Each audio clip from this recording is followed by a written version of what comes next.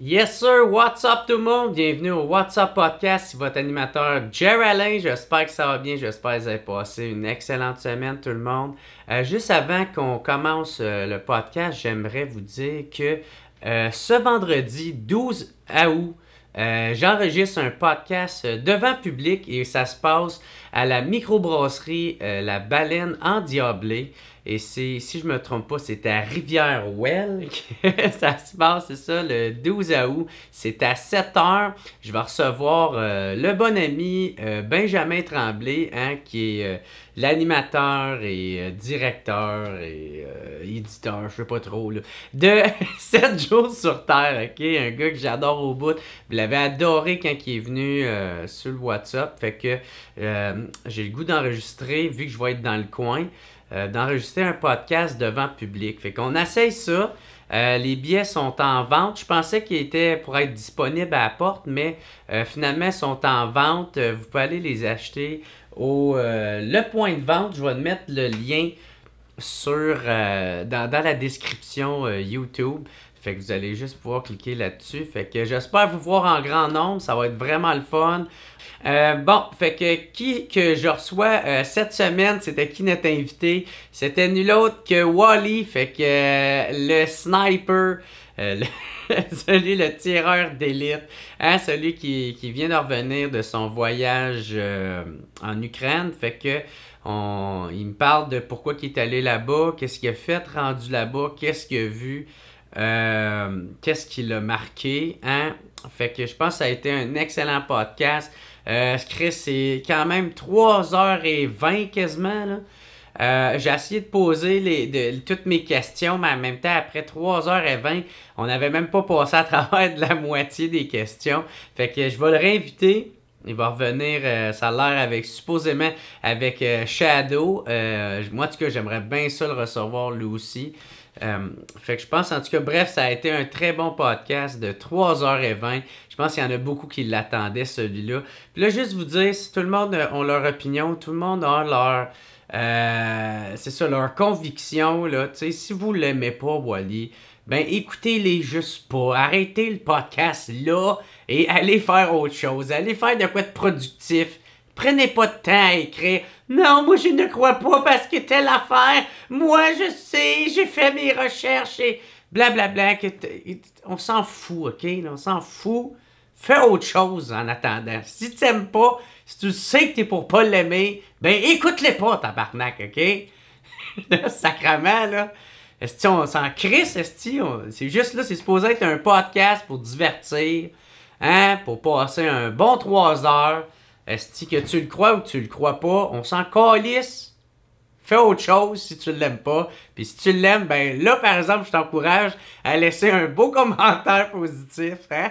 Tout le fun à recevoir ça. Les négatifs, genre, euh, je vais m'en passer, ok?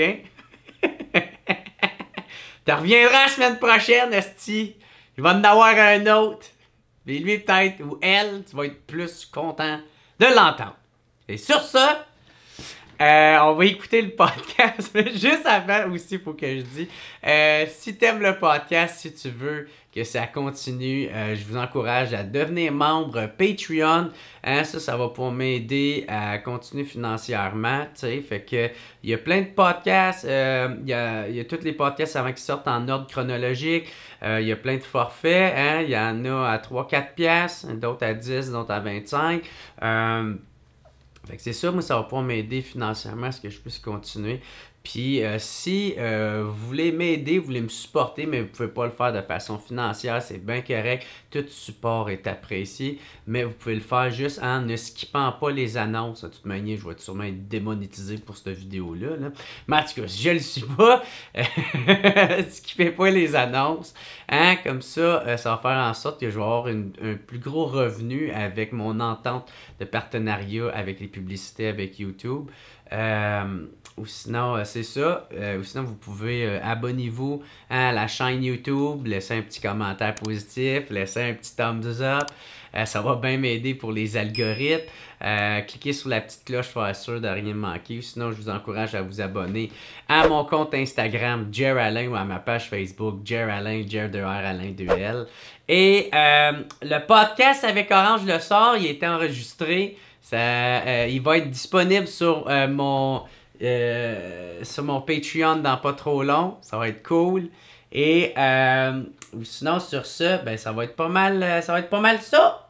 Fait que gros merci tout le monde. Je dis aussi un gros merci à mon team WhatsApp de cette semaine. Alex Lavoie, David Maisonneuve, Jean-Nicolas Néron, Jérémy Bilodeau, Michael Boulanger, Méo pis son gros pieux Vistec.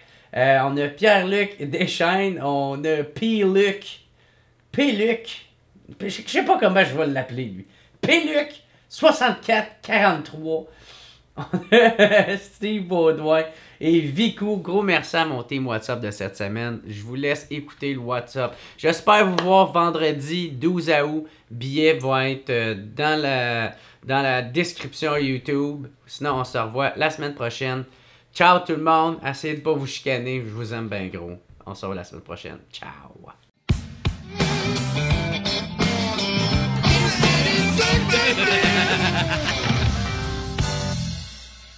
Fait que what's up tout le monde, bienvenue au WhatsApp Podcast. Super content de recevoir pour une deuxième fois Wally, le tireur d'élite qui revient euh, de l'Ukraine, qui, est- qui est pas mort. Pas encore. Il est pas mort, est-ce ça, a passé, ça a passé proche, par exemple. Tabarnak, il est pas mort!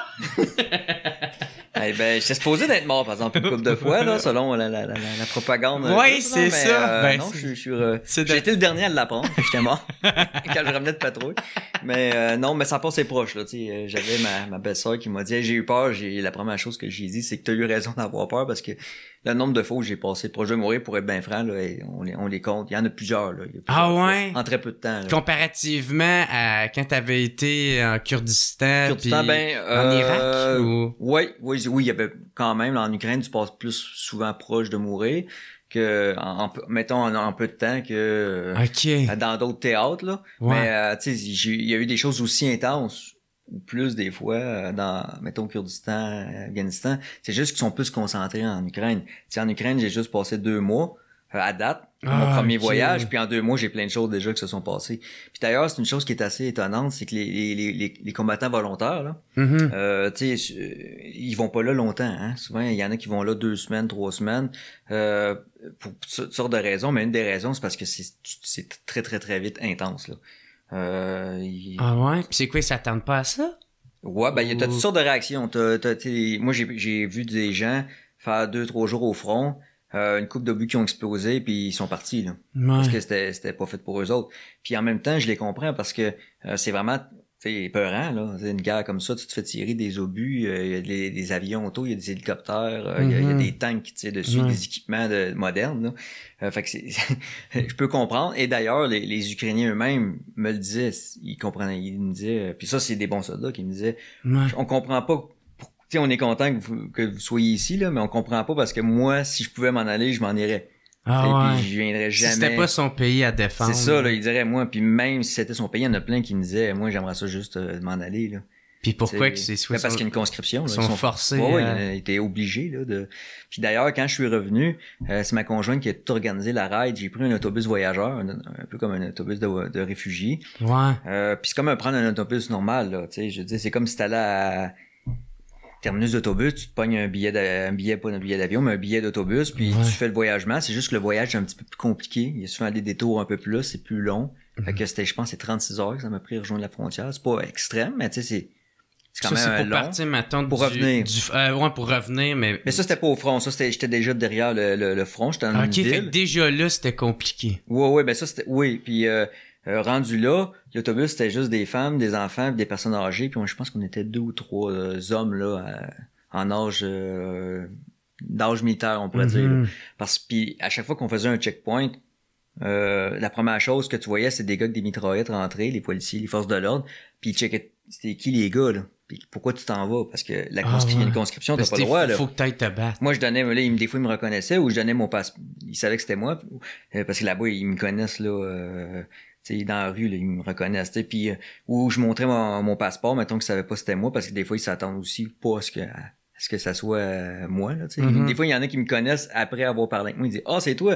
Ouais. Ils s'en te tellement replacent, pas. C'est ça, C'est ça. Puis là, ou des fois, j'étais en train de dormir comme ça, ça, ça m'est arrivé souvent dans- quand je suis revenu. Puis là, euh, il y a quelqu'un qui me secoue. là, la première affaire que je vois, c'est hein, un, un gun, ok, ouais. Bon, je sors mon passeport. Puis là, c'est tout de suite là, que, pourquoi toi, un gars, tu t'en vas là, parce que nous, on a besoin de gars au front. Ouais. tu sais? Ça, ça me fait un peu rager parce que tu sais, on entend souvent des discours là, féministes, l'égalité, blablabla. Ouais, ouais, c'est ça. Puis là, pourtant, là, l'égalité elle prend le bord un peu, c'est les gars qui doivent aller euh, se faire tirer dessus, tu sais. Ah ouais. Mais euh, puis là, il y a de la frustration aussi qui naît de ça là, là-bas aussi, ça, ça se parle. là. parce que là, il y a des, il y a souvent des, euh, des, des- comment je peux dire ça, justement, euh, il y a des femmes qui quittent, sais, l'Ukraine qui s'en vont comme réfugiés, puis là, le gars, lui, il a même pas le droit de quitter. Illégal, il est illégal. là. C'est un, c'est un illégal s'il quitte. Fait qu'il y a comme, un- bref, c'est les gars qui défendent la terre en Mhm. grande partie. Euh, il y a des femmes là qui entendent. Don't get me wrong, là, il y a des, il y a des femmes au combat. C'est juste, que c'est pas la, c'est des exceptions. C'est souvent des volontaires. C'est tout en leur honneur, mais c'est pas, ils sont pas forcés de le faire euh, dans la, dans la plupart des cas. C'est loin d'être la majorité. Non, c'est ça. Moi, j'en ai pas vu au front, là, par exemple, des, des femmes. Là. Ok. Euh, c'est, vraiment une guerre d'hommes, parce que la, la guerre traditionnellement, c'est une affaire d'hommes. Mhm. Puis là, on voit que c'est encore le cas. euh, en Ukraine, du moins, là. Puis, euh, Colin, man, fait que c'est ça, tu sais, il y a beaucoup d'informations là-dedans que tu viens de donner. Euh, fait que la raison pourquoi t'es parti de là, c'est, c'était laquelle? C'est pourquoi t'es parti de là? Ben, il y a plusieurs raisons, mais une des raisons, c'est que c'est aussi prendre une pause mentale, mais aussi Ouais. financière, parce que ça coûte de l'argent. T'es là euh, comme volontaire. c'est ça, toi, t'as, Tu fasses pas le plein d'argent. pour aller C'est là. ça. J'ai un bon métier, là, je suis programmeur, puis je fais de l'argent, aucun problème là. Euh, mais euh, quand t'es là-bas, tu dépenses l'argent. Euh, c'est surtout le billet d'avion, puis il y a quelques hôtels ici et là si tu veux te reposer, quelques restos peut-être. Euh, mais règle générale, c'est pas cher une fois que t'es dans une unité militaire. Là, c'est là t'es, t'es vraiment comme un soldat parmi d'autres, comme au Kurdistan. Donc là, t'es T'es, t'es nourri, logé, on va dire ça comme ça, là, même si Mhm. c'est pas, c'est pas de 5 étoiles. Mais euh, tu t'es avec les autres gars, tu sais. Euh, mais si, ça, tu dépenses, tu puis tu t'as pas de revenus. Euh, donc, c'est un, une des raisons pourquoi tu faut revenir, c'est aussi faire le plein d'argent. OK? Euh, deuxièmement, c'est une raison de santé mentale. Là, OK? Euh, c'est, intense. Là. C'est pas pour rien que les gars, les volontaires, souvent, puis euh, ils vont euh, des fois quelques jours puis ils reviennent parce qu'ils en ont déjà trop. Ou même les bons, là, j'en ai vu, là, ils vont là euh, deux semaines, puis après ça, ils, ils reviennent prendre un break, là, souffler un peu. Parce que tu sais, c'est un peu comme moi je dis souvent, c'est c'est un peu comme la, la, la Coupe Stanley. Tu mets pas tes gars ça glace 100% du temps, même Ouais, si c'est le premier trio. même pas- les meilleurs Ouais, joueurs, c'est une question de, de santé mentale aussi. Là. Euh, moi, j'ai remarqué qu'après cinq jours environ de combat dans, en Ukraine, là, je commençais à être euh, la fatigue. Ah, t'es moins alerte. Idéalement, là, Mhm. deux jours en arrière à peu près, tu reviens après ça. Là, tu fais t'alternes comme ça. Un peu comme euh, une game de hockey. T'es- T'en vas ça à la glace, tac, tac, tac, Ouais. tu te donnes. Là, ton coach te dit, c'est juste que dans ce cas-ci, des fois, moi, c'est moi qui demandais, là, OK, après quelques jours, je disais, est-ce qu'on peut, euh, les gars, aller en arrière, se reposer, on essaye, si la situation le permet. Ou Mhm. bien, souvent, ce que je faisais, c'est, exemple, je disais, OK, on a une patrouille, après cette patrouille-là, j'aimerais ça, moi, aller en arrière, prendre deux jours. Ok. Tu sais, Fait que souvent, tu sais, ça s'arrangeait. Euh, souvent, c'était compliqué, par contre. la Mhm. première fois qu'on est revenu, euh, on était à Erpin, là, tu sais, le- au nord-ouest, proche de Boucha, là, les, les places là, où il y a eu des crimes là, euh, euh, contre l'humanité, là, tu sais, des charniers, puis etc. Ah ouais, il y a Euh, eu des crimes contre Ouais, ouais, on en l'humanité. reparlera après, mais tu sais, moi, j'étais là, puis à un moment donné, on a fait un paquet d'opérations, ça, ça là, j'ai fa- j'ai failli mourir, etc., c'était intense. Euh, puis quand on est revenu, euh, j'ai dit au commandant, OK, j'aimerais ça, moi puis mon collègue Shadow, l'autre euh, Québécois, on, on, on, on va aller se reposer deux jours. Euh, on a donné un bon petit coup. Euh, là, j'ai dit, OK, on, revient, puis là, ça a été compliqué. Là, on prenait des véhicules, il y avait des, on se faisait bombarder. on, je à un moment donné, j'étais dans un bureau, là, euh, qui ressemblait à un bureau euh, comme ici. Là, puis j'attendais, c'était un des postes où j'attendais. J'étais à Erpin. Puis là, pendant que j'étais à côté d'un ordinateur qui ressemblait quasiment ici, là, tu sais, à une table, c'était propre. Là. Mhm. Là, les obus éclataient, les fenêtres, et le building d'à côté a pris en feu. Puis là, j'ai- on- après ça, on s'est déplacé vers un autre endroit, on s'est refait bombarder. là, après ça, euh, c'est long. Là. Puis après ça, on a de véhicule, on est obligé d'abandonner le véhicule. On a été sur un pont, il ressemblait à un pont, euh, c'est un pont connu, le pont d'Irpine, où les véhicules sont tous empilés comme si c'était l'apocalypse. Puis là, j'étais là, on parque le char en diagonale, les obus tombent, passent au-dessus de nous autres, les maisons, les flancs, les, tu vois les, les, les morceaux volés, les maisons en feu. Là, tu vois que les Ukrainiens capotent, tu sais, puis là, t'es là, sacrément. Là, moi, je faisais des jokes, je disais, c'est non compliqué de prendre une douche, ben, tu sais, tu veux juste en aller prendre deux jours, mais finalement, juste sortir, on était obligé de se cacher en dessous du pont. Parce que tu te fais bombarder tout le temps. C'était ben, tu sais, c'est la guerre. Fait que les autres bombardaient les, les, les places où, où, ils pensent que les approvisionnements, les, les troupes passent. Mm-hmm. Fait que là, le pont, en soi, était une cible régulière, tu sais, pendant que j'étais là. Puis là, on essayait de passer, puis c'était compliqué à chaque fois, rentrer et sortir. Euh, donc, aller prendre une pause, c'est pas nécessairement simple. Ouais. Quand t'es au front. Euh, en fait, ça, ça a quasiment jamais été simple. Toutes les fois où j'ai dû revenir du front ou m'y rendre, il y a toujours eu quelque chose, en fait. Là. Puis, Mm, puis c'est ça, fait que... Puis ça, parce que t'as- tu dis que t'as été là deux mois. C'est-tu deux mois tout le temps de même ou c'est parce non, que c'était le, le début que c'était comme non, ça? non, non, ben, c'est ça alterne. Tu fais bon, typiquement, là, tu fais euh, une semaine, tu reviens quelques jours, tu refais une semaine, tu reviens quelques, jours, et- etc. Tu fais t'alternes comme ça. Euh, ça dépend pour qui, là. Ça, c'est un choix personnel, là. Euh, tu sais, je suis un volontaire, donc j'aurais pu très bien dire, euh, je vais, sais, je reste, je fais rien, euh, je vais, je vais plus au front. Mhm. Euh, Il y a des volontaires, souvent, qu'est-ce qu'ils font, c'est qu'ils vont aller, mettons, avoir une expérience de combat au front. Euh, après ça, ils vont revenir, puis ils vont plus faire de l'aide, euh, logistique, exemple. Ils vont faire du voyagement Ouais, etc., humanitaire. euh, humanitaire ou peu importe, là, Mhm. mais moins intense. Ouais. Euh, parce que si tu fais tout le temps dans l'intensité, euh, ben, premièrement, tu risques de mourir parce que si tu tu sais, c'est comme brasser un dé. À chaque souvent, fois. sais, À un moment ouais. donné, ça, ça risque de tomber sur, ton, sur le mauvais numéro parce que à chaque fois que j'allais là, moi, je manquais de mourir plusieurs fois. OK, en, en l'espace de quelques jours. Fait Ah que ouais. si tu y vas tout le temps, tu vas juste te faire tuer en très peu de temps. là. C'est une question de probabilité. Mhm. Puis puis il faut comprendre qu'une guerre moderne comme ça, toutes les guerres sont différentes. Là, c'est- ça fait la troisième que je fais. Euh, sont tout- il, y a toujours, il y a toujours une différence entre les guerres. Puis une guerre comme ça, euh, t'as pas beaucoup de contrôle sur les- la situation. T'as beau être le meilleur soldat de l'univers, si je te fous dans une tranchée puis que cette tranchée-là se fait bombarder, tu vas juste mourir. Ça va Ouais. finir là. T'auras beau être euh, l'élite de l'élite de l'élite, la bombe est tombée sur toi, c'est tout simple que ça. C'est ça. Euh, il y a beaucoup de situations de même. Ouais. Dans l'est du pays, tu sais, c'est, des gros champs immenses. C'est, c'est vraiment impressionnant parce que tu vois vraiment à quel point la- l'agriculture là-bas, c'est comme, c'est des champs là, de, à perte de vue. Là, tu sais. Ah ouais, c'est ça. Eux autres, c'est des grands producteurs de ça. céréales. C'est pour ça qu'il y a d'ailleurs une crise euh, agricole en ce moment. Ouais, une crise alimentaire. C'est ça. Puis les champs sont immenses. Puis quand j'étais là, tu sais, ça, ça a pas poussé encore, donc t'es ça, c'est ça d'où? c'est un, c'est tapis, là. OK? Euh, fait que là, tu, là, souvent, pour te défendre, t'as une ligne d'arbre qui est des fois un arbre de large, ou des fois pas plus que 10 mètres de large, 5 mètres de large, 20 mètres de large. Mais tu vois que c'est pas des grosses forêts, souvent, là, dans l'est du pays, là. Donc, tu peux être là-dedans. Ça, c'est arrivé, là? Des situations de même. Euh, à moi puis à d'autres, t'es là-dedans, puis là, t'as des véhicules ennemis qui décident d'attaquer là, puis tu te fais encercler. T'as nulle part où aller, là. Hmm. Tu peux pas courir deux kilomètres dans le champ, de toute façon, tu vas te faire descendre. Ben ouais, t'es ben trop à découvert. Fait que t'es hein. complètement vulnérable à la Ouais. situation. Fait qu'une guerre moderne, c'est pas une question de juste euh, mettre un bon soldat quelque part puis magiquement ça va se régler. Une guerre moderne, malheureusement, euh, moi je dis toujours, c'est un, c'est une, une déception terrible. En anglais, terrible disappointment. Euh, pas que j'étais déçu, ben je m'attendais à ça, ben je sais qu'une guerre c'est un peu comme ça, tu sais. Mais il y a beaucoup de gens qui vont à, à- à la sur- sur- surtout ceux qui ont qui, qui, qui ont pas d'expérience là-dedans, qui se font une idée de la guerre, puis seulement sont déçus. Mais tu sais, c'est une, je dis que c'est une déception terrible parce que c'est une déception souvent pour beaucoup de gens, mais terrible en même temps. Donc tu vas être là, ça sera pas comme tu penses, mais en même temps ça va être terrifiant. Exemple, euh, tu vas être dans une ligne d'arbre, tu n'auras aucun contrôle sur la situation, tu sauras même pas qui qui est qui des fois, tu n'auras pas l'information parce que les Ukrainiens des fois ils sont pas bons là-dedans, ils vont pas te donner nécessairement de l'information. Imagine le scénario, tu es dans, dans une ligne d'arbre, dans un trou de boîte, on te dit de surveiller ça, tu sais pas trop ce qui se passe, puis là tu entends des, des, des bruits de véhicules blindés autour dans le paysage qui bougent partout. Mhm. Puis là, t'entends des bombes tomber, etc. T'es- C'est qui, qui, qui, euh, ah, ça vient de là, je pense que c'est les miens. Ça, ça m'est arrivé, ça m'a donné. Ah, dans un trou de boîte, puis là, t'entends les, les- on se fait dire, on va se faire attaquer, puis là, t'entends les véhicules, les véhicules bouger dans le secteur, mais à cause de la- du terrain, tu vois pas nécessairement, donc t'entends. C'est assez terrifiant, là. Mais puis toi, puis toi, est-ce que tu étais capable des- de faire la différence entre Ben, un Ukrainien et un Russe? Oui, oui, ben en fait, euh, juste en comprenant le contexte, là, en sachant en général Mhm. où est-ce qu'il est l'ennemi, tu es à même de d'être plus allumé. Là, tu sais, tu comprends un peu plus ce qui Moi, se je sais même pas passe. faire la différence entre l'uniforme. Ouais, ben, euh, en fait, l'uniforme, des fois, il y a des petites ressemblances. Ok. Euh, mais, euh, ben, puis, en tout cas, bref, euh, ça- je vais te raconter une coupe d'affaires, justement, qui est un peu reliée à ça.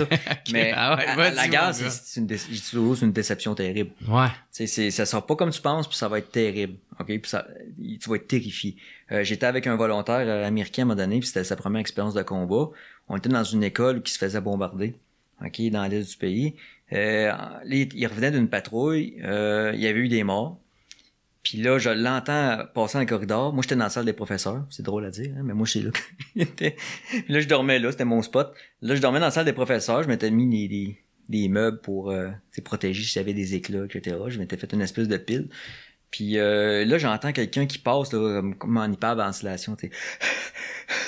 Là je, là, je regarde, ben oui, c'est lui. Ok, je m'en vais le voir. Il dit, ok, je veux juste me cacher, pleurer quelque part parce qu'il dit, euh, de panique. C'était sa première patrouille de combat qui avait des morts dans la main. Il, il- puis c'était un, un esprit de bon, ok. Puis euh, il- il- c'était un ex-marine tout, mais il avait jamais vu le combat. Puis euh, il capotait là, ok. c'est intense là, ok. C'est vraiment Mhm. rough, ok. Puis les gens peuvent pas comprendre tant qu'ils l'ont pas vécu. On peut se l'imaginer, mais la pression que t'as dans un conflit comme ça, là, mais en guerre en général, mais là-bas en particulier, sans un poids là sur tes épaules, même si t'as aucune situation, juste le fait de s'en approcher là, c'est incroyable le niveau de stress. Le niveau de stress est au maximum, ok? En fait, euh, tu peux pour ça l'imaginer, là. Imagine-toi un exposé oral quand t'étais un enfant, là, comme c'était terrifiant. Multiplie ça par 10, puis fait que c'est un état mental permanent que t'as. Mhm. Donc ça dure pas juste une heure, ça dure des jours, des jours, des jours. T'as un stress constant sur tes épaules, constant. Puis là, c'est un stress qui est justifié parce que tu tu peux mourir pour vrai. tu Ouais. sais, il y a des cas, des cas, j'ai vu des gars mourir à côté de moi, là. OK? Euh, c'est quelques mètres, là. Ouais. OK, déchiqueté, là. OK, fait que c'est un danger réel, là. Puis ça, c'est arrivé plusieurs fois, des, des situations euh, mortelles comme ça. Fait que c'est- bref, c'est une intensité incroyable. Euh, c'est extrêmement dangereux. Euh, puis c'est c'est pour ça que j'appelle ça justement une déception Mm. terrible, une guerre. Euh, par contre, la propagande ennemie a essayé de reprendre ça comme quoi j'étais terriblement déçu. Euh, puis souvent, les, parce qu'il y a eu des articles qui ont été faits, etc. Puis là, souvent, ça déforme complètement la perception là, que quelqu'un pourrait se faire. Souvent, t'as des gens qui me connaissent, qui, quand ils me parlent, ils se disent, ils, sont, ils trouvent ça bizarre parce qu'ils ont entendu dire que j'étais supposé d'être affecté, euh, la tête vers le tête déprimé. Il y en Ouais, a la queue entre les jambes. Il y en a qui pensent que je suis déprimé, puis là, je suis, je, je suis affecté, Mm. puis là, quand on me parle euh, directement, les gens se font, hein, je comprends pas, je pensais que ça, je ouais. pensais que ça allait pas bien, puis là, tu parles comme avant, là, t'es, t'es, t'es, y a aucun problème, puis tout. Mhm. Donc, euh, tu sais, moi, je suis pas déçu de ça, de cette expérience-là. J'ai, j'ai aimé mon expérience. C'était une première expérience super le fun, ok? C'était la guerre, donc c'était terrible. Il y a eu des, des, des mauvais moments, mais en règle générale, je suis très satisfait. Puis, euh, mais par contre, en règle générale, la guerre est une déception terrible. C'est- donc, c'est, c'est, c'est, c'est Ouais. sans rappeler. Toi, c'est quoi que t'allais... pour- Pourquoi t'es allé là, tu sais, c'est... c'est- Ouais, c'est ça, c'est quoi t'es allé chercher, là, tu Ouais. si tu dis t'es été satisfait, c'est parce que t'avais des attentes ou... Ouais, ben en fait, euh, j'a- j'avais des attentes. J'a- J'avais des attentes. euh, J'étais très euh, ouvert d'esprit. Là. Tu sais, je sais que une guerre, c'est pas parfait. Là. C'est par nature, ça, c'est rare qu'une guerre se, se passe comme tu veux. Ouais. D'ailleurs, c'est l'erreur des Russes, c'est d'avoir sous-estimé les Ukrainiens, puis la, ré- la réponse internationale, etc. Euh, une guerre, par défaut, ça se passera. c'est, c'est, c'est, y a rien de plus imprévisible que ça. Mhm. Donc, si tu t'en vas comme contribuer à un conflit, te disant, OK, ça risque de pas se passer comme je veux, mais je vais faire mon possible, euh, tu pars avec un bon état d'esprit. OK. OK?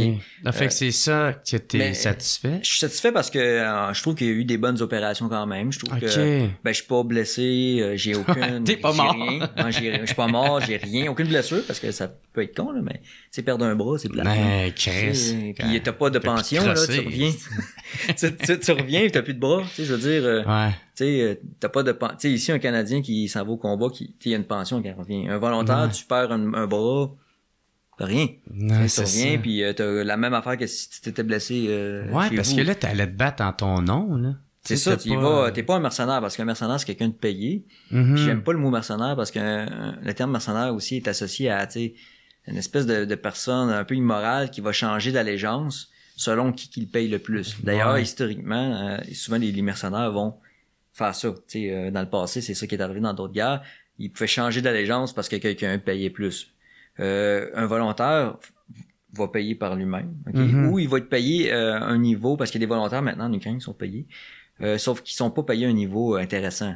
Ok, Quand tu es payé, euh, je, je sais pas moi, 2000 pièces US par mois, on va dire, c'est- tu sais, pour risquer de te faire tuer, Ouais. est-ce que on peut dire que tu es vas là pour l'argent? Ben non. Euh, Quelqu'un qui me dit que, tu sais, il y en a qui me disaient, ah, tu t'en vas là, t'exploites la situation, puis tu profites de la situation. Si c'était tellement profitable comme situation, il y aurait un line-up de personnes, au front, ok, pour exploiter la situation. Mhm. Je vois, j'ai pas vu de line-up de personnes qui se garochent à aller au front pour profiter de la Ouais. situation. Ok? Fait que fait que toi, tu te considères C'est- pas comme mercenaire. non, c'est ça, je suis un volontaire. C'est ça. Puis euh, tu vois vraiment une crise de différence entre les deux. Puis t'as pas été payé justement pour C'est aller ça, j'ai dépensé euh, par moi-même là. Ok? Mhm. Euh, puis même si j'étais payé, euh, je ferais pas le salaire que je fais en ce moment. Là. Ouais, J'en ça, ça serait plus rentable pour tout rester. Ben oui, ben oui, Parce c'est qu'il y a d'un, tu serais en vie. Ben oui, first, c'est, c'est pas dangereux. Puis deuxièmement, parce que c'est extrêmement dangereux. Puis deuxièmement, euh, c'est ça, tu fais plus d'argent ici Mhm. dans mon cas. Ouais. euh, Mais, fait, mais pourquoi tu y as été? Tu sais, c'est quoi? C'est quel appel que tu ça, c'est, une, que... c'est une question qui est tellement basique, mais en même temps qui est tellement dure à répondre. Puis je trouve qu'elle est évidente. Euh, pour moi, c'est évident. Tu sais, t'as, t'as, une- t'as, t'as- t'as une invasion militaire d'un autre territoire, OK? Puis là, je suis pas en train de dire l'Ukraine, on en reparlera après, là, que l'Ukraine est parfaite, là. Puis que la Russie, c'est les méchants, 100%, puis l'Ukraine, c'est les gentils. 100%. Je suis pas en train de dire ça du tout, OK? Par contre, c'est clairement une invasion, OK? T'as un pays, qui veut être ukrainien, veux Ok. être indé- indépendant. ouais, qui, qui sont pas parfaits, mais quand même, qui se font envahir, là, par un, de façon de, par une invasion. Massive, là, Ouais, c'est ça, là. OK? Donc, moi, c'est, c'est non négociable, cette partie-là. Moi, j'étais quasiment pro-russe, là, avant, là.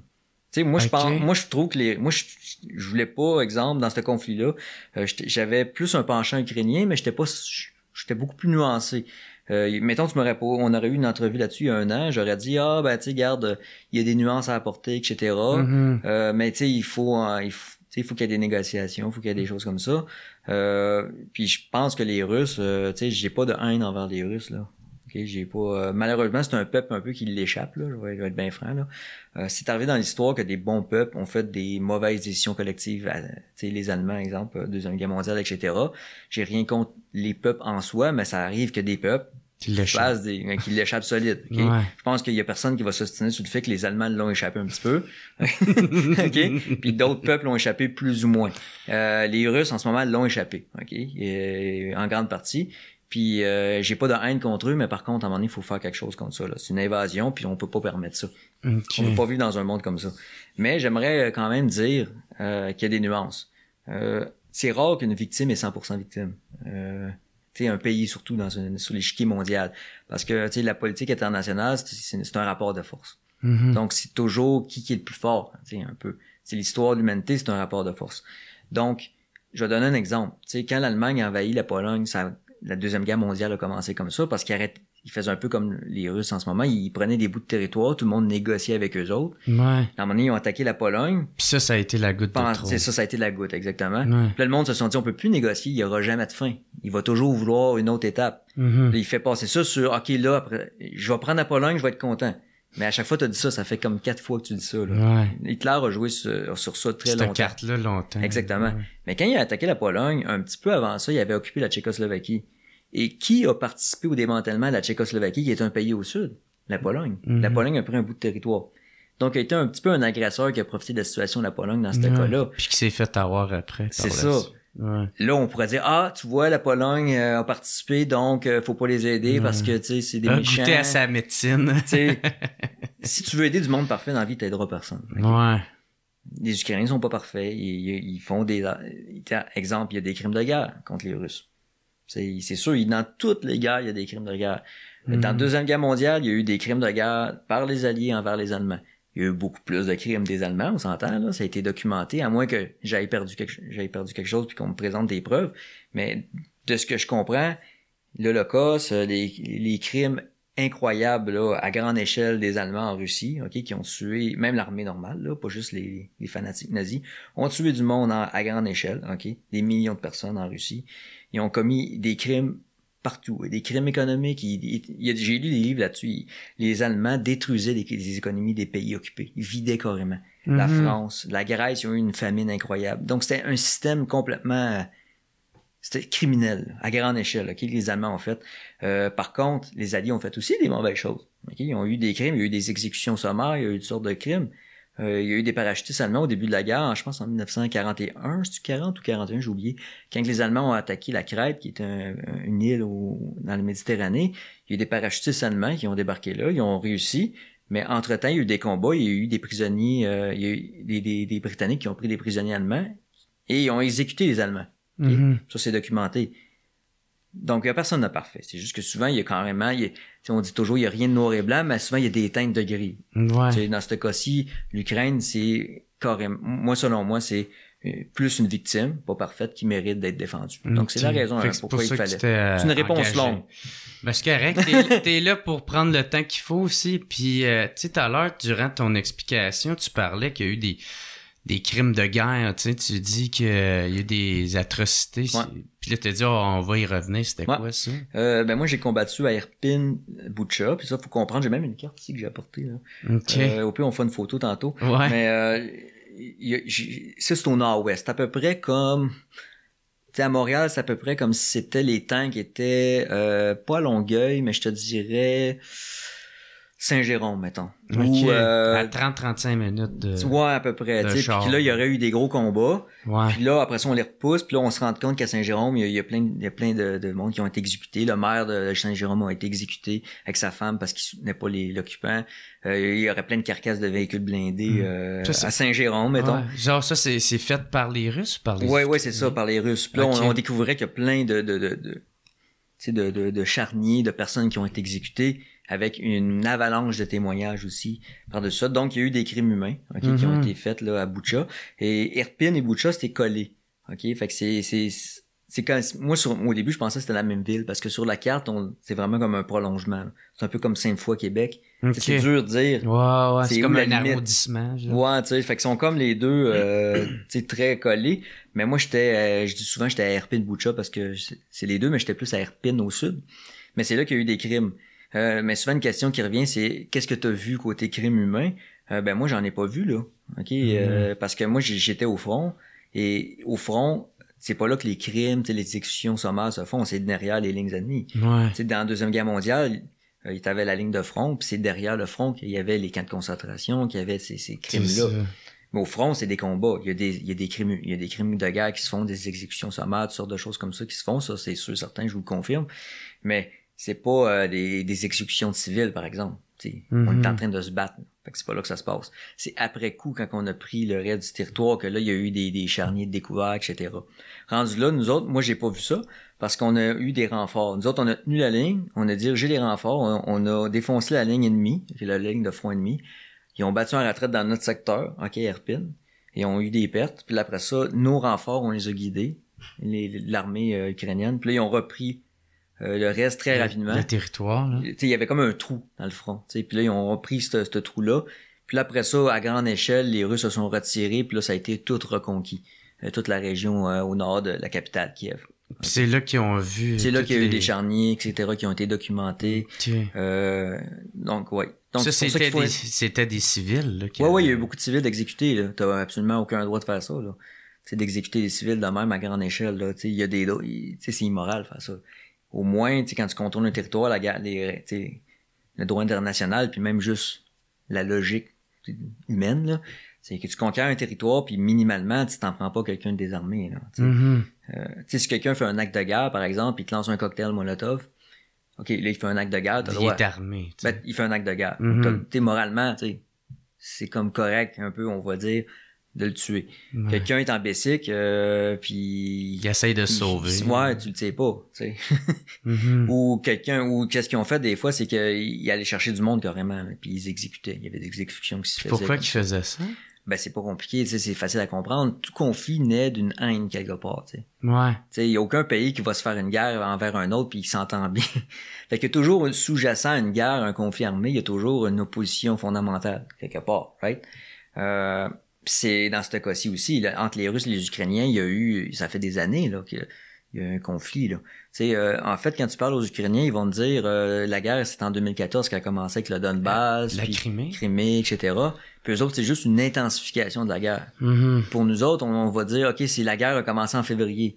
Mais pour un Ukrainien, non, c'est juste une intensification. Ouais. Une bonne C'est- coche au-dessus, ouais. on C'est Le s'entend? feu, il a pogné. euh, C'est ça. Ouais. Puis quand tu parles aux Ukrainiens, tu, ils vont te dire, euh, t'as l'impression de tout le temps vivre sur un volcan, tu sais.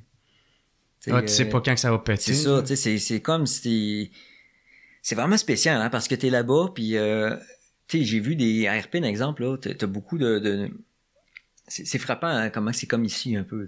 C'est plus pauvre qu'ici, mais il Mhm. y a beaucoup de ressemblances. Par exemple, vas à Irpine, puis tu vas avoir des condos neufs, un peu comme un beau... Tu sais, trouver un condo neuf ici, là, avec des arbres autour, puis euh, ça ressemble à ça, des fois. là. Puis là, t'as un tank qui va tirer là-dedans. Ah ouais. Que là, tu vois les morceaux volés, les fenêtres éclatées, etc. C'est assez spécial. Euh, moi, je me rappelle, on était dans un, un, un condo, euh, un beau condo, le neuf, là. Euh, puis c'était vraiment clean, machine expresso, euh, céramique, ses comptoirs, des belles photos, un beau sofa, des belles fenêtres avec des trous de balles un peu. Mais tu sais, quand même, avant les trous de balles, là, Là, tu vois les balles euh, dans, dans, dans, dans le plafond, qui, tu vois la trajectoire qu'elle a suivi. là, tu Mhm. Tu fais carrément faire une analyse, là, Ouais. un peu comme un enquêteur. Puis euh, là, t'entendais les tanks tirer, puis tu voyais l'autre building d'à côté se faire démolir, puis là, tu vois les flammes, là, tu vois le, le- le beau condo pogné en feu. Mhm. Là, tu vois que c'est tout décrunché. Puis euh, c'est spécial, pareil, tu sais. Ben oui. Puis là, ces gens-là ont fui les combats, tu sais. Puis c'est tellement euh, surréaliste quand tu penses à ça, tu sais, c'est... Euh, tu sais, c'est... ah, Tu sais, Irpin, là, c'est au nord-ouest de Kiev. C'est comme... Tu te sens pas comme menacé quand t'es là. T'es comme un peu loin. Tu sais, la guerre, c'était à l'est. Tu sais, pour les Ukrainiens, c'était le Donbass, c'est loin. C'est comme si c'était à Côte-Nord, à peu près ici. Ok. Fait que là, c'est comme si je te disais, il y a un combat, il y a- il y, a une guerre entre, je sais pas, mettons, je- une partie des États-Unis et nous autres, on va dire. Là, j'invente un scénario, mais ils sont tout le temps en train de se battre au Nouveau-Brunswick, on va dire. C'est à l'est. Ouais. Puis là, à un moment donné, ils décident de faire une autre invasion partout, puis là, ils contournent la ville de Montréal, puis ils se ramassent, à, mettons, je sais pas moi, justement, ou à Saint-Jérôme, Mascouche, etc. Je veux dire, tu t'attendais vraiment pas à ce qu'ils se rendent là, là. Mhm. Fait que tu voyais vraiment que quand, quand j'étais à Irpine, tu voyais vraiment que les gens ont quitté vraiment très rapidement. Tu sais, tu voyais encore les repas, tu les, les- Ah, Les- les- tu voyais vraiment les, euh, les, les chaudrons, là, avec la nourriture Ouais. pourrite, là, parce que, tu sais, euh, là, là, ça... Parce ça qu'il était faisait- en train de cuisiner. autres, Ouais, tu voyais vraiment le repas. Tu voyais Ouais. l'assiette des fois sur euh, la, la table, encore là, avec la fourchette. Hmm. Là, le, le poulet était tout sec, là. Mais tu voyais vraiment le repas encore là. Tu voyais un lit, mettons, ouvert. Quelqu'un qui a sorti son linge à la presse. Tu voyais de l'argent éparpillé, des passeports euh, égarés. Euh, tu vois, moi, d'après moi, puis ça, c'est plusieurs fois ça que j'ai remarqué ça. Moi, d'après moi, qu'est-ce qui s'est passé à Irpine? C'est que justement, le monde s'attendait vraiment pas à ce que ça débarque là, OK? Euh, puis là, euh, le maire, ou je sais pas qui a pris l'initiative, a dit, OK, là, il y a un autobus en bas du building, mettons. Ouais, tout le monde décolle. Puis là, peut-être qu'ils entendaient mais déjà des tanks et puis des, des, des explosions. Puis là, ils se sont fait dire, t'embarques là parce qu'on peut plus garantir, là. Là, le monde a juste, comme en cinq minutes, là, pris ce qu'ils pouvaient. Il y a des, j'ai vu des cellulaires traîner, des, des sortes d'affaires. Il y en a un que j'ai même pris pour moi-même, à un moment donné, parce que j'en avais besoin d'un cellulaire autre pour pas me faire repérer. Fait que j'ai pris un cellulaire. Pour rappeler un gars, genre. ben, pour, euh, pour pas avoir un cellulaire canadien, pour pas le, pour pas aider à le retracer. Fait que j'ai, j'ai mis notre carte SIM dedans, en tout cas, bref. Ok. Euh, ça, c'est une des affaires que j'ai faites. Euh, mais euh, tu sais, t'étais dans des condos, là, un peu des fois, là, tu des, Mhm. des maisons euh, en bon état, là. ouais. C'était pas de la guerre. Puis, puis c'est... Euh... il y a tellement plein d'affaires. Non, ouais, on Euh, peut parler des heures, des heures. ouais. Euh, c'est ça, quand t'es arrivé, là, toi, comment, d'un, t'as été reçu, puis c'était quoi ta job, tu sais? Ouais. C'est quoi tes... t'as- ça a-tu été bien reçu? Faisais-tu genre comme... Ouais. Tu te ici, toi, ou... Euh, un peu de- de- des deux. Euh, mais qu'est-ce que tu calais ici? C'était plus genre, merci, mais ouais, qu'est-ce que je fais avec toi, tu sais? ouais. Tu sais, euh, ok, ben regarde, on peut, euh, ah, il y a encore là, tu sais, moi je vois comme, euh, ok, on peut en parler six heures de temps, mais là j'ai essayé de raccourcir certaines, certaines de mes réponses. Ouais, c'est pas... Au pire, Euh, on pognerait 6 heures. On peut, on- tabarnak. c'est ça. Euh, mais T'as bon, pris congé, esti. hein, ben oui, c'est ça. Mais euh, ok, Euh, je, je, je, vais, je vais aborder le, le- je vais aborder ça de même, ok? À un moment donné, je- il y a un journaliste qui me contacte, puis il me dit qu'est-ce que t'as fait hier, mettons, quelque chose comme une question à peu près de même. J'ai dit ben, j'étais allé prendre un- des shots de vodka avec un, un responsable ukrainien, ok? Il a dit ouais, c'est pas bien, ben, ça passe pas bien, ben, sais. Fait que là, la, journaliste, tu sais, dans sa tête, je m'en vais là faire le party, j'ai pris des shots de vodka avec un, responsable. C'est pourquoi tu t'en vas en Ukraine prendre des shots de vodka? c'est la guerre, c'est comme ça. La guerre, c'est une activité humaine. Ok, c'est pas juste tu débarques dans un pays, puis tu pognes un gun, puis là tu sautes dans une tranchée, puis il y a des tanks qui t'attaquent, puis là tu sais les tanks, c'est pas de même ça marche là. sais, quand tu rentres dans un pays, surtout comme un étranger comme moi, on, l'a fait, faut que tu gagnes la, confiance des gens. sais. En Moyen-Orient, tu bois le thé. En Ukraine, tu bois de la vodka. ah ouais. Je dis ça de même, là, mais c'est ça un peu. Tu sais, tu rentres dans un pays, comment tu veux là, tu dis, je suis là pour vous aider, euh, voici ce que j'ai fait, blablabla, etc. Mais savais-tu un peu t'étais qui? Oui, oui, ben là, ça, ça, ça, ça Ça a spreadé. Ouais, ça, on, viendra là-dessus un peu, mais tu sais, bref, fallait que je convainque du monde, tu sais, personnellement, que voici ce que je peux vous amener, puis voici ce que je peux faire, puis s'il y a une confiance à, construire. Puis c'est encore en train de se faire, là, je suis en train de parler à des gens, je suis en train d'aider, en fait, en ce moment encore, là, des, pour certaines affaires. Ouais, ouais, pour certaines choses, je peux pas rentrer dans les détails, mais il y a beaucoup, tu sais, la guerre, c'est une activité humaine c'est con à dire, mais si tu veux, comme volontaire, la première chose à faire quand tu t'en vas dans un nouveau, une nouvelle guerre, c'est pas de pogner un gun puis essayer de tirer sur l'ennemi. C'est d'aller prendre une vodka ou un thé avec les responsables, gagner leur confiance.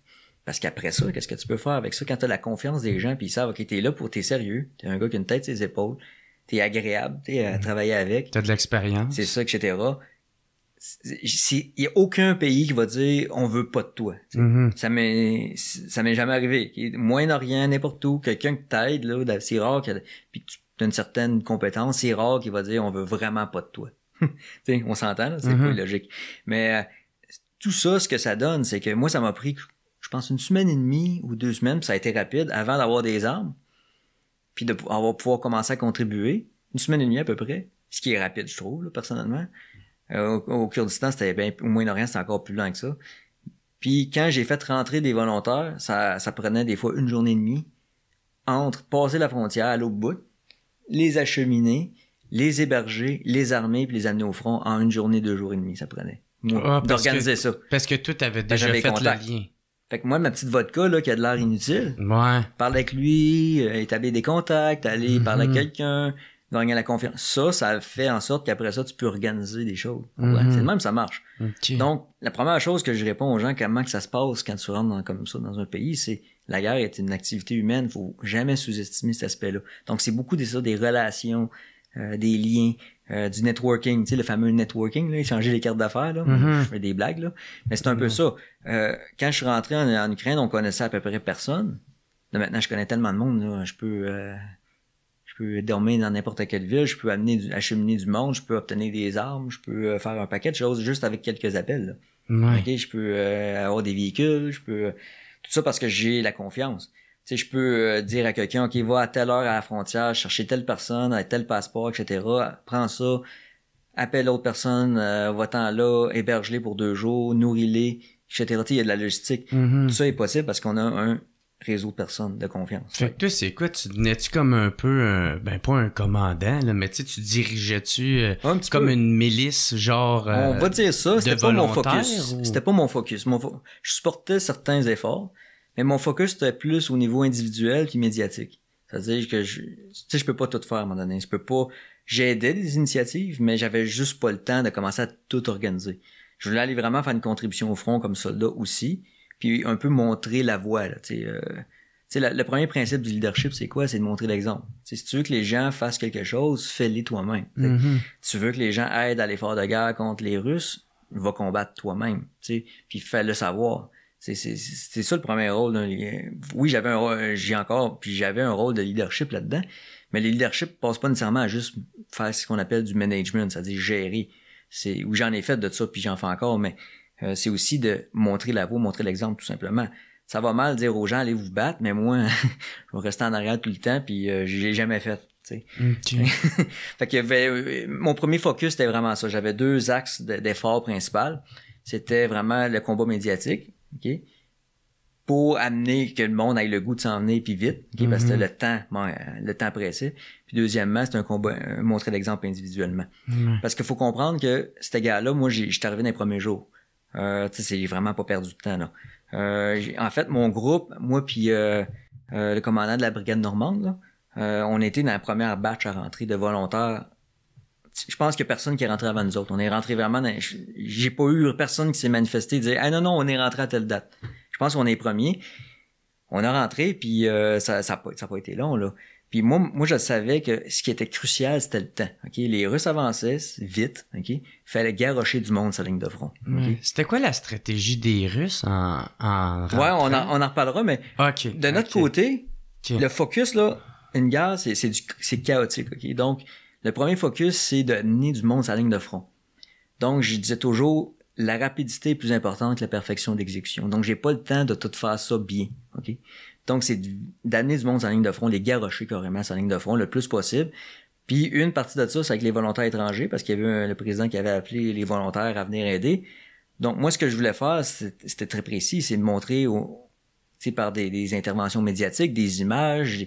Regardez, je suis là, je suis bien accueilli. C'est pas parfait, mais ça, ça fonctionne. Les, les Ukrainiens, c'est un peuple qui va bien vous accueillir, puis vous pouvez aller contribuer. Ce sera pas parfait, mais vous pouvez le faire. Pour inciter d'autres volontaires à venir. C'est très important cet aspect-là, ok? Puis faire la transition. euh, C'est ça, c'est très, très, très important. Là. Puis il y a beaucoup après ça de volontaires qui m'ont contacté, qui m'ont dit Hey, je suis venu à cause de toi. Là. Parce que j'ai, Ok. je t'ai vu à la télé, j'ai fait Ah, ok, euh, on peut le ouais. faire. D'autres mondes comme toi, euh, C'est ça, des, de plein de pays, là, euh, des, des, des Britanniques, des Américains, des Français, Québécois. Il y en plein de monde. beaucoup? Combien environ? Ah, ben là, il y a plein de chiffres. Là. Euh, officiellement, je pense que c'est 20 000. Mais je pense pas que c'est 20 Volontaires? Ouais, mais non, c'est pas, je pense pas que c'est vrai. Ça, je pense que c'est 20 000 qui ont commencé le processus. Parce que là, officiellement, tu peux commencer le processus avec les ambassades. Peut-être que ça s'approche du 20 000, mais qui qui a vraiment Concrètement. Ouais, ouais. qui qui a vraiment été moi mon, à- mon moi c'est un guess là, OK, j'ai pas les chiffres, j'ai pas vérifié en fait, OK? J'ai pas le temps de vérifier ça en Ouais, ce moment. Pas là pour ça. Ben, je peux tout savoir, mais j'ai juste pas le temps. Faut que je, je prenne le temps de le vérifier. Ouais. Mais l'information est Pas là. te faire gonner. Mais tu sais, l'information, je peux l'obtenir, c'est juste que j'ai pas pris la peine de la vérifier. Mais dans ce cas-ci, moi, mon guess, ça pourrait euh, quoi 3000 peut-être. OK. OK? Puis 3000 vraiment qui ont fait une contribution, qui ont, qui ont, qui ont été proches ou de la ligne de front, etc. Mhm. Ou au front carrément. Peut-être 3000. Ça peut-tu faire une différence? Euh, ben, tout est une différence. Ouais. Moi, j'ai toujours... euh, tu sais, je niaise un peu la, la gauche avec ça, parce que les, souvent, t'as des gauchistes qui sont contre euh, des gars comme moi, tu sais. Puis là, je vais, leur- je vais toujours leur, je vais toujours leur dire ceci, je leur dis, c'est comme le- l'environnement. Tu sais, chaque action individuelle compte. Si tout le monde se dit, moi, ça, ça, sert- je le ferai, je ferai pas rien, parce que je suis juste un gars tout seul, Mhm. ben, rien va changer. C'est ça. Ben, ça me même affaire à la guerre. Si tout le monde se dit Ah, moi je ferai pas mon devoir, je n'irai pas parce que je suis juste un gars tout seul dans le vide, euh, il y aura rien qui va arriver. Mhm. OK? Puis quand tu es en Ukraine, euh, tu, tu- tu parles à des gens, des Ukrainiens, puis c'est ça qui est merveilleux, c'est que tu as beaucoup de gens qui disent il faut faire quelque chose, puis qui font de quoi individuel. Je connais des gens, moi, des civils qui aident là-bas avec l'effort de guerre. Là. Mhm. Que Ça peut être des choses comme aller chercher des, des- de l'approvisionnement parce que c'était tout euh, improvisé. Hein. Il y en a qui ont plus aucun congé. Là? Ils dépensent de leur poche, puis là- là-bas, l'économie est scrap en passant à cause de la guerre. Ils dépensent de leur poche, avec le peu d'argent qu'ils ont, pour aider l'effort de guerre. Ils font acheminent avec leur véhicule. Je connais quelqu'un qui a appris à conduire avec une cloche, pour faire parce que c'était le seul véhicule qu'il avait. C'est la première fois qu'il Ah apprenait ouais. ça, parce qu'il fallait acheminer. Ça, c'est dans les journées de congé. Mhm. Cette personne-là fait ça. Fait que ok. peut-être lui. Assez c'est- frais. Ouais, c'est ça. un Ukrainien. Ouais. Donc, ce peuple-là, c'est un peuple qui, qui se dit pas, ah, je ferai rien parce que ça, je suis juste quelqu'un. Tout le monde, là, en tout cas, beaucoup de monde là-bas se dit, qu'est-ce que je peux faire moi? Puis il y a une, Mhm. une espèce de momentum incroyable de, une- il y a vraiment un, Une solidarité. Ouais, une solidarité, c'est ça, là. Puis c'est, ça fait, tu vois que ça fait la différence parce que théoriquement, la Russie était le deuxième, la deuxième armée au monde. C'est elle encore sur papier. Ils ont un stock euh, d'obus incroyable. Ils ont beaucoup de, quand même de, de- d'armes, là. Euh, Des obus, c'est sont- des missiles ou Ouais, des... ben, des- des- une, grosse bombe, une grosse balle d'arme. Là, ok. Mais pour un canon, tu sais. Puis euh, euh, ils sont arrêtés, là. Ils ont pas eu... Euh, tu sais, malgré ce qu'en dit la propagande ennemie, euh, suis pas sûr que ça soit un franc succès, là, tu sais. Ah Ils ont, ouais. été, ils ont été arrêtés à Kiev, ils ont retraité volontairement. J'ai jamais vu une armée retraiter volontairement puis appeler ça une victoire, là, mais bon. On va laisser, on va laisser les gens s'expliquer là-dessus. Mais bref, tu sais, c- c'était ça n'a pas tourné comme les Russes voulaient, ok? Puis ils ont été arrêtés par un pays que tout le monde a sous-estimé et en partie, et en premier lieu les Russes. Et le pourquoi que ça- cette guerre-là, euh, la défense justement n'a pas été parfaitement réussie du côté ukrainien, c'est parce qu'il y a eu une solidarité puis des gens qui se sont dit moi qu'est-ce que je peux faire? J'attendrai pas à- après tout le monde pour commencer à faire quelque chose de concret. Mhm. Yes. Puis, euh, fait que c'est ça, les, les Russes, comment, qu'ils ont, comment ça s'est passé, Ouais. cette attaque-là? Oh boy. Encore là, je vois comme une réponse à 6 heures de temps que je pourrais expliquer en détail tout ce que je sais avec des anecdotes personnelles. je vais essayer de réduire ça. En résumé, euh, ils ont attaqué tout azimut. Donc, ils ont attaqué partout. Donc, c'était une première erreur à la Ouais, guerre. parce que c'est ça, il n'y avait pas un front, là. Ouais, s'il y ils ont attaqué plusieurs- de partout. Donc, euh, au nord de Kiev. Ouais. euh, Pour déstabiliser ou pour... ouais, au début, leur idée, c'est d'avoir une victoire rapide. Donc, euh, de, de prendre Kiev, changer de gouvernement, puis faire une victoire. Mhm. Et Puis mais envoyer plein de bombes, parce que... Ouais, ben là, ils voulaient faire ce qu'on appelle les, euh, la, la tactique du choc. Là. Euh, les Américains ont fait la même affaire en Irak, etc. C'est une tactique militaire qui peut fonctionner, mais qui peut aussi. C'est un peu comme au poker, c'est comme c'est comme jouer de ses bonnes cartes au début en force, puis l'ennemi va tellement être figé qu'il va faire ça sert à rien de, de continuer. C'est la- le choc qu'on appelle. Ouais. Euh, puis d'ailleurs, la- la- la- la- la- l'opération militaire en 2003, là, quand les Américains ont pris l'Irak, ça s'appelait Shock and Awe, ok? Euh, donc c'est vraiment de d'écraser par un des bombardements, Ouais, une puissance militaire. missiles balistiques, Ouais, ouais. aviation, mouvement de troupes, puis l'ennemi est comme tellement comme écrasé par ce show, ce- ce- cette Cet démonstration de que ouais. qu'il ose même pas commencer une, une défaite, euh, une, une résistance. Ouais. Donc ça, ça a été ça la stratégie, une victoire rapide, démonstration de force incroyable, Démoraliser le... c'est ça. On attaque tout azimut. Donc, ils ont essayé d'attaquer du sud, de l'est et du nord. OK? Donc, c'est une première erreur dans, quand tu fais, tu es à la guerre, tu concentres tes forces souvent. OK? Là, ils ont, dérogé à ce principe-là. Et ils ont, attaqué de partout. Donc, ils ont dilué leurs forces. Puis, ils se sont fait avoir comme ça. OK? Fait que là, ça a été la première erreur. Donc, la première stratégie, c'est de, compter sur le choc. Donc, on va tellement faire une démonstration de force que l'ennemi va être paralysé puis il n'osera pas combattre. Deuxième chose, on attaque tout azimut, on, on attaque de partout à la fois. OK? Puis leur troisième chose, c'est qu'ils voulaient faire un changement de régime. Fait qu'ils ont attaqué vraiment Kiev Ouais, la pour capitale. prendre Kiev. c'est OK? ça. Fait qu'ils ont envoyé des, des, des colonnes de chars par Erpin, justement, à Boucha, jusqu'à, je pense, une semaine Mhm. avant que j'arrive. Ça, c'était-tu la, long- la, la longue ligne de tanks Ouais, de chars? ça. Mais tu vois, que- pis c'est quoi qui est arrivé à ça? Ouais, bon, que- il a envoyé des chars un peu comme si- dans- comme comment je peux te dire ça? Ouais ouais des colonnes de véhicules c'est ça, route. comme 600 chars. là. ouais ouais puis là il a envoyé des convois là quand Ouais, ça. très peu protégés parce que justement il sous-estimait que l'ennemi allait oser s'attaquer tu sais mais faut que tu penses à ça t'as 600 véhicules blindés imagine toi les Américains nous attaqueraient ok? Puis là t'aurais des colonnes de 400 véhicules, des tanks, des hélicoptères, des avions, Des parachutistes, ouais. des soldats. Tu vas-tu t'attaquer à ce monde-là? Il y, a, Non. il y a des chances que non, right? Ouais. Les Russes pensaient ça aussi. Sauf que les Ukrainiens, eux autres, ils ont été ils l'ont fait. Puis il y avait les moyens de le faire quand même. Donc, Puis comment ils ont fait ça? ouais, ben, c'est sûr que là, il faut que tu aies une certaine force en présence, ce que j'appelle une parité. là. Tu peux pas. Si, on pourrait pas, exemple, résister à une invasion américaine au Québec. serait- on serait juste écrasé. Il faudrait quand même une certaine force. là. Ah ouais. Les Ukrainiens avaient une certaine. euh, Une certaine base. là, ouais, c'est ça. Donc, qu'est-ce qui est arrivé? C'est que, exemple, à Kiev, les trucks, ils ont envoyé des, co- des, des convois pensant que ça allait être facile puis que ça allait juste. La simple vision des colonnes blindées allait imposer, euh, allait écraser toute résistance, euh, même psychologiquement parlant, de l'ennemi. C'est pas ça qui s'est passé. Ils ont fait des embuscades. Ils ont embusqué, là, vraiment, dans les, parce qu'il y a plus de forêts au nord. Donc, ils ont embusqué les convois. Donc, ils ont osé faire ce que les Russes ont jamais pensé qu'ils oseraient faire.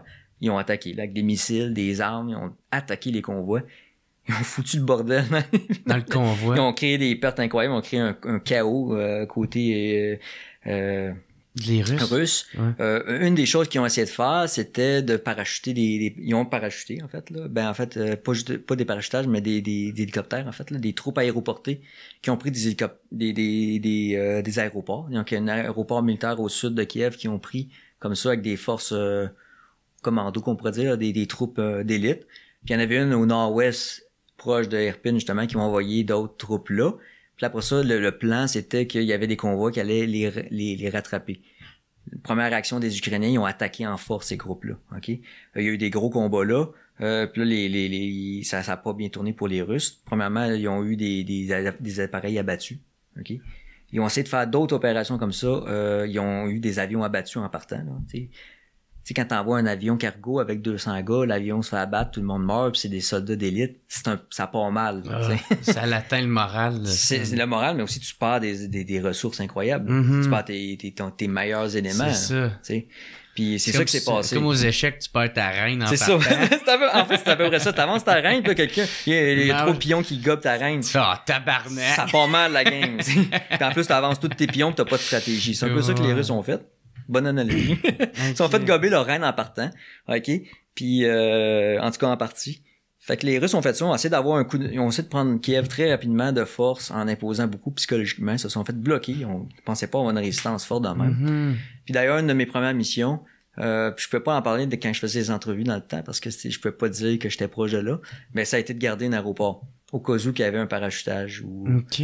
euh, puis j'étais dans un, un condo en construction là, puis on, on, on, on a- on attendait pour voir s'il y avait allait avoir des ennemis. Euh, toi, t'étais là avec ton sniper. Ouais ouais, on puis attendait euh, dans, dans un qu'il de quoi qui se passe, genre. ouais ouais au cas où qui drop là, ça aurait été le débarquement de Normandie là. Ouais. Fait que ça, c'est le genre de, de, de, de, mission qui est soit tout, qui est tout ou rien. C'est soit ça va être tranquille, il y aura rien, ou soit ça va être le débarquement de Normandie qui tombe la face. tu sais. Puis là, ça a été tout ou rien, à part des avions qui se sont fait abattre en haut, puis quelques bombardements dans la ville, mais c'est rien de très fascinant. Là, tu sais. Ok. Euh, puis là, je suis allé RP après ça. Là. J'ai resté là quelques jours. Puis là, sur, le tarmac, il y avait, c'était, était, était Mm. plus en usage l'aéroport, mais il y avait plein de, d'obstacles, de véhicules mis, des autobus, plein de choses pour, Pour que pas personne. C'est ça. Ok. Puis on avait d'autres collègues ukrainiens qui gardaient la position. Les, les snipers, on était, on était élevés. Puis là, on avait comme, évidemment, on était en position de pouvoir tirer euh, de haut, tu sais, avec d'autres snipers. Puis l'infanterie, les autres, ils gardaient vraiment le tarmac. Fait que si les Russes auraient atterri là, ça aurait été un beau carnage. Ça aurait été assez intéressant. Mais d'ailleurs, euh, quelques jours avant, j'avais eu d'autres volontaires euh, britanniques qui ont gardé un autre aéroport, puis ça a vraiment brassé. Puis là, euh, t'en as deux qui sont partis, deux, trois qui sont partis en pleurant après ça, apparemment, de ce que je me suis fait dire, ben, ça a brassé solide. Ah ouais. Ah, puis ça... ça- a été fini, là. Une journée de combat, deux jours, fini. J'ai fait Mais c'était intense, J'ai assez donné. Mais c'est intense, là, c'est vraiment dur, là. Tu sais, j'ai- il faut respecter, là, euh, quelqu'un qui s'en va faire ça parce que c'est, c'est, c'est, c'est dangereux en tabarouette. Puis, euh, on le voit, là. Puis, tu sais, pour revenir un petit peu à la question, quand tu me disais comment c'était accueilli, tu sais. Bon, euh, tu sais, je peux compter un petit peu comment ça se passe, là, quand tu rentres. Nous autres, on est rentrés dans les premiers, fait que c'était vraiment plus compliqué. Maintenant, si tu rentres, c'est quasiment un, un, un club med organisé. Ok. OK? Toi, c'est- tout le monde a plus d'expérience, tout le monde est plus organisé, il y a plus de contacts, il y a plus de networking. L'échange se C'est- fait mieux. Moi, je faisais passer du monde là, en deux jours, armé, tout, là, euh, clé en main. OK? Pas de trouble avec ça. Moi, quand je suis rentré, par contre, euh, on été allé chercher les Britanniques. On était quoi, comme une quinzaine, je pense, en tout. Euh, quel- trois Québécois, puis le reste des British. C'est ça? Ouais. Puis euh, c'était la première gang. Euh, puis les British, c'était des ex-soldats. Il y en avait des contracteurs qui revenaient d'Irak, puis euh, ils venaient venir contribuer. Des Christy de bon Jack, OK? Euh, des British classiques avec l'accent British, là. là tu sais, Ouais. teammate, mate, je suis hey, c'est bon, il parle A vite. cup of tea. Non, il parle pas facilement, mais il parle en British, là, avec Ah, l'accent, mais je les adore. ouais. J'adore, je les adore, ces gars-là. Tu sais, puis euh, on est rentré, on était comme des réfugiés parce qu'on n'avait pas toutes les trucks. Fait que là, on a organisé, c'était tout réimprovisé. Là. Fait que là, on s'est dit, OK, on a loué un truck, un contact qu'on avait qui voulait aider. Tu sais, c'est tout, euh, tout le temps de même, improvisé. Il est à l'aéroport, on a embarqué le, gars dans un truck comme un panel, là, un truck fermé de location. Nous autres, euh, on avait un Jeep, OK? Moi, euh, Shadow, puis euh, commandant de la brigade normande. Fait qu'on avait un Jeep, puis nous autres, on leadait un petit peu euh, tout ça, tu sais. Eux autres, ils nous faisaient confiance. Fait que là, on avait des jerrycans pour mettre de l'essence pour faire des cocktails molotov. on avait notre Jeep. On était en Pologne, là, rendu là. Euh, fait que là, on avait des drones, on avait toutes sortes d'affaires. Fait que c'était vraiment mission... euh, on s'en va foutre la, on s'en va foutre la merde, là, l'autre bord. Euh, on était en Pologne. En Pologne, il y avait un Ikea, tu à côté. C'était, vraiment drôle, hein. Tu t'en vas euh, te préparer à faire la garde, tu t'en vas chercher des filtres à huile, toutes sortes d'affaires. Puis là, tu regardes à côté, il y a un Ikea, tu sais. Tellement surréaliste quand tu penses à ça. Puis là, après ça, tu te prépares à aller au bord de la frontière. Là, au bord de la frontière, euh, quand on approche de la frontière, on avait les Britanniques qui étaient dans le véhicule. Puis là, le mot s'est passé, quelqu'un à l'aéroport, je sais pas qui, qui a une gang de tout qui s'en va faire je sais pas quoi. Puis la police nous a comme retracés, on était le soir. Puis ils nous ont trouvé une place, OK? Puis là, ils ont fait comme ils ont arrêté, là, c'est la route, là, proche de la frontière. Puis là, euh, c'était tellement drôle. Moi, j'étais dans le Jeep en arrière, puis là, ils ont ouvert la porte du panel. Puis là, ils ont vu comme tous les gars, euh, tu sais, il y avait du kit un peu comme moi, là, tu sais, mais tu sais, il y avait tout leur kit, mais à part pas d'armes, tu sais. Puis là, t'avais de l'air, il y avait vraiment là, une gang de réfugiés qui se font pogner. Une gang de réfugiés illégaux, là, qui embarquent dans un container, là, ça ressemblait à ça. Là, tu vois le policier qui était de même avec sa flashlight. Moi, j'étais en arrière. Là, moi, j'ai, moi, après ça, j'ai, on jasait aux policiers polonais, on leur disait, on s'en va, on était ouvert, là, on s'en va l'autre bord pour aider, puis aller au combat, etc. Là, tu voyais vraiment, tu sais, la guerre, était- c'était juste quelques jours, là. Tu sais, fait que tout le monde était comme, qu'est-ce qu'on fait? Déstabilisé. Tu sais, t'as un policier, t'imagines, t'as une guerre, tout le monde est un peu d'accord qu'il faut aider. Ouais. Là, t'as une gang de tout croche qui débarque dans un aéroport, qui pogne des taxis, qui s'en vont en frontière. Puis là, t'as la police qui les intercepte. Tu, tu gères ça comment? Ouais. T'es laisses passer, t'es, t'es, tu leur donnes des guns. c'est quoi tu fais? Fait que les autres étaient un peu comme sur le choc, mais en même temps, ils étaient d'accord. Fait qu'ils nous ont aidés. Ils nous ont aidés à aller à une frontière. La frontière, on avait des, je me rappelle encore, on était proche de la frontière. Là, tu vois vraiment que c'est vide. C'est comme euh, un poste frontalier, mais plus personne qui veut comme passer là. Mais encore toutes les lumières, c'est pour inspection, etc. Puis là, moi, je, moi, je commence à sortir du truck. Là, je commence à diriger le truck, euh, parquez-vous là. Là, là j'étais comme un peu dans la zone administrative des policiers, des gardes frontaliers, en fait. Ouais. Là, les, les gardes frontaliers polonais, ils débarquent. Là, il avait de l'air à me regarder, puis il disait Tu fais quoi, là? Tu te prends pour qui tu diriges les affaires? Ouais. Tu sais, mais j'ai- on avait juste pas le temps. là, tu sais, fait qu'il fallait que ça, ça roule. Ça, ça À un l'avance. moment donné, regarde, pas le temps de demander à tout le monde. On Mhm. dirige les affaires, plaque, plaque, plaque, partout là, on va aller gérer ça. Puis après ça, ils nous disent, ah, vous pouvez pas passer là parce que c'est, vous pouvez pas passer à pied. Parce que le truck peut pas passer parce qu'il est pas plaqué Ukraine. T'es à la guerre, puis là, faut que tu gères des affaires de plaques. Ah, des affaires Ben, je te jure, c'est le même. Oh, oui, le monde sous-estime cet aspect-là, là. OK, ben, on n'avait pas eu permis pour passer le véhicule. Ça, on le savait d'avance, mais on voulait les passer à pied. Ils disaient, non, là, ce poste frontalier-là, il est pas approuvé pour passer à pied, fait que les Britanniques pourront pas passer. Mais là, c'est, c'est l'autre bord-là, là. Ouais. Je peux-tu passer? Non, puis on peut pas, là. Bon, fait qu'on leur dit, qu'est-ce qu'on peut faire? Ça, c'est tous des problèmes que le monde s'attend pas à avoir. Le monde pense trop, comment je peux Ouais. démolir le blindé, euh, le char ennemi? Mais non, là, je suis en train de gérer comment passer du monde à une frontière qui a pas les plaques appropriées. ok? Ça, c'est la guerre. Tu t'en vas risquer ta vie pour aller là, puis les autres, ouais, C'est le même. La plaque. Ben, ça, c'est juste un. Tu vas voir, il y en a d'autres après, des affaires de même. Le monde sous-estime cet aspect-là que c'est humain, une guerre. Tu t'as plein, t'as de l'administration, t'as des Ouais. Mais ça, c'est quand t'es volontaire, puis tu vas aller. Ouais, mais même en guerre, en général, c'est tout un Ah quelque chose ouais, de- même Ben, ça? ah, j'en à un moment donné.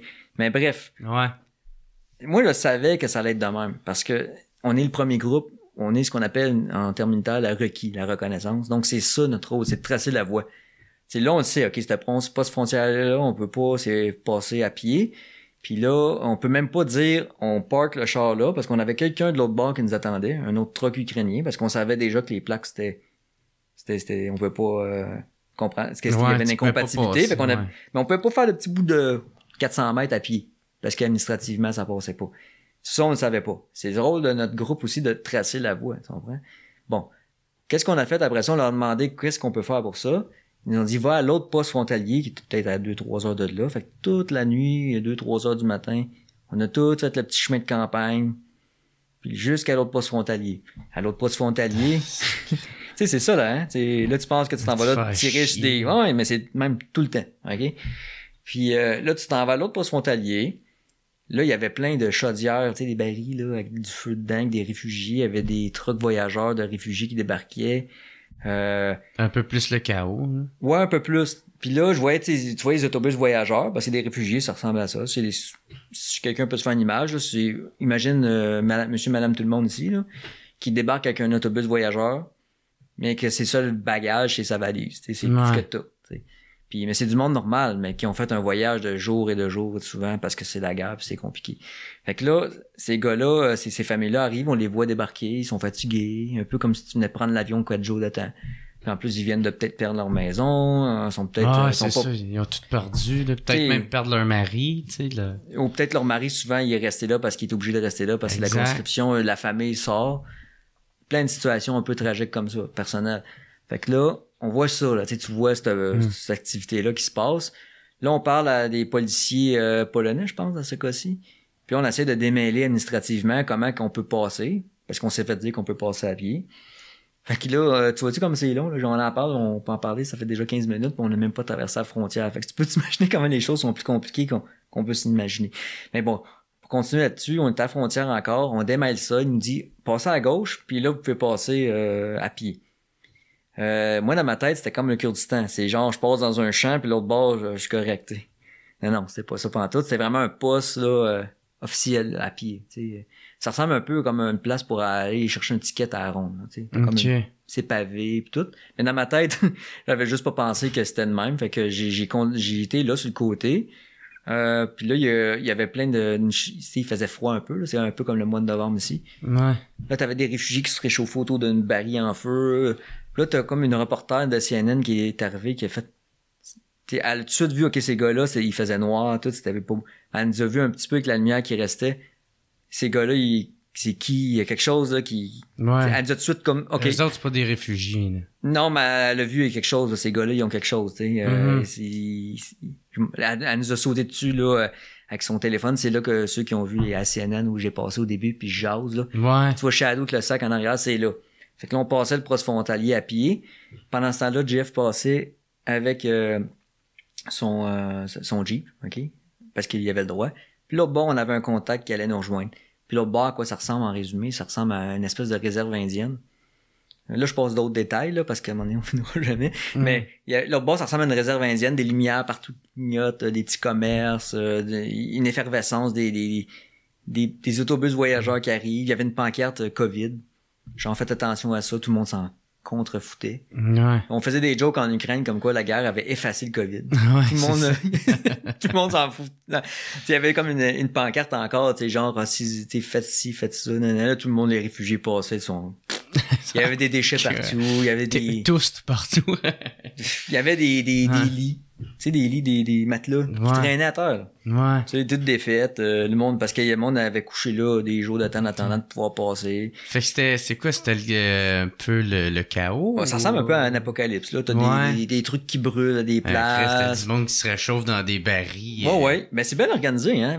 Tu sais, les Ukrainiens ont bien fait ça parce que, tu sais, faut comprendre qu'un réfugié, ça peut être, là, euh, ta ma tante, là. Ta ma tante, là, euh, qui est pas préparée mentalement pantoute à quitter un pays en panique, là. Mais non, elle vient de finir ses carrés au sucre. Elle vient de finir ses cœurs au sucre, puis là, faut que tu lui dis, faut qu'elle s'enfuit Ouais. de, de, OK? Qui s'en ça. en troc, OK?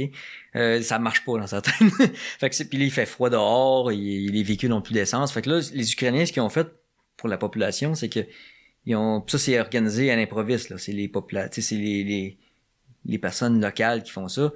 Ils font euh, des, ils mettent des postes pour, euh, à chaque 500 mètres à peu près, ils mettaient un baril, ils mettaient du bois dedans, n'importe quoi, des palettes, des Ah, bouts. pour quelqu'un qui puisse se réchauffer. Ouais, parce qu'il fait froid. Fait que là, le monde fait sauter de 500 mètres à 500 mètres, prendre une petite soupe, euh, puis aller à l'autre étape. Puis souvent, les- ce que le problème avait aussi, c'est que les, les véhicules avaient plus d'essence. Tu sais, quand tu traverses la frontière, il y a plein de véhicules abandonnés. ok? Ah, J'ai des trucks Uber, euh, des, des BMW, laissés sur le bord du chemin. Ah, pareil comme euh, Mais une apocalypse. Mais qu'est-ce que tu fais? Tu t'es là, tu t'enfuis du pays, toi, dans ta tête, tu t'es fait dire que c'est quasiment une bombe nucléaire qui va te tomber sur la tête. Mhm. Il te reste 4 km avant la frontière, t'as plus d'essence. Puis les stations-service sont toutes shut down, il n'y a, plus- y a plus rien. là. Tu fais quoi? Ben, tu t'attends, puis il fait froid, là, là tu peux pas euh, te réchauffer, là. Ouais. Tu laisses la BM là, OK? Ben ouais. Puis tu vas à pied 4 km. Là, ta ma tante à chiale dans ta barouette, faire 4 km dans le fret. Mhm. Euh, fait que là, tu dis, bon, on va aller au prochain baril se réchauffer 20 minutes, puis après ça, on va prendre une petite soupe, puis on va aller à l'autre. Puis Mhm. là, on va aller passer à la frontière, puis l'autre bord, on espère que quelqu'un va nous prendre en charge. Tu sais, ça, c'est la réalité des gens. Ah, ouais. fait que c'est comme ça, quand tu passes la frontière, ça ressemble un peu à ça. T'as plein de checkpoints, là, des barricades, de ça. C'est vraiment comme un apocalypse. Euh, là, on s'est dirigé vers euh, Lviv, qui est la première euh, ville à l'ouest, proche de la frontière. Puis là, on avait un, contact qui nous a hébergés. Puis là, on n'avait pas d'armes, on n'avait rien. À un moment donné, euh, j'ai fait une entrevue avec Denis Lévesque. Puis là, il y a eu une alerte aérienne. Mais moi, ça, m'excite- ça me fait pas bien peur. Ça, mais les British, tout le monde capotait parce que enfin quelque chose qui se passe. Fait que là, pendant l'entrevue que Denis Lévesque, je dis Oh, il y a une alerte aérienne. Puis en plus, je pense qu'on avait entendu quelque chose. Puis euh, là, là t'as eu le commandant de la brigade normale qui dit On s'en calisse de l'entrevue! Ah ouais. live. Parce que c'est drôle. Mais euh, là, je me suis fait embarrer dans, dans, dans, dans, notre building parce que les gars m'avaient oublié. Fait que pendant la aérienne, j'avais plus de lumière, j'avais plus rien, puis là, t'entends... puis t'entends les jets passer. Ah ouais, puis c'est puis c'est pourquoi? C'est parce qu'ils ont Ben, ils porte, quelque chose, là, mais j'étais là, bon, euh, je vais attendre. Ah, Fait qu'il y a plein de petites anecdotes de même. Mais une des anecdotes assez drôles, parce que tu m'as demandé comment tu te fais accueillir. Mhm. Ben, à un moment donné, j'étais dans ce building-là, puis là, j'entends cogner, toc, toc, toc, toc. Là, on n'avait pas de code, rien, on n'avait pas encore rien rétabli, là. Je, je m'en vais ouvrir, là, je vois des gars en noir avec des guns, tout qui me pointaient dans la face. des SWAT, là. Là, je fais comme, t'es aussi proche qu'on est là, là. Là, c'est moi qui ai ouvert. Là, j'ai fait comme, oh! Tu sais, des gars qui me pointent un gun. bon, j'ai fait comme, OK. J'ai levé les tranquillement, pas de geste brusque pour pas se faire euh, abattre. Puis euh, là, j'ai, mon cerveau a tout de suite fonctionné genre à, à vitesse rapide. J'ai tout de suite analysé qu'est-ce qui se passait. Ils sont habillés euh, en SWAT, donc c'est euh, probablement la police officielle, quelque chose. S'ils y avaient été habillés en civil, j'aurais été obligé de combattre parce que ça aurait pu être des agents russes qui, qui savent qu'on est des volontaires puis qui veulent nous abattre, par exemple. Euh, mais là, il- ça paraissait que c'était comme la police. Je pense pas que les Russes auraient infiltré une équipe tactique de même. Là, vrai, Fait que là, j'ai été en mode coopération puis pas rien faire de brusque. Là, j'ai comme... Ils ont tellement été surpris par ma réaction de juste faire... Tu sais, j'avais pas de l'air... Tu sais, je suis pas affrayé, rien. J'ai fait comme... Rentrez, faites votre job. Puis là, euh, il, avait, il était comme un peu surpris, fait qu'ils ont comme gelé. Puis là, c'est moi qui aurais fait comme... Allez, hein, tu sais. Puis là, ils ont rentré, ils ont mis tout le monde à terre. Les gars, les mains dans les airs, les British. Puis euh, là, t'avais un journaliste qui était avec nous autres, un British aussi, qui s'est fait claquer à terre pendant qu'il parlait avec sa femme au téléphone. Fait que sa femme pensait qu'il se faisait tuer. Ah non.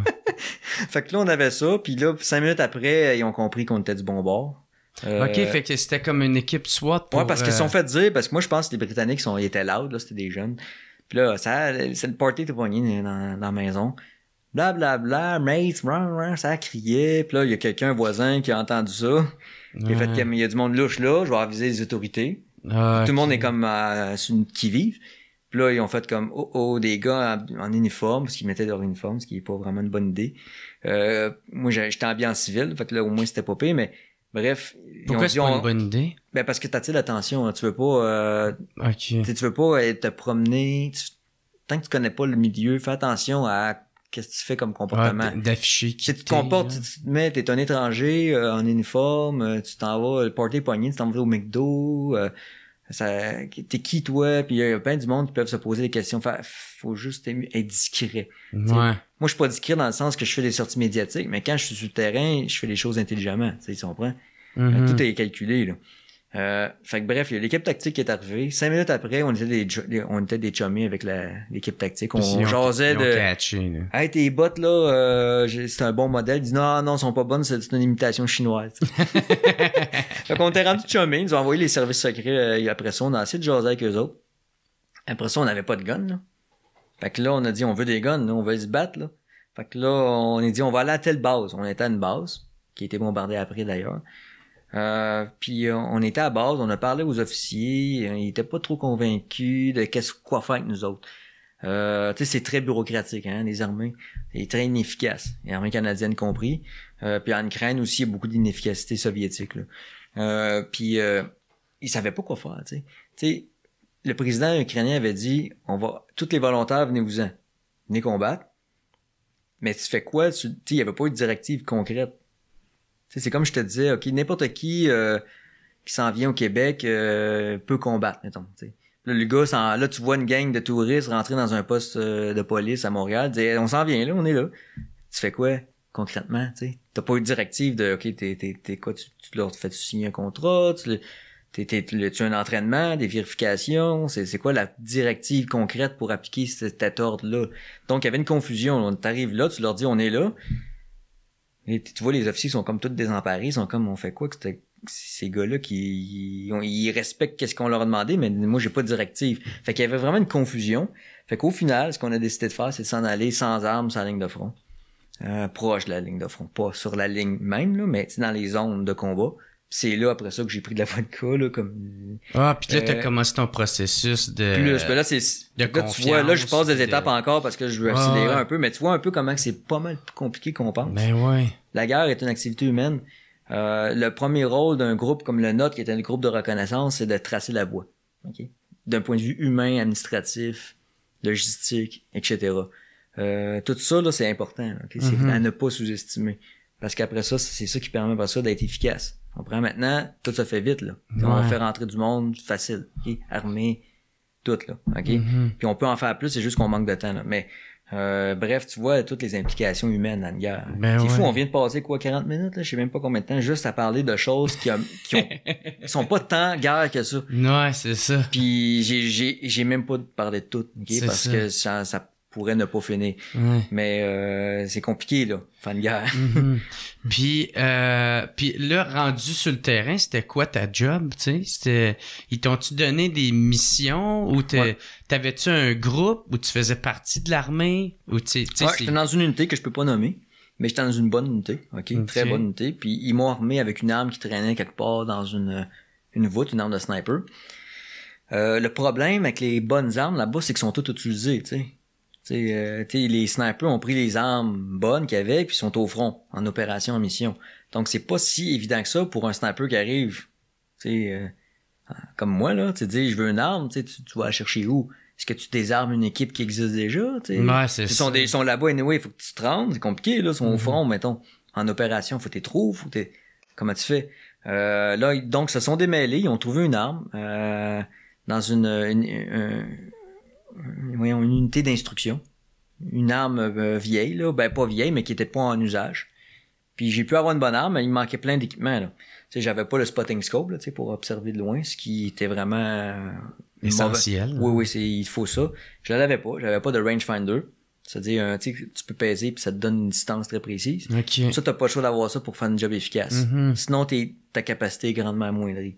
Euh, c'est un peu comme, euh, la raison technique est la suivante. Quand tu tires avec une arme de sniper, euh, environ, mettons une bonne arme comme j'avais, c'était une excellente arme que j'avais, environ 500 ou 600 mètres, la trajectoire de la balle va tellement varier entre chaque tranche de 100 mètres que juste de tromper de 100 mètres, parce qu'en évaluant la distance à l'œil, par exemple, ou avec d'autres mesures, mais sans le, le, le rangefinder, si tu te trompes un peu, la balle, tu peux manquer juste parce que tu t'es trompé de distance. C'est ça. Puis plus que tu vas loin, plus que c'est dur d'évaluer la distance euh, par ton œil ou même en mesurant, parce que tu peux mesurer là, avec le, tu sais, dans, dans les films, t'as comme les, Ouais. ce qu'on appelle le réticule, là. T'as des comme Ouais. la croix. Tu peux, tu peux comme faire des calculs avec les angles, mais à une certaine distance, ça devient imprécis. Mais plus que tu vas loin, plus la trajectoire tombe. Fait comme il arrive un point où tu peux plus toucher ta cible de façon certaine. C'est à peu près à 600 mètres. OK. Passer ça, il te faut un rangefinder, absolument, pour être efficace. Pour avoir la distance. Une fois que tu as la distance, t'es correct. Là, tu peux tirer encore plus loin parce que là, tu, tu sais, mettons que tu es à 834 mètres. Tu peux t'ajuster.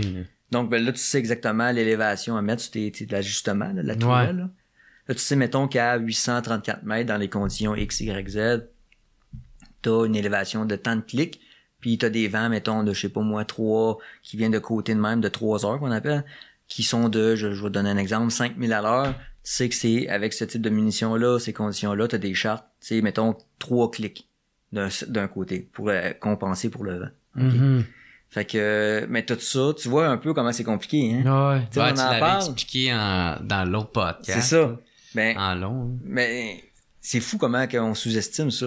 Fait que là, pendant ce temps-là, il y avait mon nom commençait à circuler sur les médias sociaux beaucoup mondialement, là, ok? Ça, Ouais. ça venait big, là, ok? Ben ouais, man, parce que là, ça disait que t'étais le meilleur ça. sniper au monde. Ben, euh, j'aime pas ça parce que premièrement, je suis pas le meilleur, ok? Il y en a plein de bons. Puis, deux- puis deuxièmement, euh, je suis bon, là. Il y a aucun doute avec ça. J'ai, je l'ai prouvé à maintes reprises, j'ai des faits d'armes, j'ai participé à plein de batailles dans ma vie, mais la guerre, c'est un travail d'équipe.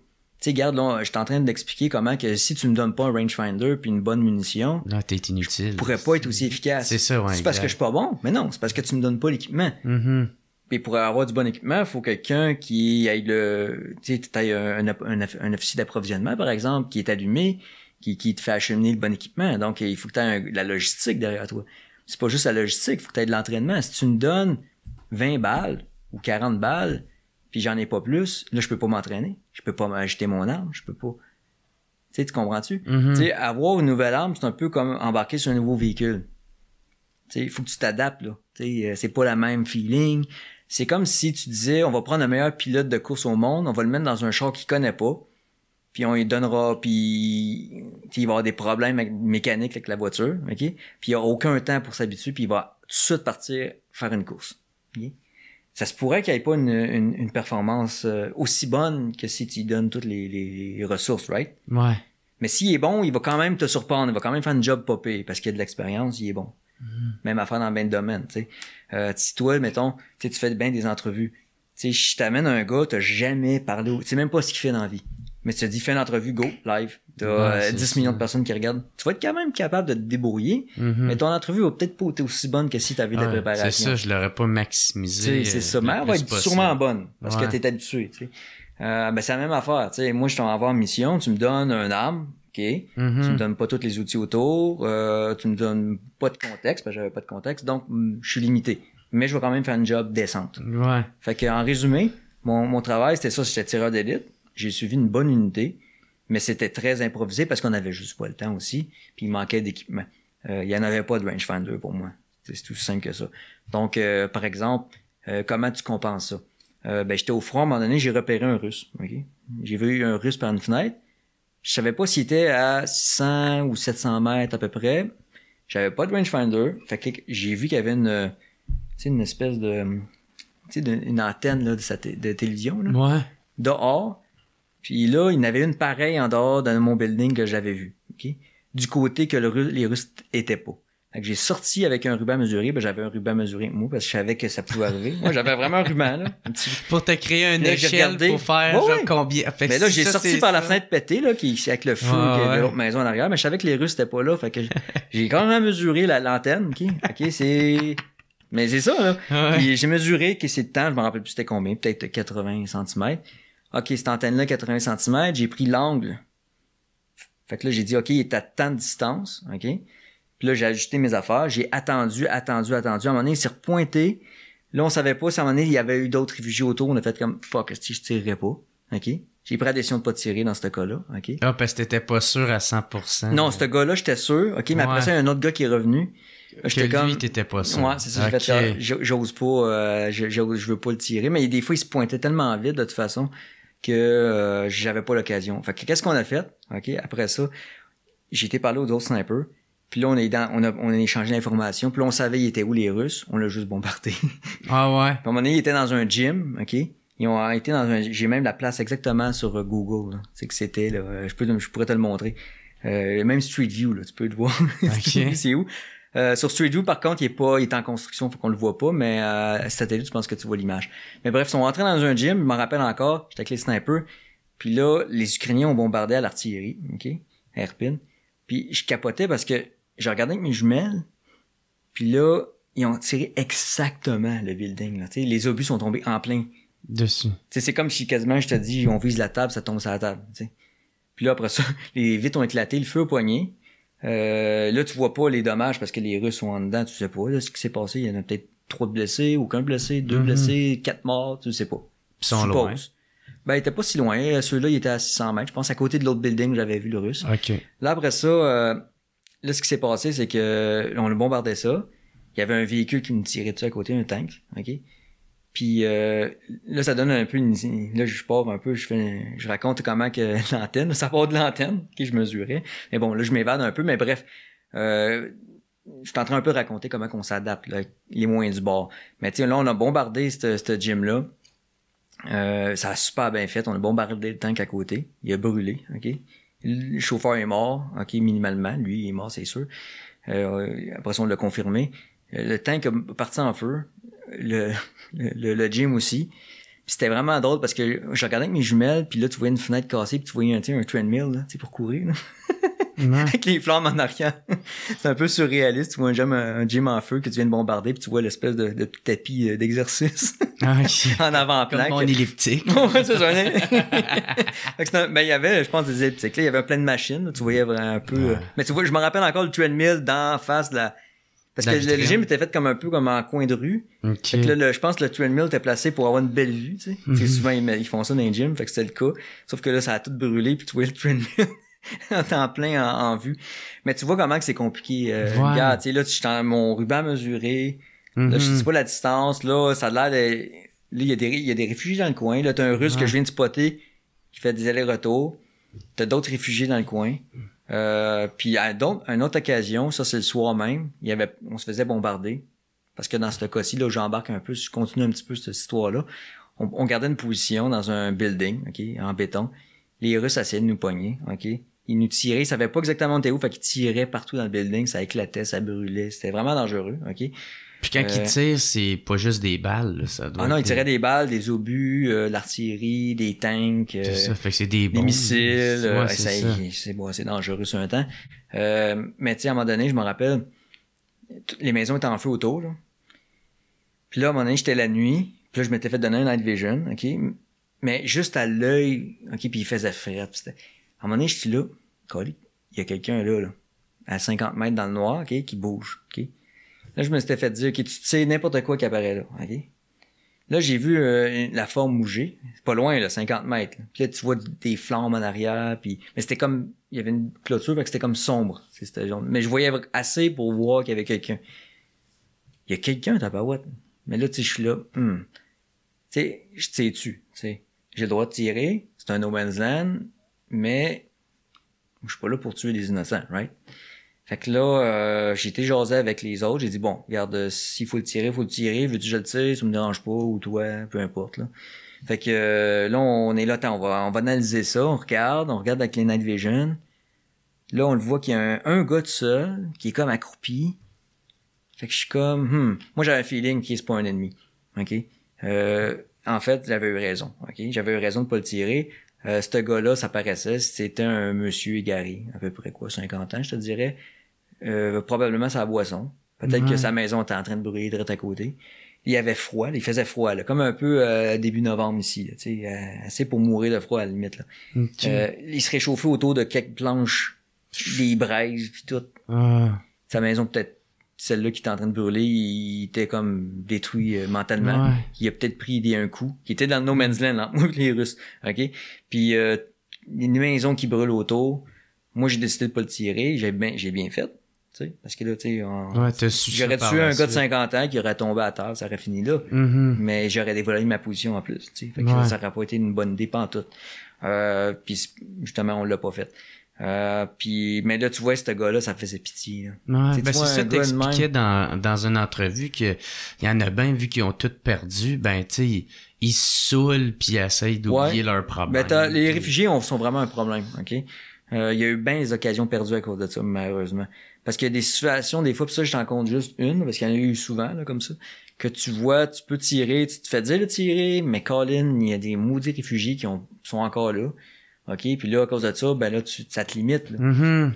Exemple, à un moment donné, j'étais avec un missile dans le char, puis le missile dans le char peut tirer des maisons aussi. Là, avant la mission, ça c'est dans la liste du pays, je m'en vais dans la salle de map, je m'en vais faire un, dernier rapport de situation avec les, les, les patrouilles qui sont revenus, etc. Je leur dis, OK, euh, là, c'est quoi qui t'a vu, c'est quoi ci, nanana, etc.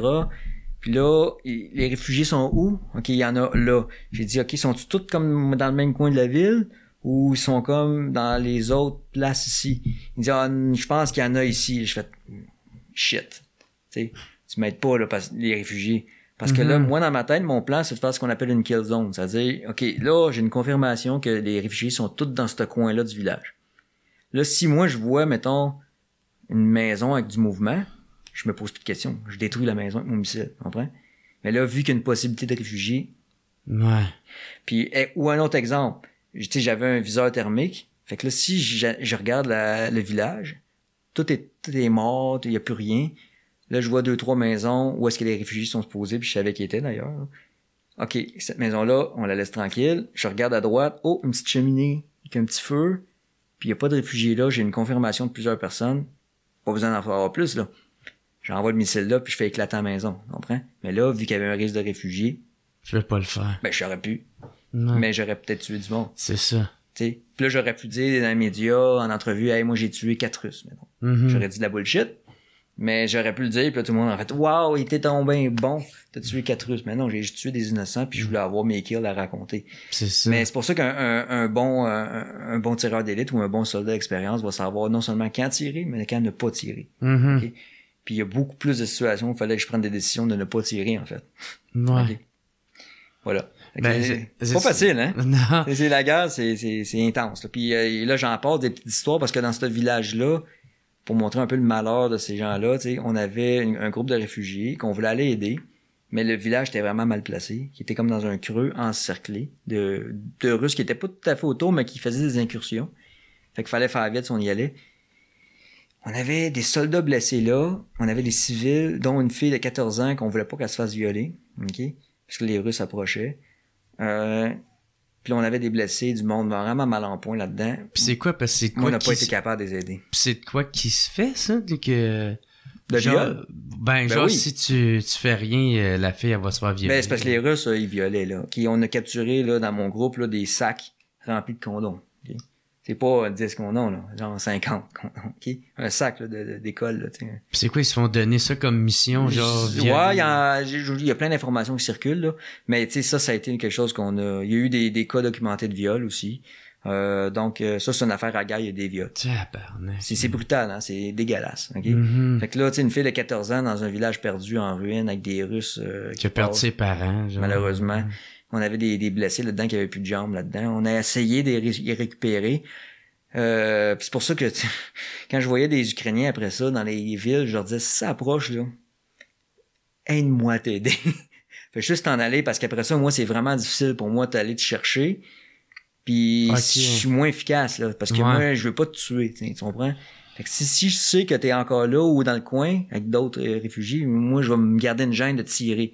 Tandis que si j'ai une confirmation par plusieurs personnes qu'il n'y a plus de réfugiés là, moi, je vais me gâter, là. Si je vois du mouvement, je fais éclater ça. Tu comprends? J'envoie de l'artillerie, etc. Sans même plus vérifier. Le problème en Ukraine, c'est que des fois, ça prend du temps avant qu'il y ait vraiment plus de réfugiés. Euh, fait que ça limite beaucoup. Fait qu'on voit comment que les... Mais les réfugiés en même temps, j'ai parlé en même temps à, une, Ukrainienne, elle me disait, elle était fâchée un peu comme qu'est-ce que je dis ça, parce que euh, c'est ça que j'aime les Ukrainiens. C'est pour ça aussi qu'ils protègent leur pays si bien. C'est parce qu'ils sont entêtés, tu comprends? Ils sont comme tête de cochon, comprends? Fait que là, tu leur dis, ouais, il faudrait que tu t'en ailles, là, si ça approche. Non, je reste ici, c'est ma terre, puis... Ah, ok, ouais. Ouais, en même temps, c'est utile qu'ils pensent comme ça. Mais en même temps, tu sais, quand c'est rendu que le tank est en haut de la colline, tu sais, Mhm. tu sais, aide-moi. Tu sais, Ouais. Parce qu'après ça, moi, je peux plus euh, bombarder aussi facilement. Je peux plus, euh, tu sais, il Mhm. faut que je fasse attention. euh. Qu'est-ce que tu répondrais à quelqu'un, tu sais, parce que dans, dans le premier podcast, t'es venu, tu sais, t'as dit la phrase, la fameuse phrase, je, j'en ai pas assez tiré assez, tu sais. Qu'est-ce que tu répondrais à quelqu'un qui te dirait que, ah, ce gars-là, il y a un problème, il aime tuer, ou, Ouais, ben, juste en écoutant ce que je viens de dire, je pense que c'est assez évident que je veux pas tirer pour tuer. Ouais. Euh, tu sais, je me pose tout le temps des questions euh, morales et éthiques, puis je veux pas tuer des innocents. Parce que, euh, tu sais, je suis chrétien. Puis un chrétien ne veut pas tuer, ne, tu ne tueras point. Donc, c'est la seule cas où je peux tuer, c'est pour empêcher un crime. Donc, Mhm. pour empêcher un, comme dans ce cas-ci, une agression armée. Là, malheureusement, il faut le faire, mais je veux pas tuer des gens. là. Tu sais, je veux pas tuer euh, de, réfugiés, je veux pas tuer d'Ukrainiens. hein. Je vais essayer de prendre des précautions. Euh, donc, c'est, ça colle pas à la peau. Dès que quelqu'un m'entend euh, parler ou qui me voit mes actions, euh, je pense que on juge un arbre à ses fruits, là, d'ailleurs. C'est une phrase de Jésus. Je pense que les, mes actions puis mes paroles dans une discussion sérieuse reflètent quand même, je pense, une certaine sincérité de ce côté-là. Là. Ok, ok. À vous de juger, là, c'est à chacun de juger. Là. Ouais, Ouais. ben c'est ça, tu sais. Mais en même temps, je pense qu'il y a le monde qui dit ça, t'aimes déjà pas d'avance. Ouais, ben, il y en a qui sont de mauvaise- ont- On appelle ça être de mauvaise foi. tu ouais, c'est ça. C'est rare, tu sais, que. Tu Ou ils ont écouté une petite partie de qu'est-ce que t'as dit. Mais ça, c'est de la mauvaise foi, tu sais, qu'on appelle. Ouais. Tu sais, moi, c'est facile. Si tu veux savoir si quelqu'un est de bonne foi, tu regardes s'il est nuancé. Mhm. Tu sais, Par exemple, j'aime pas Adolf Hitler, mais il, euh, je suis capable de dire, OK, il était bon pour ça, il a fait ça, OK, il était bon stratège pour telle affaire, etc. Tu sais, je suis nuancé. Malgré que c'est un personnage euh, horrible. Tu? Mhm. Euh, Poutine, euh, c'est l'ennemi. Pourtant, je suis capable de, de, tu reconnaître des qualités. Les Russes, je suis capable de reconnaître des qualités, etc. Malgré que je- c'est Ouais. l'ennemi en ce moment.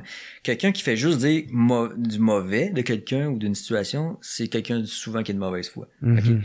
Euh, la- quand t'es nuancé, c'est là que c'est signe que t'es que t'es quelqu'un qui veut vraiment savoir la vérité. là.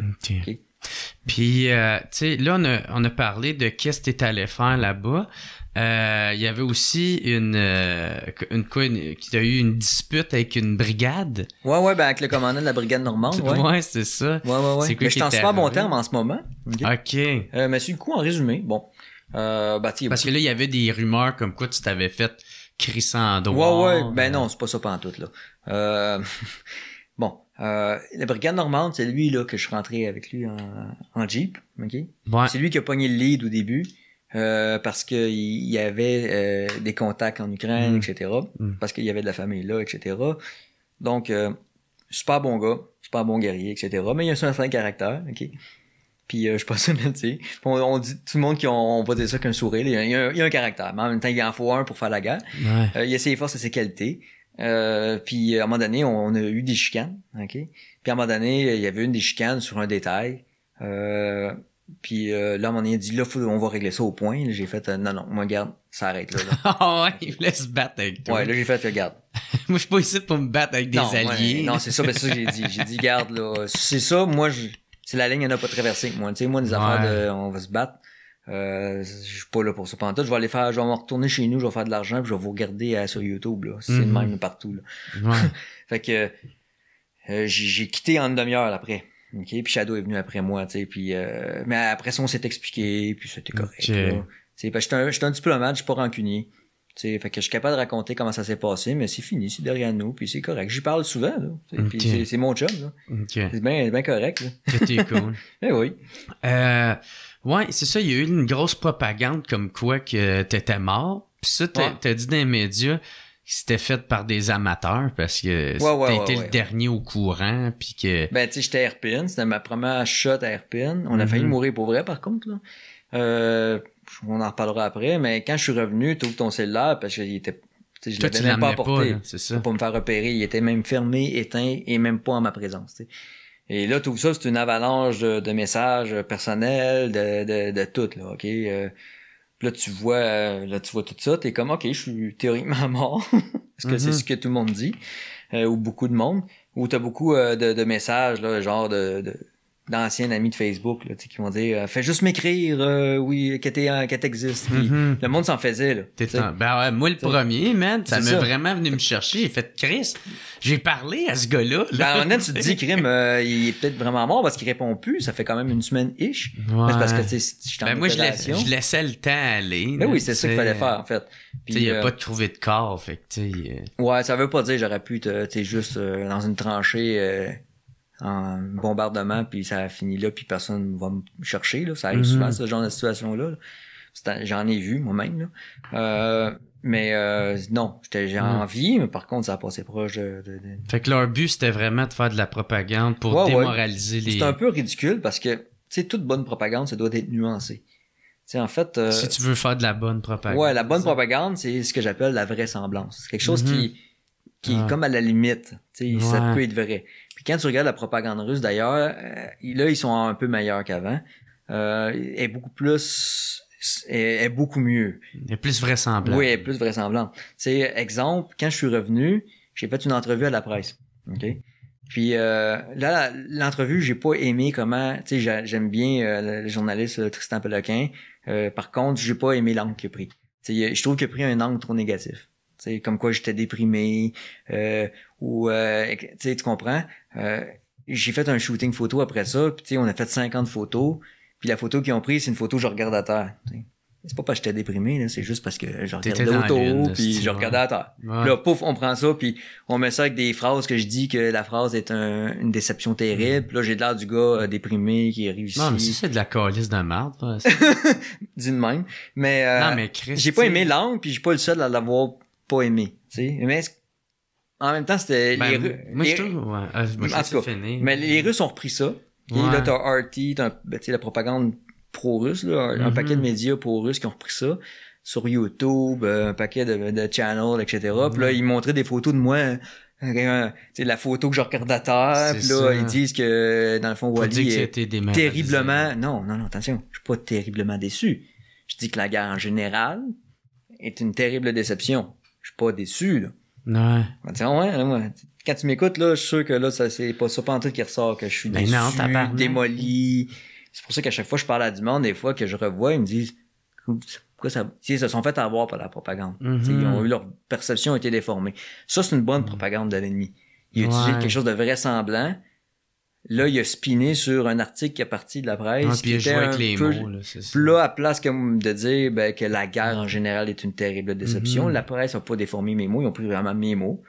Mais là, après ça, eux autres, ils ont comme Ouais, transformé mais- ça juste assez pour dire qu'il est, il est terrible. Il dit être Ouais. terriblement déçu. Mais c'est ça, mais il essaie de, de prendre un ça. angle. euh, Il essaie de voir, de Tu dire. fais pas ça, tu fais un rap- rapporte les faits, tabarnak. Ben, en fait, le gros problème avec beaucoup de journalistes, selon moi, dans le monde, euh, Ben, c'est ça, ils ont un parti pris où ils essaient ouais, de le vendre- problème, c'est quand un journaliste veut pas la vérité. Quand il pense qu'il y a une mission sociale. Ça, on en voit souvent des journalistes dans le même. Ça, c'est, je déplore ça. Ben, je pense que c'est la raison pourquoi qu'il y en a bien qui les aiment pas, les médias Aussi, traditionnels. je pense que les qui ont journalistes. pas confiance. Moi, je pense que c'est la 100%. recherche de la vérité. Quand tu es un journaliste, tu exposes la vérité. Right? Ouais. Non, tu as une mission sociale. ouais. Tu sais, exemple, tu fais une entrevue, tu fais un article sur le, le prix des loyers. OK? Euh, ben, fais pas genre, euh, faut pas que tu te sentes investi de genre faire des Ouais. changements politiques. C'est ça. Quelle est la réalité, OK? C'est ça, c'est un Puis donner plusieurs points de vue. Ils font pas ça souvent. C'est ça. Ils font des fois. Il y a des. Ils sont pas si. À la presse, c'est quand même pas si Ouais. Des fois, ils l'échappent un peu, mais je les aime en général. mais des fois, j'en vois dans d'autres pays que c'est carrément là, euh, biaisé. Ouais. Ils ont déjà décidé d'avance les conclusions de l'article. Ça, je pense, une erreur. Euh, mais bref, ça pour dire que les Russes, maintenant, contrairement, quand Ouais, ils ont annoncé la- mort, des fois, ils font de la bonne propagande. Mhm. C'est-à-dire vraisemblant, qui déforme juste assez la réalité pour que ça soit crédible. Ouais. Que quelqu'un qui est pas trop informé fasse Ah ben oui. Puis qui gagne des points. Ouais, mais là, ça. où est-ce qu'on gagnait des points, mettons, quand je suis revenu, c'est en disant un peu, hey, regardez, même un bon, il revient écœuré, ça ne tente pas d'être là, fait qu'elle Ouais. pas. C'est ça, la logique, là, tu sais. Ouais. Pas, même lui, il est revenu puis ça ne tente plus. Ouais, démoraliser les volontaires. C'est une bonne propagande, ça. Ouais. Comprends? C'est exactement ça. Ça, c'est excellent, ça. Mhm. Parfait de leur part. Euh, me dire que je suis mort alors qu'il n'y a aucune preuve, là, tu sais. Ça, c'est c'est- c'est trop facile parce que là, après ça, je vais revenir, pas mort. Puis là, ils perdent en crédibilité. Ben là, c'est ça, tu penses en, en crédibilité, je vais revenir en rien, enfin, en me foutant de leur gueule, euh, puis ce que j'ai Ouais, fait. parce que t'étais dans des balles, là, des balles Ben pour oui, enfants. j'ai- mais moi, j'ai utilisé une tactique de, justement, de propagande à la guerre qui est d'utiliser la dérision, tu sais. J'ai utilisé contre l'État islamique aussi, tu sais. Ça, c'est une tactique qui a été utilisée depuis euh, des âges. Euh, quand Napoléon était très, très, très fort en Europe, quand il, il avait conquis l'Europe au complet, puis les Britanniques résistant dans leur petit coin, ils faisaient des caricatures pour ridiculiser Napoléon comme une espèce de de gros F là, tu sais, qui, qui, qui, man- qui mangeait à longueur de journée parce qu'il avait, il- parce qu'il prenait du poids, Napoléon, au fil des années. Puis déjà qu'il était petit, là. C'est ça, ben au, début, il était mince, mince, mince, mince. Puis après ça, il était, en fait, il était de ma grandeur, exactement. OK. Ça, ouais. Puis euh, après ça, au fil des années, il grossit, puis dans ses palais, fait que les Britanniques riaient de lui. Mais pourtant, il est extrêmement puissant. Ouais. Il est extrêmement agile. Mais il faisait ce qu'on appelle la dérision. ok? Parce que quand tu fais face à un ennemi puissant et dangereux mais et terrifiant, Ouais. faut la- une des étapes à faire, c'est Tu montes pas rire. peur. Ouais, c'est Ouais. ça. fait que c'est un peu ça que je fais. Tu sais, les Russes, là, faut pas les sous-estimer. Là, ok? Ils sont quand très dangereux, puis c'est quand même des guerriers. Il faut faire très attention de pas les sous-estimer. Par contre, aussi, faut pas les surestimer. ok? Puis une des choses aussi, c'est de, de penser, c'est de pas avoir peur de façon irrationnelle envers son ennemi. Donc, quand tu peux rire de lui, tu ris de lui. Parce qu'en riant de lui, tu sais, là, t'as les Russes qui me disent, hey, il est mort, il est- c'est fini, il existe plus. Tu reviens une semaine, une semaine et demie plus tard, puis là, tu ris de leur gueule avec un gun de sniper dans un bac de balles en couleur. Non, pour enfants, genre. C'est comme en train de rire de leur gueule bien raide. là. Ben ouais. Ça, c'est excellent, là, parce qu'après ça, tu fais de l'humour, tu Ah. montres que, regarde, euh, t'es un humain parce que tu mens, puis après ça, je dément ce que tu me dis, puis je suis encore en vie, j'ai pas une scratch, puis même que pire que ça, j'ai un sourire, puis euh, je suis prêt à la prochaine, pour la prochaine étape. Mhm. Fait que moi, j'ai, exploité cette, cette faille-là qu'ils ont pris Mm. euh, haut la main, mais... mais après ça, ils se sont pris, ils ont fait de la bonne propagande sur d'autres points. Ouais. Euh, Mais là, ouais. c'est ça, vu qu'on parle de propagande, justement, toi, là, vu, qu'est-ce que t'as vu là-bas? Euh, vu que t'es, c'est ça, t'es allé là-bas, qu'est-ce, mettons, que, qui se passe là-bas versus qu'est-ce qui est vrai de qu'est-ce qu'on voit ici? Parce que, tu sais, Hmm. ici, on en a un peu parlé tout à l'heure, tu sais, moi, j'ai, tu sais, pas, je suis- pas en train de dire que tout ça, c'est pas vrai, qu'est-ce qu'ils disent, mais je, je me garde tout le temps un petit pied de recul en faisant, il y en a peut-être qui ont un mandat politique ou un message à passer ou il y a, Ouais. il y a un parti pris. Fait que, qu'est-ce qui est vrai comparativement à qu'est-ce qui se passe au front là-bas? Ouais. Tu fais, c'est la première bonne attitude à avoir envers tout dans la vie en général, c'est de, de, de, Remettre en question. de jamais, tu sais, euh, Une confiance aveugle. c'est ça exactement. Il y a trop de monde qui ont trop une confiance aveugle envers euh, certaines choses. Euh, c'est pour ça qu'à notre époque, je pense qu'il y a bien des problèmes, c'est parce que là, tout le monde, il va entendre une vidéo euh, une demi-heure, puis là, c'est la vérité absolue là-dedans. Mhm. Je l'ai lu sur Facebook. Ouais, c'est ça. Fais attention, là. Euh, je crois que on l'entend pas souvent. Mhm. Bref, à la guerre, c'est pareil. Il y a beaucoup. de- Évidemment, c'est très émotif une guerre. Euh, t'as de la propagande de part et d'autre. T'as de la vérité aussi qui se répand. T'as pas juste des mensonges. Euh, c'est c'est chaotique. Donc t'as beaucoup d'informations confuses, contradictoires parce que c'est confus là, par nature. Euh, donc euh, il faut euh, prendre tout avec un grain de sel. En résumé, la situation là-bas, parce que peut-être que le monde aurait entendu des choses. Là, je fais une analyse nerd de ce que je pense avec l'information que j'ai. Ok? Puis j'en ai quand même de la bonne information. Ok? Euh, et puis c'est de l'information, je dirais pas de secret en ce moment, je vais juste dire ce qui se passe publiquement connu. OK? La situation en ce moment, c'est que c'est dur pour les deux côtés. OK? Là, en fait, si quelqu'un peut se faire une image de qu'est-ce que ça ressemble, c'est comme un ring de deux gars qui se battent, sont au ring, euh, au round 2, les deux sont en sang, les deux sont fatigués, les deux veulent arrêter, mais en même temps, les deux veulent, ils veulent, ils veulent pas abandonner. Ouais, ils veulent pas Fait perdre. que là, t'as deux gars en sang qui sont maganés, mais qui continuent, puis ça leur coûte très cher de part et d'autre. Euh, je pense que c'est la moitié du, du produit intérieur brut, l'économie ukrainienne qui est scrap. ok? Fait qu'imagine euh, la moitié. Là. Tu sais, t'as vraiment des dommages économiques incroyables en Ukraine. Ils ont perdu, je pense, 20% de leur territoire. Euh, tu sais, ils ont une grande partie de leur économie est à terre. Il y a plein de gars au front qui travaillent plus. Tu sais. Mhm. Euh, ces gars-là reviennent blessés, il faut en prendre soin, c'est des soins de santé. Ces gars-là vont être blessés à long terme, il va falloir les soutenir à long terme, des amputations, blessures permanentes, traumatismes, euh, it, là, par milliers. Puis ça s'accumule à chaque jour. Là, ok? Ouais, c'est ça. Les Russes aussi. Fait que les Russes, là, ils vont avoir ça aussi là, à gérer des années de temps, là, des pertes à finir euh, par jour, là, qui, des cadavres, des blessés, des amputations. ça Euh, là, il y a plusieurs 20 000. estimés. Euh, c'est autour de 30 000 ish là, russes euh, Ok. morts à peu près, qui ce Pour seraient les combien estimés. d'Ukrainiens? Euh, un petit peu plus. euh, C'est-tu un petit peu plus? Ça, je m'en je- m'en rappelle plus. Ok. Je vais te le dire. Mais tabarnak, c'est quand même beaucoup. Mais ça, ça accumule vite. Parce que dans les dernières euh, batailles euh, dans l'Est, Hmm. les Ukrainiens perdaient autant de gars, à peu près, que les Canadiens en Afghanistan dans tout l'Afghanistan. Par jour. Par jour. ouais. fait que ça donne une idée de l'intensité. Euh, fait que là, en ce moment, c'est ça. Ça ressemble à un, un match de boxe où les deux sont ensemble, sont fatigués, mais ils veulent continuer pareil. OK? Les Russes ont, pas réussi. T'sais, ils ont envoyé à, Kiev, ils ont perdu. Ils ont fait quelques gains au sud rapides parce qu'il n'y avait pas vraiment de défense. Ils ont fait des gains au nord au début parce que la défense était ce qu'on appelle en profondeur, c'est-à-dire n'était pas à la frontière. Chose stupide à faire. Si tu défends la moindre euh, parcelle de territoire frontière, tu vas te faire défoncer puis tu vas être en situation de faiblesse après ça. Les Russes ont fait cette erreur-là face aux Allemands dans la Deuxième Guerre mondiale. Ils se sont fait ramasser. Puis par chance, ils ont réussi à les battre par après, mais ça leur a coûté une fortune en termes de, de, de perte de matériel humain, etc. Bon, Chris, il est tiré. C'est ben, t'essaies pas de garder ta frontière collée à la frontière. ouais, ouais. T'essaies de te mettre un peu en repli, tu mets des, ce qu'on appelle des troupes d'observation en avant, puis qui vont se replier. Ok, les Ukrainiens ont fait à peu près ça. Euh, fait que les Russes ont, au début de la guerre ont pris comme la partie non défendue, le sud, qui, etc. Puis là, ils ont essayé de prendre Kiev. Euh, puis ils ont eu beaucoup de pertes. Après ça, ils ont reculé à une coupe d'endroits, dont Kiev. Puis là, les Russes ont essayé d'encercler en l'est le Donbass. ok? Là, ils ont, là, j'ai été impliqué dans une de ces, de ces côtés-là. OK? Puis là, ils ont pas réussi à avancer. OK? Fait que là, ils ont dit, on, à la place d'encercler ça, on va encercler plus petit, puis on va attaquer comme, en fait, pas encercler même, mais juste attaquer un plus petit morceau. À l'est, Severodonetsk, euh, euh, puis ces villes-là, c'est là qu'ils ont attaqué. Puis tout, tout ce qu'ils ont fait, c'est qu'ils ont bombardé, bombardé, bombardé. Mais ça fonctionne, là. Ça coûte un prix énorme, par contre, là. On appelle ça une, une victoire à la Pyrrhus, c'est-à-dire tu gagnes, mais euh, ça t'a coûté tellement cher. C'est comme je dis, c'est comme dire euh, je vais prendre ta maison, mais après ça, il est en feu démolide. Mhm. Mais j'ai pris ta maison.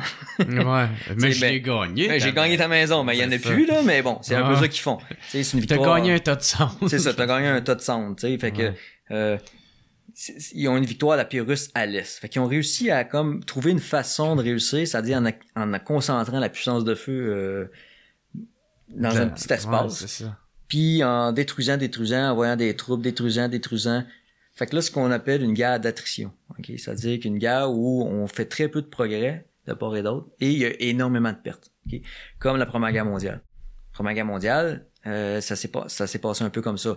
T'as eu les Allemands qui ont, là je parle pas la deuxième, là, il y en a peut-être qui vont confondre ceux qui sont moins euh, versés dans l'histoire, mais Première Guerre mondiale, Euh, t'as, t'as les Allemands qui ont pris, là je vais le faire pour l'autre bord, là. Mais tu sais, t'as la, la France, t'as la Belgique, Hollande, Luxembourg, etc. T'as l'Allemagne ici. Les Allemands ont attaqué le nord-est de la France. Ils ont avancé vers Paris très rapidement. Là. Au début, ça a bougé vite. Il y a eu euh, des contre-attaques, ça a bloqué là, ok? Puis là, pendant des années, ça a quasiment pas bougé. De part et d'autre, on a essayé de faire des petites percées. Là, il y a eu les batailles de Verdun, la Somme, etc. Puis ça, pour très très peu, pour des quelques kilomètres, on faisait, on avait des pertes monumentales. Ah. En obus, en personnel, euh, des centaines de milliers de personnes mouraient dans des batailles comme ça. Euh, Pour quoi, 10 kilomètres des fois, euh, 5 kilomètres, ça fonctionnait là. Sais, on t'avançait, ça te coûtait genre 50 000 hommes pour bouger de 4 kilomètres. Bravo, tu sais. Fait que c'est un peu le même principe en, en ce moment en Ukraine, c'est a des très peu de progrès ça coûte extrêmement cher, mais de, de certains côtés, on avance un petit peu. Récemment, plus les Russes un petit peu. À, à à Severodonetsk, par exemple. Que C'est ça la situation. Extrêmement dure, une guerre d'attrition, une guerre de destruction, complètement improductive d'un point de vue humain. Moi, c'est ça qui m'affecte avec la guerre, c'est que c'est tellement cher, en fait. Là. Parce que quand tu prends de l'armement dans tes mains, tu te rends compte, tu un obus, là, tu sais, c'est un bel objet, c'est comment dire, là, mais un, un obus, là, c'est, faut tout que tu, tu, tu, tu, c'est une machine, tu sais, il y a des, des filets pour visser la fusée, c'est de la belle euh, ingénierie, là. Tu sais, quand tu regardes un char d'assaut, un canon, un missile, un missile, c'est une imagerie thermique, euh, c'est avancé, là, comme technologie.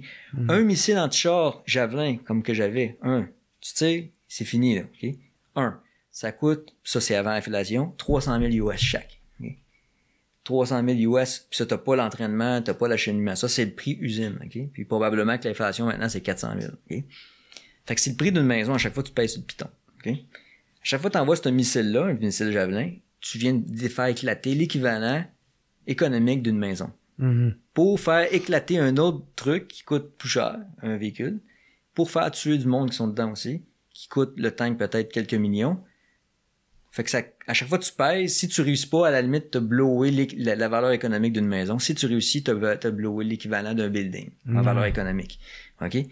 Quelle improductivité. C'est ça. C'est tellement du gaspillage, OK? Ouais. Puis, puis quand j'étais justement à Erpin, puis tu vois les beaux condos neufs, là, en train d'être finis, là. Imagine-toi un, un condo ici, là, beau, là. Tu sais, neuf, beau balcon, puis là, tu vois des gros trous dedans. Puis là, tu vois la moitié en feu. Quel gaspillage. Mhm. Tout ça coûte cher, là. Tout ça parce que. euh, Puis bombarder, c'est cher, là. T'es des obus, c'est cher. Ça coûte cher, un obus, là. Ouais. Tu sais, quand, tu, quand je tire, là, des bonnes, des guns de sniper, là, chaque balle, là, de .50 là, dans l'armée, là, qui sont hautes de même, là. Euh, je pense, euh, avant l'inflation, parce que là, maintenant, c'est sûrement plus cher, mais ça coûtait 10 pièces chaque. Poum, 10 pièces. Poum, 10 pièces. Poum, 10 pièces. Puis, c'est rien qu'une petite balle, là. Ouais. Quand tu tires un obus gros de même, là, à chaque fois que tu tires, ça coûte très cher. Mhm. Fait que ça coûte une fortune démolir des choses qui coûtent une fortune. Fait que bravo. Fait que c'est pour ça que la guerre, c'est complètement improductif et stupide. D'un point Ouais. humainement parlant, c'est complètement stupide. Là, on parle euh, des Russes. Euh, Ça ressemblait à quoi les l'armée russe? Sont-tu bien préparés? Sont-tu bien organisés? C'est-tu du monde euh, Y en a-tu des Russes là-dedans qui ils veulent pas la guerre puis qui sont genre obligés d'y aller, sont forcés d'y Hmm. aller? OK, euh, ouais. OK, comment, par où je pourrais commencer? Il y a plein de choses. Je vais aller avec mes histoires personnelles, parce que euh, je pense que c'est ça qui aussi qui intéresse, là. Euh, quand tu es à la guerre, dans une guerre moderne, tu t'es pas en contact personnel tant que ça. hein. Donc, ton interaction avec l'ennemi, c'est plus il y a un véhicule blindé au, au coin de la rue là-bas qui te tire dessus. Fait que tu vois pas vraiment... T'as pas une discussion, mettons. Qu'est-ce que t'en penses? Ouais. Mais euh, tu vois un peu comment il réagit, sa motivation, etc. Euh, bon, les Russes euh, utilisent beaucoup, beaucoup d'artillerie, beaucoup, beaucoup de, puissance de feu, mais ils l'utilisent de façon très peu raffinée. Quand moi, quand je suis arrivé là-bas, j'avais l'impression, moi, je m'attendais à avoir une armée un peu comme une armée canadienne, américaine, OTAN, là. C'est-à-dire une armée qui va bombarder précisément, une armée qui va avoir beaucoup de capacité en termes de détection électronique. Tu j'ouvre mon cellulaire, puis euh, minutes après, il y a un obus qui tombe, là, ok? Parce qu'ils vont me détecter. Moi, j'avais cette image-là, ok? Ou euh, on est aggloméré dans un building, ils savent qu'on est là, c'est une bombe aérienne, puis le building, il tombe en morceaux, là. Mhm. Puis tout le monde est mort là-dedans sans même avoir eu la chance de voir ou de même tirer son ennemi. Ouais, Moi, je m'attendais à moi, ça. tout, j'ai un peu C'était pas ça partout. Ils sont beaucoup moins bons que ça. Ouais. Ils ont pas assez d'argent. La Russie est un pays que, qui est quand même relativement pauvre. ok? Euh, euh, tu regardes le prix, le- la productivité du pays avant la guerre par habitant est quand même relativement faible. Puis veut, veut pas faire une guerre, c'est quelque chose de économique. ok? Euh, donc, euh, ça paraît qu'ils sont pas tant euh, développés pour un pays occidental. Là. Mhm. Euh, ça, ça se reflète dans leur... Puis ils ont beaucoup de corruption. Fait qu'ils ont beaucoup d'équipements qui leur coûtaient une fortune avec très peu de capacité.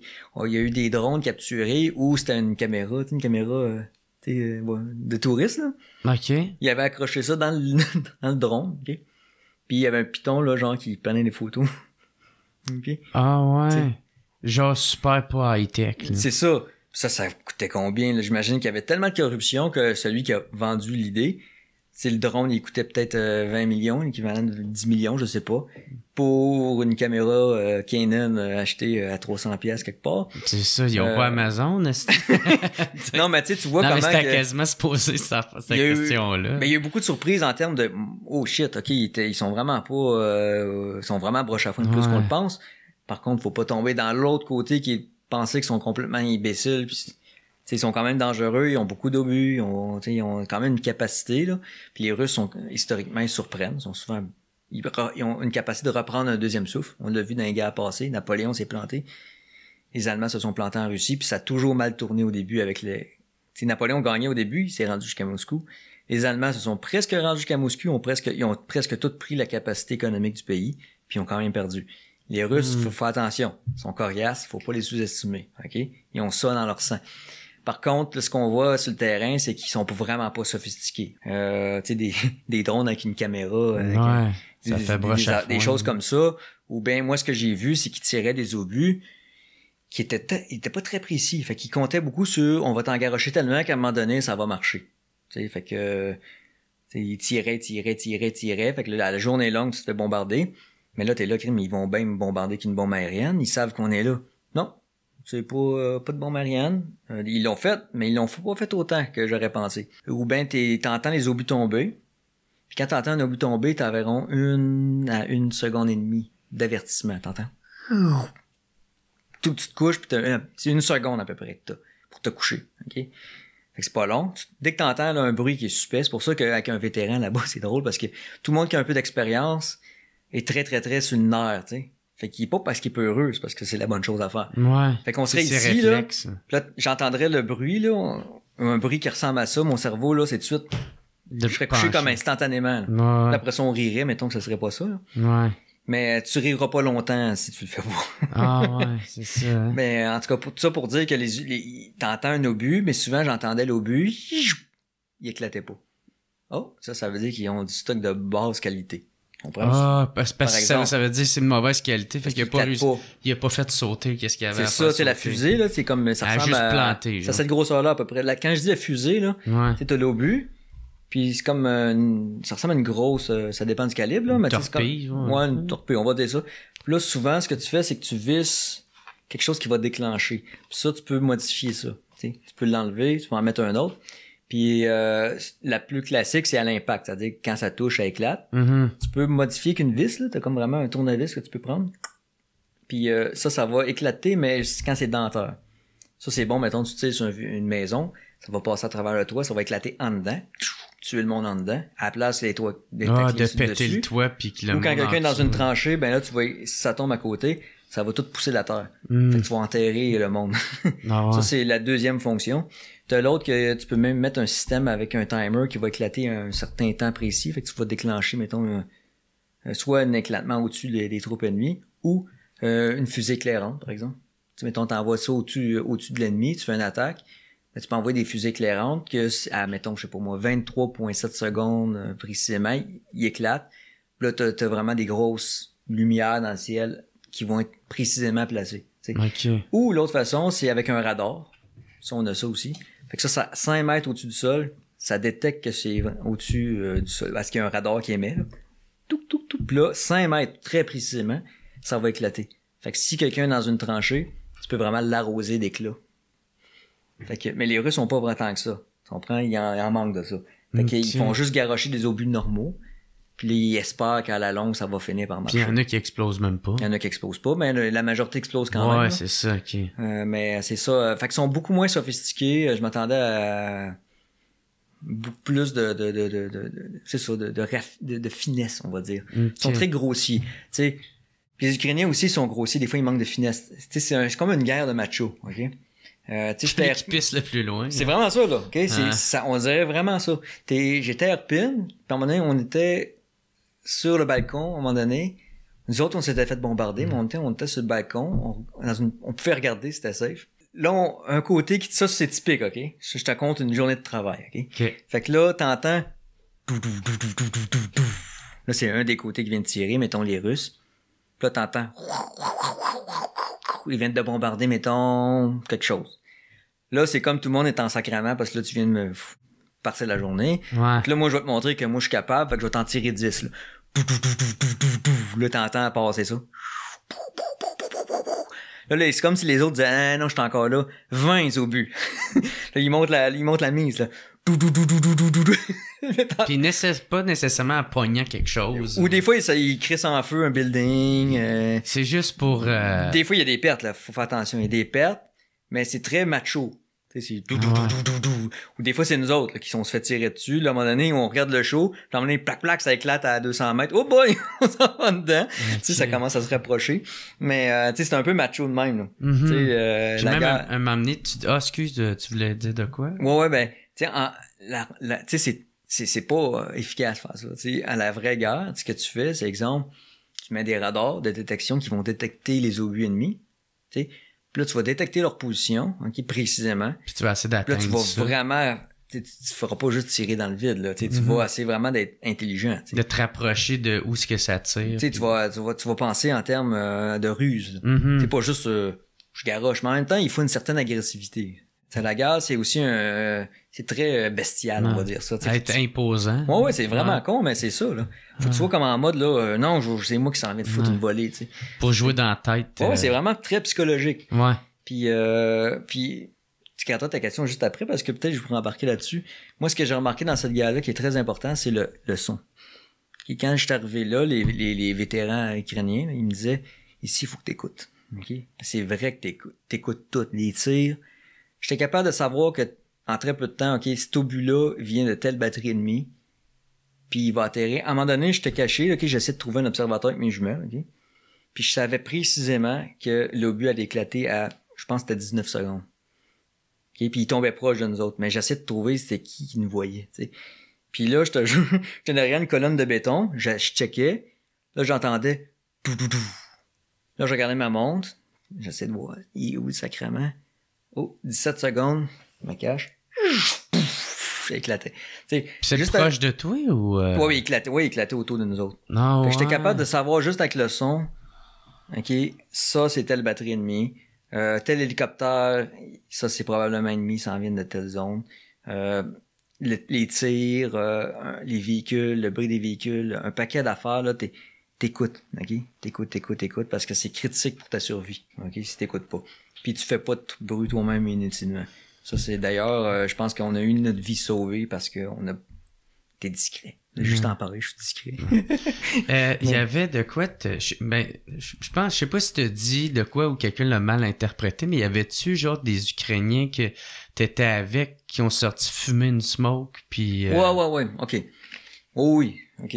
Ça, c'est euh, au Donbass, là, en l'Est, là. Euh, on était dans ouais, le bois. ça c'est là où Ok. ce que ça se passe euh, les les grosses euh, les grosses attaques. Ouais. Euh, de ce temps-ci, ok? Ah de ce temps-ci. Parce ok. qu'avant, à RP, à Irpin, ça brassait sur un temps. Ok. Là, les combats sont vraiment intenses à l'Est, là, beaucoup. Ouais. C'est là que ça se passe en ce moment. Ouais, Où est-ce qu'il y a les, les pro-séparatistes pro Ouais, tout ça, là. Tu sais, euh, le Donbass est en région, à l'Est. Mhm. Puis, euh, c'est un peu comme si, euh, tu sais, mettons, euh, ce serait l'Estrie, euh, tu sais, une partie du Québec, là, tu sais, à l'Est, mettons, tu s'imaginer un peu l'équivalent, tu sais.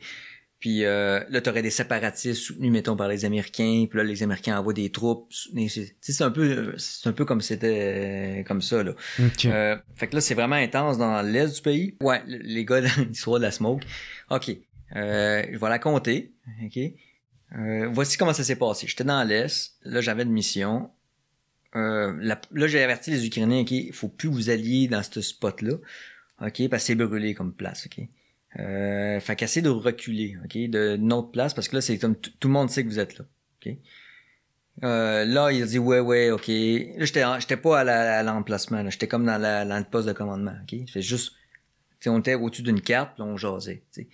En tout cas, bref, la guerre n'était pas parfaite, tu t'adaptes avec qu'est-ce que t'as, parfait, je vais rejoindre ces gars-là, je vais aller prendre l'information, puis je vais le faire, euh, je vais essayer de hitter dans le secteur des tanks ennemis. Fait que là, j'avais un missile dans le char, j'avais Shadow avec moi. Juste deux gars pour cette mission-là pour être discret. On s'en va aux petites heures du matin parce que euh, quand il pleut pas là-bas, euh, il y a une activité de drone.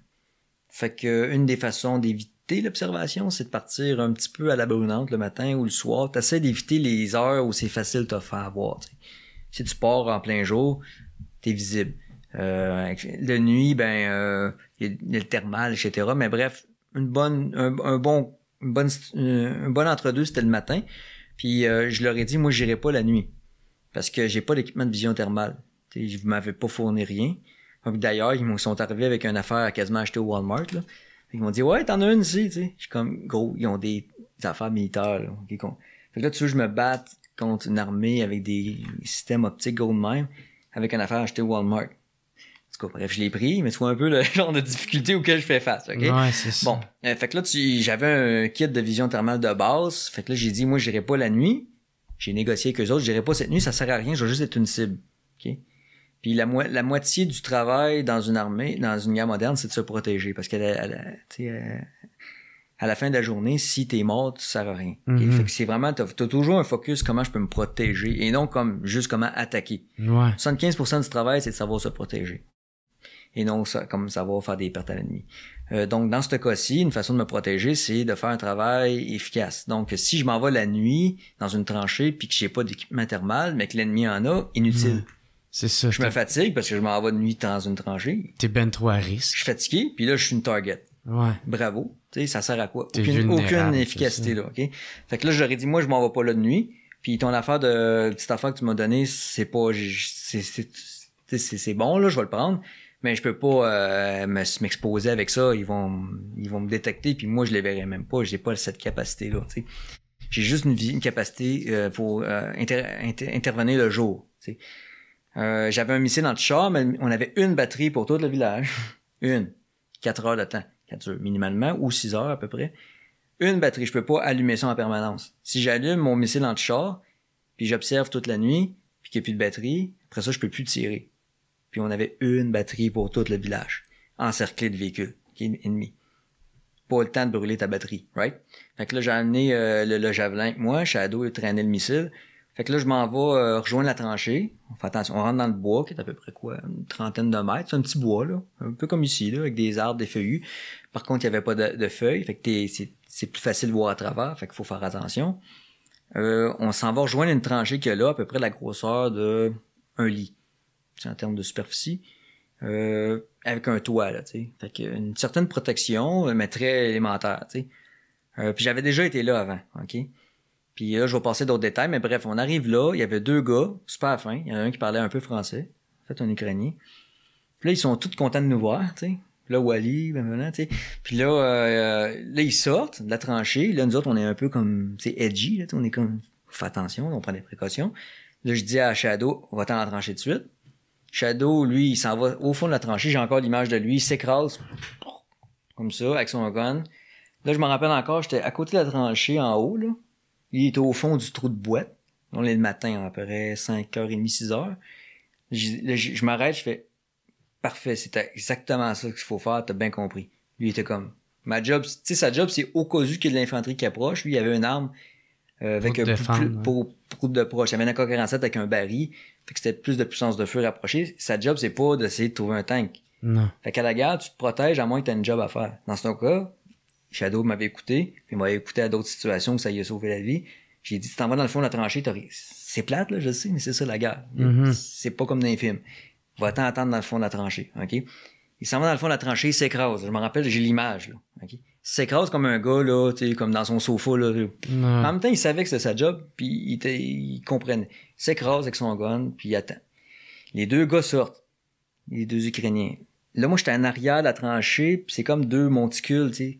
T'as une tranchée, mais t'as comme des tas de terre autour. Fait que moi, je suis comme un peu en, en arrière, puis je sais que l'ennemi est comme dans ce secteur-là, donc je suis protégé de l'ennemi.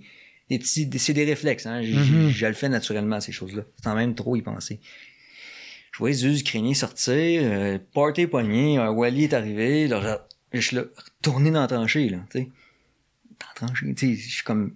Dans la Là, ils sont comme, bah, non, le party est poigné. Il était euh, trop exposé. Hein? Il était trop Là, ils exposé. sortent, puis ils s'en vont comme à 2-3 mètres. Puis là, je suis là, tabarouette, c'est dangereux ce qu'ils font. Je suis là, ils veulent pas retourner. Ils sont comme, euh, c'est nonchalant. Ils comprennent pas là, ou qu'ils catchent Non, pas? Non, euh, ils sont comme nonchalants. Ils sont trop fait. Non, ils sont- ouais, puis là, moi, je mettais du camouflage, je me mettais, j'étais comme sous couvert. Là, je les vois peinards, là, je leur fais retourner. Je, je tabarouette, esprit, c'est dangereux faire ça, là. Mhm. Mais la, la tranchée est au milieu de la forêt un peu, fait qu'elle est comme pas tout à fait exposée. Fait que j'étais comme, bon, peut-être que ça va être correct, là, mais euh, tu sais, je vais, en tout cas, dans, dans ta tête, tu te dis, bon, euh, je vais y convaincre éventuel, là, mais là, je vais juste préparer deux secondes mes affaires. Puis eux autres, ils étaient déjà là. Là, ils sortent. Là, il y en a un qui il faisait froid un peu, là, tu sais, il se met à fumer. à côté de la tranchée, euh, le plus vieux, là, il y avait un jeune puis un plus vieux. Euh, le plus vieux, à peu près 55 ans, je te dirais, puis le plus jeune, 25. Fait que là, super fin. Le plus jeune parlait français. Super fin. Des bons gars, là. OK? Ils se fument. Moi, j'étais à quelques mètres. Et Shadow, il m'écoutait dans le fond de la tranchée. Là, moi, je me prépare un peu à couvert. Euh, j'avais déjà préparé le missile, j'avais clampé les affaires, tout à couvert plus loin dans le bois. Tout était prêt, je voulais pogner un véhicule ennemi. Euh, puis là, il y avait des réfugiés pas loin dans le village, que je- en tout cas, d'autres, affaires à gérer. Mais euh, là, euh, là, ces deux gars-là sont sortis. Là, qu'est-ce qu'il faut comprendre, c'est que tu sais, les systèmes de vision thermale, c'est optimal. Le matin, là, comme ça, ça va très, très, très bien. Quand il n'y a pas d'intempéries. Parce que le soir, là, quand le, coucher, le soleil se lève, mettons qu'il y a une journée de soleil. Mettons que le soleil, le so- ça se couche, il va y avoir beaucoup d'objets encore chauds. Tu, sais, une roche. Des fois, tu la vois même pas. Elle est dans la forêt, mais elle est comme en dessous de la terre, mais elle a gardé une chaleur, exemple. Fait que là, au thermal, tu vas voir comme une forme dans la forêt, mettons. Le- Fait que c'est pas clair, clair, clair qui est un humain là-dedans. Si quelqu'un se met debout, à un moment donné, oui, tu vas le voir bouger, mais tu sais, Mhm. c'est pas comme genre, il y a, il y a bien des taches de couleur que tu détectes. Fait que moi, faut que tu t'imagines ça, là, que le char russe est là à scanner. Puis lui, c'est ça qu'il Il va sait voir, qu'on est dans ouais. ce coin-là, quelque part dans ces lignes d'armes-là, ce, qui est vraiment pas bon, parce que je leur ai dit aux Ukrainiens de changer de position et brûler. Mais bon, ça c'est une autre histoire. Là, il scanne, là. Là, il faut s'imaginer, il est en train de scanner, il sait qu'il y a de l'activité. Là, c'est exactement le bon temps pour détecter, parce que tout a le temps de refroidir la nuit. Ouais. Fait que tu sois très, très, très minutieux le matin comme ça. Surtout un- quand il n'y a pas d'intempéries comme ça. Fait que t'es très, très, il va voir tout de suite, il y a quelque chose qui bouge. Puis c'est pas, tu sais, si- ça peut être un animal, des fois, ça peut être un, un renard, quelque chose, tu sais, mais je sais pas s'il y a des renards là-bas, en fait, là, mais ça peut être un animal, tu sais. Mais un humain, à un moment donné, tu vois deux, trois taches, puis là, tu vois qu'il y a du monde bouger, tu fais, oh!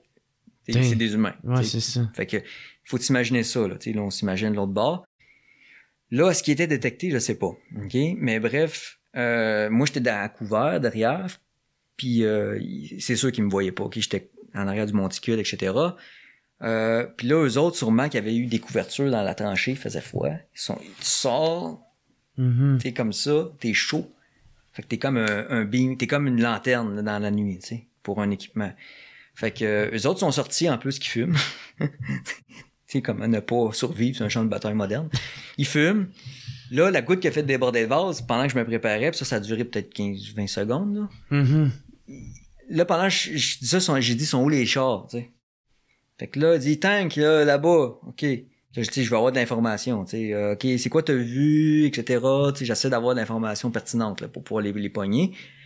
Là, pendant qu'ils me disent ça, ils s'approchent de la ligne de bois qui était peut-être à 10 mètres, sais, comme où est-ce que c'était moins, il y a moins, moins de bras. Ils s'approchent de ça. Je suis là, wow, OK, là, hey, hey, venez ici, là, là, là, ça fait, là, OK? Là, c'est fait pas jamais ça, OK? C'est vraiment dangereux de faire ça. Venez. Là, ils ont comme fait, OK. Là, ils sont revenus pour nonchalant. Là, j'ai fait, whatever. Là, j'ai fait comme, retourner dans la tranchée. Là, ils m'écoutaient pas. J'étais comme, là, j'ai quand même fait, OK, ça, c'est vraiment dangereux, là, ce qu'ils font. Probablement qu'il arrivera rien parce qu'à la gare, c'est ça qu'ils traitent. La gare, c'est Ouais. OK? Il arrivera rien. 9 fois sur 10, puis il va arriver une fois terrible, OK? Ouais. Fait que faut toujours que tu prennes des précautions, même quand tu penses que c'est inutile. Il y a un réflexe. Ces deux gars-là, ils ont pris un ils ont trop fait de choses dangereuses, ok? Euh, faut pas que tu restes avec ceux deux gars. C'est un réflexe, là. Je m'éloigne d'eux autres, ok? Fait que j'ai dit, à la place d'observer de là, ben, je vais observer de 20 mètres plus loin, au moins. Mhm. Parce qu'ils sont trop dangereux. Parce qu'ils viennent peut-être de se faire détecter. C'est ça. Que là, Ils j'ai fait. Moi, j'ai même pas pensé à. Ok, c'est sûr, ils sont détectés. J'ai dit, peut-être, tu sais, que les chars, ils checkent un autre spot, puis Tu sais, ça a passé dans le beurre, là. Mais peut-être que non, tu sais, tu le sais pas. Fait que là, j'aurais dit revenez, au moins ils sont revenus, mais là, ils sont nonchalants, ils sont contre-crif. Fait que là, euh, moi, j'ai réflexe de soldat, je m'en vais Mhm. plus loin avec mon net de camouflage. Tout. Là, je suis comme caché dans les arbres. 10 secondes plus tard, ben, un esprit d'explosion. Je vois des, des éclats d'obus passer devant moi, là, comme des lasers. euh, ça ressemble à des tisons de feu. Là. Tu sais, des, des tisons. Là, sais, Ouais. Ça passe. J'ai, encore l'image. Là, j'étais avec mes jumelles. Là, je savais que l'ennemi risquait d'être là. Je suis comme... Là, je baisse mes jumelles. Un esprit d'explosion, OK? Ça, ça a fessé ma tête, OK? Vraiment fort, OK? Puis tu t'avais éloigné d'eux autres. Ouais, j'étais 20 mètres à, à plus loin. OK? Puis pendant que ça a sauté dans ma tête, j'ai fait, j'ai fait comme. J'ai- Tu sais, mon corps, c'est, tu sais, ça, ça, ça, ça écrase, OK? mon corps, c'est tout crispé, genre ça. C'est comme manger un knockout, OK? C'est comme. Ah ouais. C'est fort, là, OK? Puis en plus de ça, tu, tu sens le. C'est dur à expliquer, là, mais tu sens, là, c'est comme si c'était la mort qui. qui s'en vient. là. Tu sens la, la, la, la menace mortelle pour ta vie, là. Tu sais pas, c'est dur à expliquer. Puis l'odeur, l'explosion qui est tout le temps très. Ces explosions-là, j'en avais eu plusieurs, là, puis en Afghanistan, Kurdistan, peu importe, là. Mais, euh, tu sais, ça sent la mort. Ouais. C'est dur à, dire, à décrire, là. J'ai encore du linge qui sent ça, d'ailleurs. Ah ouais, tu Ouais. le reconnais à l'odeur. Ah, tu sens, là, j'ai, ça sent la boîte puis la mort, OK? Puis euh, là, la première effet que j'ai fait, oh, qu'esprit ça a fessé. Autre réflexe, je fais un, comme une espèce de tour dans une traîne dans le bois. Je savais que ça, c'était... Je chantais que ça venait de la droite de où est-ce qu'il avait été, dans, proche de la lisière. Mhm. Je fais comme un détour. J'ai été replacé derrière la tranchée. Là, j'étais comme sacrément là, je- on s'est fait pincer sur un temps. Je regarde à ma gauche, euh, je regarde plus loin, à peu près à 8 mètres, là, à peu près. Euh, un des gars, là, le plus jeune, qui parlait français, plus de jambes, bras, puis arraché, tout l'uniforme, tout twisté des, du sang, puis tout démoli, là. OK? Puis que la fumée ambiante, là, tu sais, vraiment mortissant la mort, OK? Tout déchiqueté sur le dos de même, dans les arbres, il y a plein de copeaux de bois partout. Là, il est là, puis il bouge plus. Là, j'ai tout de suite fait dans ma tête, c'est fini pour lui, OK?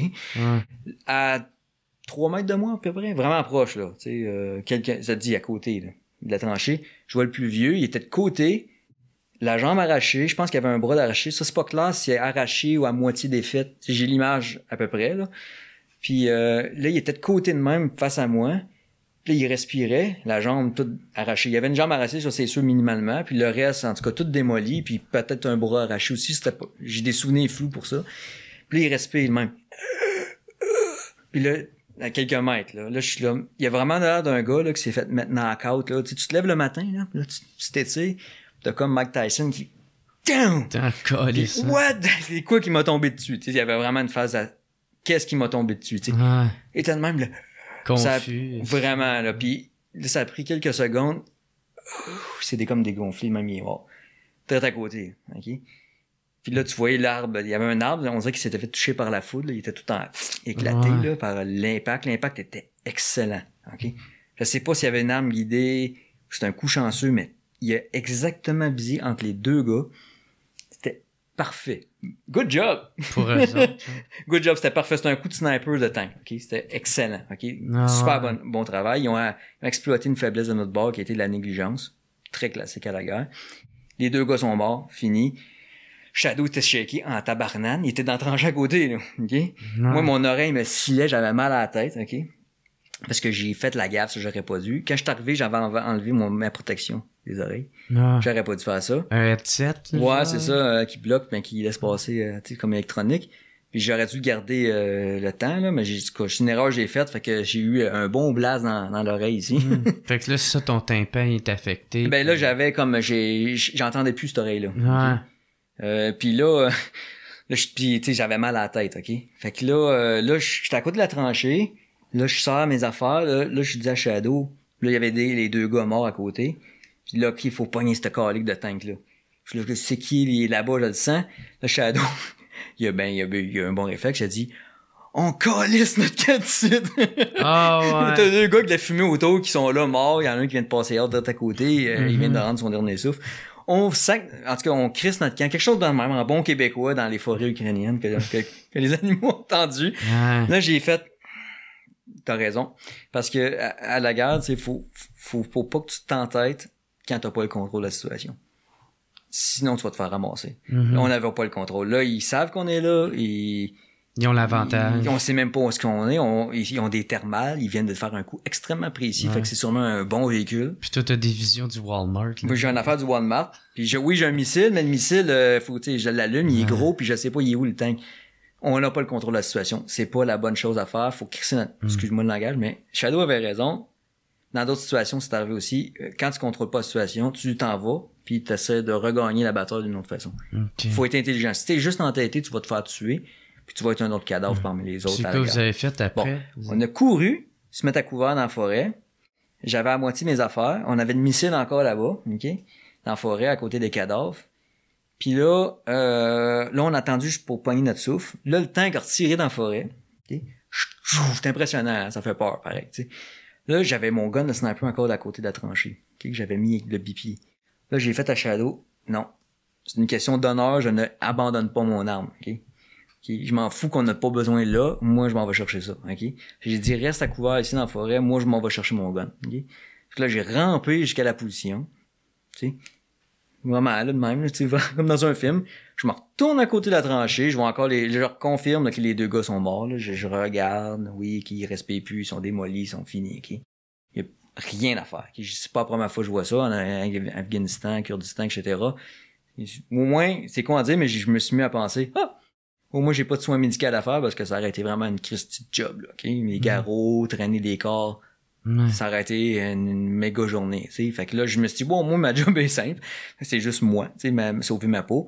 Mais là, j'étais à côté de la tranchée. Là, je vais avoir rejoindre mon gun que j'avais mis à couvert derrière la tranchée parce que justement, c'est une bonne chose à faire de pas la mettre exposée puis après ça, être obligé de s'exposer soi-même.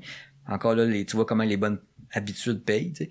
Fait que là, j'étais à côté de la tranchée, j'ai, le sable d'en face de même, là. Là, je suis là, parce que là, Char avait continué de tirer.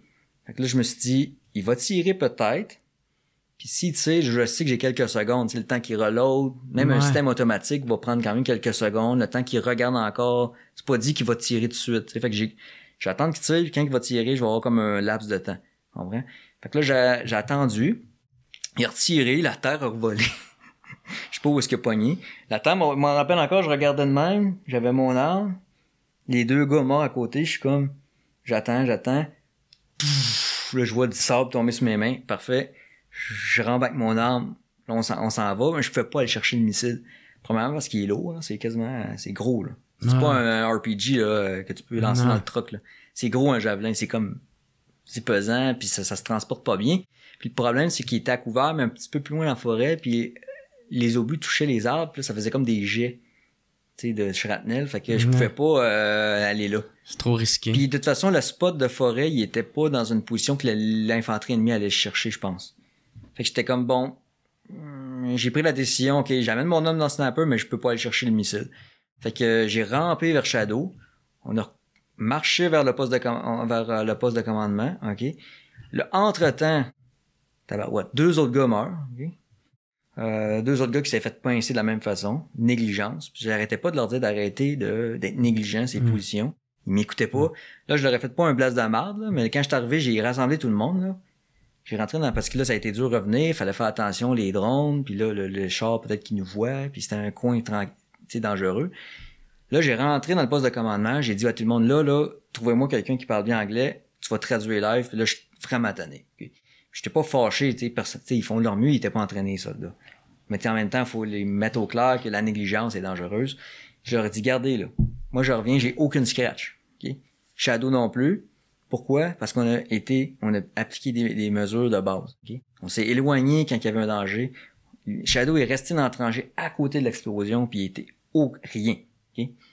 Puis il garde les deux gars morts là-bas. Puis là, entre-temps, un gars qui rentre dans le poste de commandement, deux autres gars qui viennent de se faire tirer. OK? Mort. Puis là, il y a un mort, un blessé grave. Fait que là, on attend pour soigner l'autre qui est sûrement toute défaite. OK? Puis là, t'as les Américains moi qui, qui se préparent avec les gants chirurgicaux, puis moi, je me pogne un ciseau pour attendre à gérer ça. Parce que là, on va avoir quelqu'un euh, blessé grave. Un mort, l'autre est mort finalement en chemin. Euh, là, t'avais, là, on avait eu deux autres morts avant ça, deux, deux jours avant, OK? Juste au, dans notre groupe. Fait que là, je voulais là, comme les mettre au clair. on peut-tu comme euh, arrêter de faire des niaiseries, OK? Ouais. Tu sais, arrêtez de vous mettre debout, tu dans les, à côté de la tranchée, puis fumer, puis le party pogné. Cachez-vous dans la tranchée. C'est pas compliqué. Restez Puis- dans la tranchée. Puis attendez. Écoutez. Ouais. Votre job, c'est de protéger. Fait que si vous entendez quelque chose approcher, vous challengez ou vous intervenez du mieux que vous pouvez, même si vous n'avez pas tout l'en- l'entraînement. Si tu entends des véhicules blindés, euh, puis tu as un AK-47, sors-toi pas à tête, là. OK? Pour garder. Tu confirmes, OK, ils sont là, parfait, t'attends. OK? Euh, pas de Hey, il y a un tank, puis là, le party est pogné comme une dojo s'est arrivé avant, puis on se faisait encore engager parce- à cause de négligence stupide. Mais c'est des soldats pas entraînés, hein, ceux-là Mhm. à qui j'étais, c'est normal, là. Tu sais, si tu pognes n'importe qui euh, Ben, dans la ça. rue, tu n'en vas au front, il saura pas, là. Même moi, c'est Mais c'est ça, imagine, on s'en va dans une tranchée, tu sauras pas, là. Moi, je suis, qu'est-ce que tu me dis de faire? Ben, c'est ça, c'est la bonne attitude, tu vois, ça, ça paye. Ça paye. Mais Moi, je reste direct à côté de toi. Je suis un man, gros, dis-moi quoi Mais ça, paye, tabarnak. mais Shadow, il a compris ça, puis il capotait. Il m'a dit 50 000 fois, genre, euh, peut-être pas 50 000 fois, mais il m'a dit, je pense, à peu près 50 fois. Tu, gros, tu m'as sauvé la vie. Il m'a serré dans ses bras, je sais pas Ah. combien de fois, puis pas juste cette occasion-là, d'autres occasions aussi, semblables à celle-ci, celle-là. Puis là, il... Fait que là, souvent, la, la propagande russe a exploité ça, disant, voyez, regarde, ils écoutent pas, puis c'est des pas bons, puis blablabla. Moi, je suis en train de dire, c'est normal, là. Ils sont pas entraînés, comprends? Je suis Mhm. fâché, pas fâché, comprends? Puis de l'autre bord russe, y en a-tu de Mais oui, il y en a de, de ça. C'est ça. Mais des deux bords, le monde se fait ramasser avec l'os de la négligence. Là. Et les Russes, là, ils- c'est des piles de cadavres. Là. Euh, moi, dans mon secteur, moi, je suis pas un gars qui aime prendre des photos des cadavres puis toutes ces affaires-là. Là. Mais il y avait des... des c'était de la charcuterie. Là. Ah, c'est des bouts de viande, là, puis euh, le classique. Là. De tout bord, tout côté. Ouais, les deux bords, c'est pas beau, hein. Des, des, des cadavres de, de, de guerre là, modernes, en Mhm. plus. C'est des, c'est souvent, tu sais, des, des, des têtes arrachées, des bouts de tête arrachées. Ouais. euh, c'est pas chic, là. Pas en La, tout. la première fois que tu étais venu sur le podcast, tu t'en parlais justement, puis tu tu semblais vraiment détaché encore une fois. Mais là, tu sais, t'en reviens de la guerre, puis.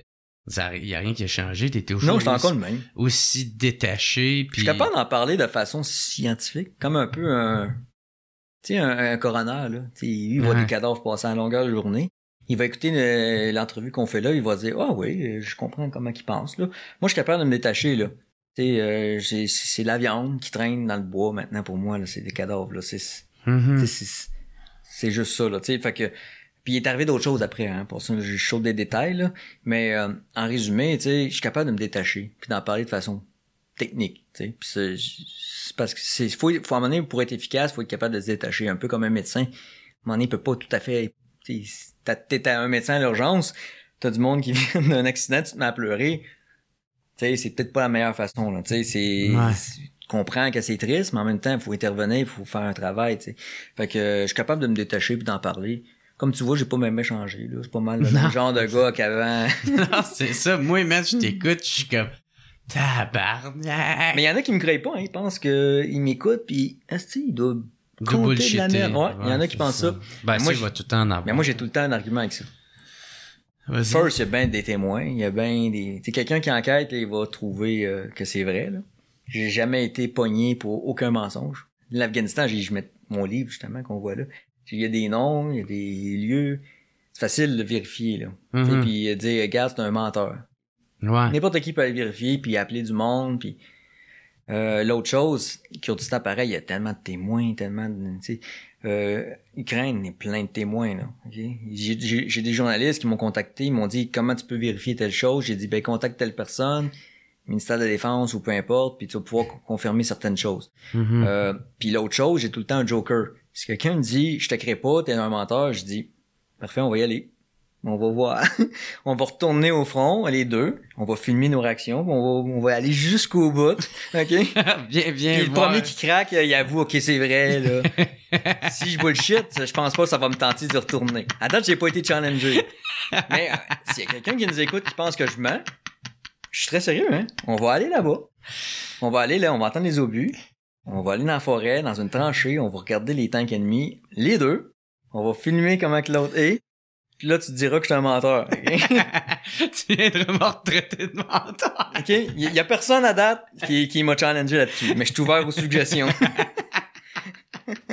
mais moi, je sais que c'est vrai. Fait que je vais te faire run. C'est ça le problème. tu sais. Ok, ok. OK, mais bon. Aussi, euh, ça, tout à l'heure, esti, tu sais, on parlait que, tu sais, avec la propagande comme quoi que tout avait été tué, mais il y a aussi ta tête qui a été mise à prix Ouais. quand t'es arrivé là, pis ça, Ouais. ça, Ça t'a pas fait peur? Ça t'a pas... Euh, euh, C'est pas pour ma fois que ça arrive, là. Euh, L'État islamique, c'était pareil. Fait que j'ai comme une expérience de terrain. Ouais, mais là, c'est pas la même affaire parce que, tu sais, t'as toute la, la couverture médiatique Ouais. qu'il y a eu quand t'es arrivé là, puis qui, qui vantait les lou- tes louanges qui étaient Ah, même pas ouais. vraies, là, tu sais, comme quoi que t'étais le meilleur sniper. C'est ça. puis- Tu sais, puis euh, j'étais un bon sniper. J'étais un Mhm. bon soldat. J'ai fait mes preuves, puis je pense qu'il y a personne qui peut dire le contraire. Ouais. Mais il y en a d'autres, là, des meilleurs que moi, puis des excellents, à la limite. là, Mhm. ok? Fait que ça, aucun doute là-dessus.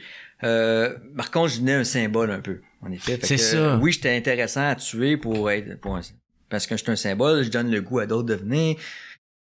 Tu veux te débarrasser de quelqu'un comme moi, t'es l'ennemi, idéalement. Fait que oui, en effet, la tête était mise à prix, mais c'est un peu comme étrange parce que quand je suis arrivé là-bas, tu sais, il y a eu l'article de la presse parce que tu sais, je voulais faire la même chose qu'au Kurdistan, montrer l'exemple, etc.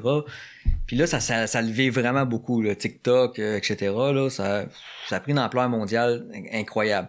Là, tu as des journalistes français, allemands, autrichiens. Là, tu même plus capable de tous les prendre. Qui te font des entrevues. En plus de ça, faut que tu fasses tes opérations. C'est c'est drainant. Là. Tu fais des Mhm. entrevues.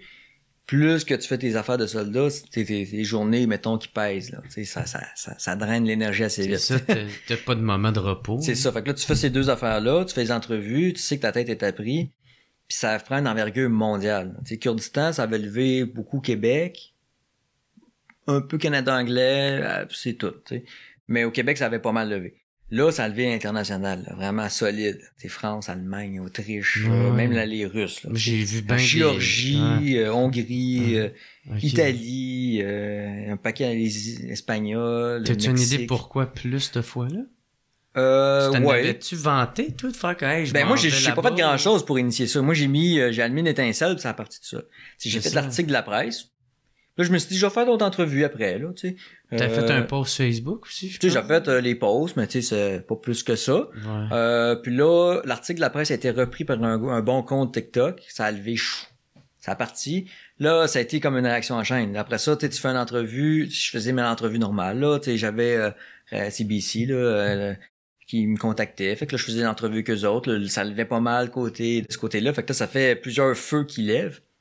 Ça, ça a été en l'espace d'une semaine environ. Ça a commencé à lever ouais, solide. ouais, c'est ça. là. Puis là, à un moment donné, euh, c'est ça, il y avait des rumeurs comme quoi Hey. que ma tête était mise à prix. Hey, moi, man, j'ai pas arrêté d'avoir des tags, là, tu sais, hey, ton chum Wally, esti, là, tu sais. Ben là, tu sais, en fait, ça donne un vertige parce que là, moi, à l'époque, je pensais qu'il était aussi bon que les Américains en termes de détection. Ouais, parce que t'es pas encore arrivé là-bas. Ben non, j'étais là-bas là, quand ça a commencé à prendre l'ampleur solide. Mais, j'étais- Ok. mais on faisait des jokes parce que, tu sais, on était là. Le meilleur sniper de l'univers a même pas de gun. sais. Ben c'est ça, parce que toi, t'étais pas, t'étais encore en train de boire la vodka pour essayer de te faire Moi, je des- prenais votre cas puis je me faisais swatter par la, la police. Là. C'est ça. C'est ça le meilleur sniper de l'univers. ok? Ok. Je faisais des jokes là-dessus, là. Mais. mais. euh, Pour créer tes, euh, tes contacts, là. C'est puis ça, tes je relations. euh, ben oui, le monde pensait que j'étais en train de sniper euh, quatre, gé- quatre généraux en ligne, mais non, je suis en train de prendre la vodka pour pouvoir après ça avoir la confiance d'un gars pour pouvoir acheminer de l'armement après ça. Exact. Le pire, c'est que c'est le même ça marche. Stratégie. Le mec, c'est que c'est le même ça marche. Ouais. C'est ça que le monde c'est pas comme on pense hein. Ouais. La guerre est une terrible déception Ouais. Et c'est ça, c'est c'est pas pas tout comme on on, on, on s'imagine hein, c'est très humain guerre. Et prendre la vodka est aussi important sinon plus que de savoir tirer, tu sais, dans, dans ce cas-ci. Fait que là moi quand j'avais eu ce- cet, cet engouement là, première affaire, c'est que oui, t'as pas peur, mais t'es là, t'as non, je, je m'en viens vraiment un- une target, là, tu sais. J'étais un peu comme, euh, tu sais, mettons pour les Américains, mettons que t'es un terroriste islamique et de l'ISIS, un des Ouais. chefs. Tu sais, tu sais que t'as qu'il y a du monde qui veulent te pogner. L'ennemi euh, numéro un. Ils veulent te pogner, Ouais, là. Puis là, je me disais, crime, si on a capacité des Américains, il faut vraiment que je fasse attention, là. Parce que ça veut dire qu'ils peuvent faire une frappe aérienne, OK? Euh, fait que ça, c'est vraiment, faut que je sois très discipliné côté, euh, faut pas que je monte ma position, faut pas, j'avais, exemple, Y a-tu euh, des espions, tu sais? Y a-tu des espions qui vont te oui, snitcher? mais tu fais très attention. Exemple, je vais donner un exemple bien normal, OK, d'une précaution. T'as- Là-bas, tu te pognes une SIM card, tu sais, pour euh, communiquer. Tu te pognes pas une... Il y a des fournisseurs comme Vodafone qui est russe. Tu te pognes pas une carte russe. Mais non. Tu d'allégeance russe? Ouais. Tu te pognes une carte neutre, puis t'enregistres ça qu'il y a un nom de quelqu'un d'autre, puis etc. Fait que tu y a pas de trace tu sais. Puis à Airpin, j'avais même pris, à m'a donné un téléphone d'un appartement, je l'ai reseté, puis j'ai mis ma carte SIM dedans. Fait que j'avais plusieurs couches de protection. La principale faiblesse, c'est les médias sociaux. Il faut très faire attention à ça. Tu sais, pas publier de vidéos. Euh, qui... Tu sais, juste une photo avec un paysage, là, tu peux prendre la position de ça. Ouais, c'est Fait que, ça. mettons que tu fais une action, tu mets une photo, pas de trouble, tu la mets après les opérations, mettons deux semaines plus tard. Tu fais des, il y a des précautions à prendre normalement. Euh, Shadow, je l'avais bien briefé. À un moment donné, il a fait une erreur. Puis là, j'y avais dit, OK, ça, faut vraiment pas que tu fasses ça. Euh, mettre une vidéo euh, pas longtemps après de où est-ce qu'on a passé. Parce que si on est encore dans le secteur, Ils peuvent retracer. c'est parce que comment ça fonctionne, c'est faut que tu te mettes dans la tête de l'ennemi. C'est l'ennemi, il cherche t'es où à peu près au début. OK. Euh, tu mettons les, euh, tu sais, on va dire que ce serait ici, tu sais, OK, je sais que t'es, mettons, je sais pas moi, Mascouche, mettons. OK. Fait que là, ou ben, je, au- dans le monde n'importe où, nord-ouest de Trois-Rivières. Qu'est-ce que tu vas faire?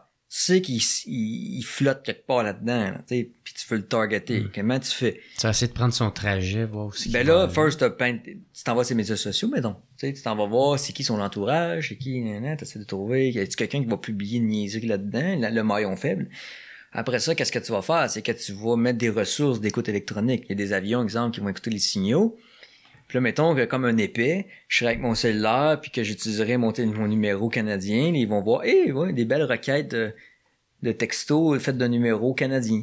Puis il y en a comme un dans le secteur ou deux, dans tel building. Mhm. Mais f- frappe aérienne? Ouais, c'est Moi, je ça. pense, c'est même qu'il faut penser, il faut se mettre à la place de l'ennemi. OK? Apparemment, il n'y aurait pas une capacité aussi bonne que ça, mais il faut pas le sous-estimer. Ben, prends pas la chance. Non, prends pas la chance. Fait que bref, tu te sens vraiment comme une, tu te sens comme une espèce de fugitif. Puis, Ouais. il y a un une situation où j'étais comme dans caché proche d'un fleuve, là.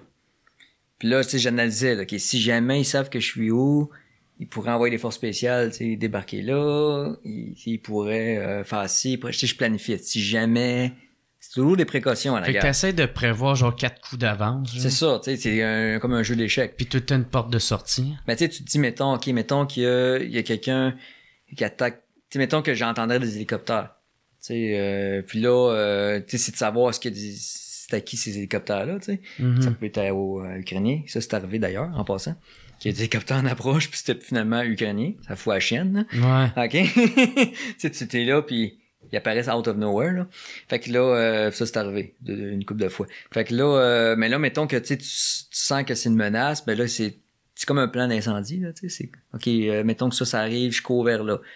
Tu sais, on s'entend que si, mettons, je suis trois, quatre gars dans une maison cachée, ils savent je suis où, ils débarquent, mettons, ils font un, un raid, là. Comme les Américains ils sont très bons pour faire ça, là. J'aurais bien plus peur des Américains, d'ailleurs. Ça, c'est quand ils débarquent à une, une gang de. Ouais, mettons qu'il ferait un raid. d'Army ok? Seal, Il ferait un puis- hit, OK? L'appellation la plus simple, c'est une frappe aérienne. Ben franc, t'as pas besoin d'envoyer la cavalerie pour ça. Mais, euh, tu sais, euh, tu sais, mettons qu'il y aurait une capacité comme les Américains, ben là, tu pourrais faire un hit, là, carrément, là.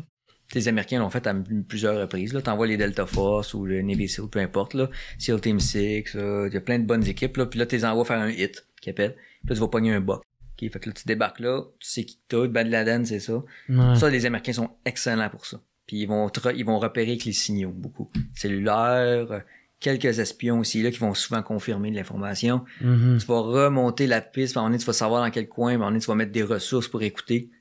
À un moment donné, tu vas mettre l'imagerie aussi. À un moment donné, tu vas vraiment voir, OK, il y a vraiment comme des véhicules qui viennent autour. Puis à un moment donné, tu vas, tu vas confirmer souvent qu'un témoin euh, sur place, OK, c'est lui, il est là, le boc. Après ça, tu planifies un hit. OK? Fait que euh, c'est souvent de changer de localisation. Mais c'est pas si simple, hein, pogner un gars qui, qui, qui se promène. Puis la preuve que j'étais vraiment furtif, à un moment donné, je sais que le renseignement ukrainien, là, les services secrets ukrainiens, me cherchaient puis ils savaient pas j'étais où. Ah ouais. ça, j'ai trouvé ça drôle. Ils, ils me cherchaient puis ils étaient complètement dans une autre ville. Ah, fait que tu sais que tu fais une bonne job. Ben là, j'étais là, même dans, en Ukraine, ils savent pas je suis où. C'est fait que sûr j'ai que comme- ça me dérange pas, là. Good job. Tu sais, fait que, puis en plus, il peut y avoir des espions côté ukrainien. Faut que tu fasses attention, là. Tu sais, euh, ils Ah, pas beaucoup. Ouais, c'est vrai. Mais à toute guerre, il y a des espions des deux bords. Fait que fais attention à ça, tu sais. Si tout le monde sait t'es où d'un bord, ça veut pas dire que l'information va pas traverser. Tu sais, fait que, hmm, euh, Est-ce que, euh, tu sais, parce que là, il y a eu comme de l'aide de, de l'international, à quel point cette aide-là a été bonne? Puis, la deuxième question là-dedans, après, juste pour pas que je l'oublie, c'est euh, les sanctions économiques, ça l'aide-tu vraiment? Ouais. Euh, les armes, OK. Oui, les armes, euh, encore là, je vais donner des, des, des, des anecdotes personnelles pour le démontrer, OK? Une guerre moderne, ça se gagne avec le courage, mais aussi avec l'équipement, OK? Tu peux pas, à un moment donné, juste foncer dans le tas contre des tanks, des avions, des hélicoptères. Tu peux pas, à un moment donné, il y a une limite, là. Euh, je vais donner un exemple. OK? Je terpine, j'arrive là, il y a des tanks autour, là, des, des tanks russes, là, il y a toutes sortes de, de mouvements, de, de, de forces en présence. Là, je regarde dans une des salles qu'on a d'un, bâtiment abandonné, je vois des grosses caisses, là, avec des armes en char. Il y avait des armes allemandes, il y avait des armes euh, suédoises. En fait, il y avait un, voyons, un, NLA qu'on appelle, de fabrication suédoise, mais d'origine britannique. C'est-à-dire un missile anti-char guidé, d'une portée environ 800 mètres. Fait que, euh, un javelin, c'est plus loin, mais c'est beaucoup plus cher. NLA, plus proche, beaucoup moins cher. Fait que tu peux en avoir plus. On avait des NLA, on avait des, des Panzerfaust allemands. Ça, c'est pas guidé, mais tu peux en tirer un peu comme un RPG, une roquette, là.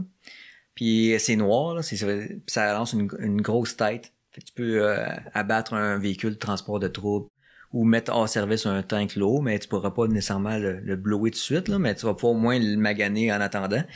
Tu capable de péter les, les, les véhicules de transport de troupes, des choses en même avec ça. Tu vois ces armes-là, tu fais quoi? Tu fais un soulagement, parce que tu fais comme... Il m'avait dit, OK, les tanks peuvent arriver de là. Imagine si t'as pas d'armes anti-char. Mhm. Qu'est-ce que tu fais? Tu cours après, tu lui tires dessus, c'est quoi? Tu, Tu tu à un moment donné, il faut, euh, ça. il, il faut quelque chose. Y sais. faire une jambette, euh, moi l'avoir. Ouais, c'est ça, tu fais une jambette au tank, tu mets des, des branches de bois en avant, je sais pas, mais à un moment donné, t'es limité. Mon cocktail Molotov, c'est ça. tu peux, mais ça va te prendre 20 gars qui vont mourir pour que le dernier réussisse. Ouais, Tandis qu'un missile dans le char, je vais me cacher derrière un building.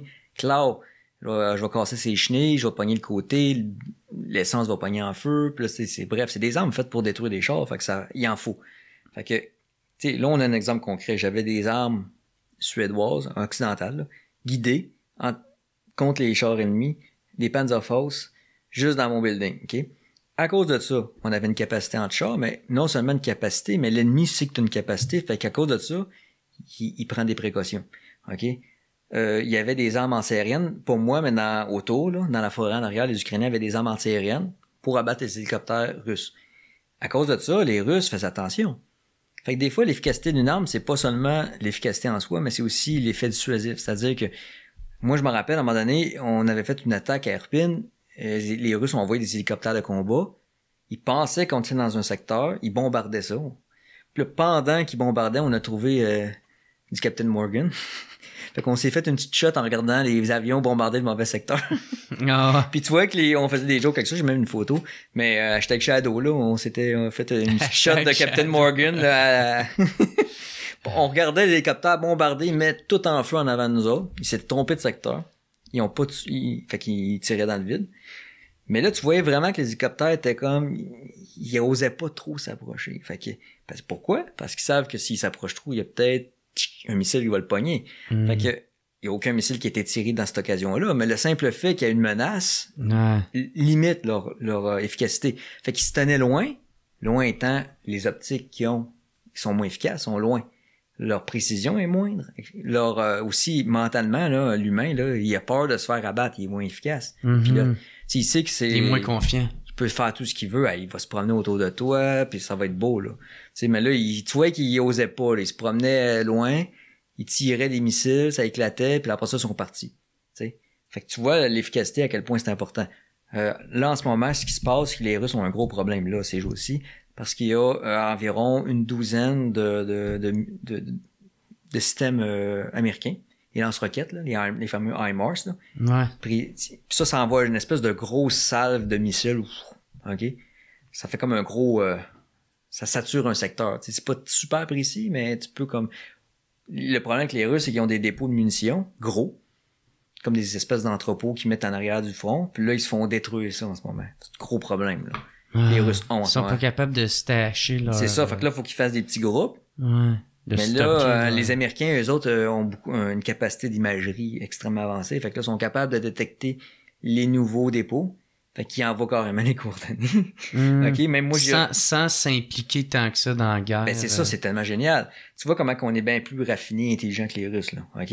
Euh, nous autres, on est loin, on se tient loin, on se laisse se battre, puis on a quasiment pas de perte comparé à eux. Puis là, nous autres, on envoie de l'imagerie. Euh, moi, j'ai aidé, là, euh, OK, à envoyer de l'information des fois, là. OK, je donnerai pas de détails. ouais. Puis juste ça, c'est. des coordonnées, un paquet de choses. Puis là, à un moment donné, ben, c'est ça qui arrive. Euh, là, il y a des milliers des. Une guerre moderne, c'est ça, c'est une guerre technique, une guerre de coordonnées, une guerre d'artillerie, de frappe. Stratégique. C'est ça. Le petit soldat qui tire, là, c'est la dernière étape de tout. OK? Le, où est-ce que la guerre se passe, c'est là. C'est détruire l'artillerie ennemie, euh, détruire le char ennemi, euh, détruire ses ponts, hein, l'empêcher de faire des ponts sur une rivière, euh, l'empêcher d'utiliser son aviation efficacement, euh, des choses comme ça. C'est une guerre moderne, c'est très technique. C'est comme une mm-hmm. business. C'est comme rouler une business. Il faut de l'argent, il faut des moyens, il faut de l'artillerie, il faut des obus, il faut. Euh, c'est pour ça que les sanctions économiques, j'en arrive à ta deuxième question, sont, sont bonnes. Parce que ouais, ça fait c'est ça, ça fait une différence. Oui, mais ça fait un effet euh, plus à long terme. OK.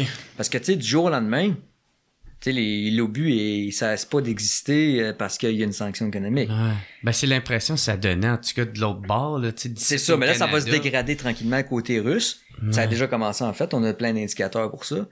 Euh, puis regarde, je vais donner un exemple concret. OK, tu as un missile antiaérien, OK?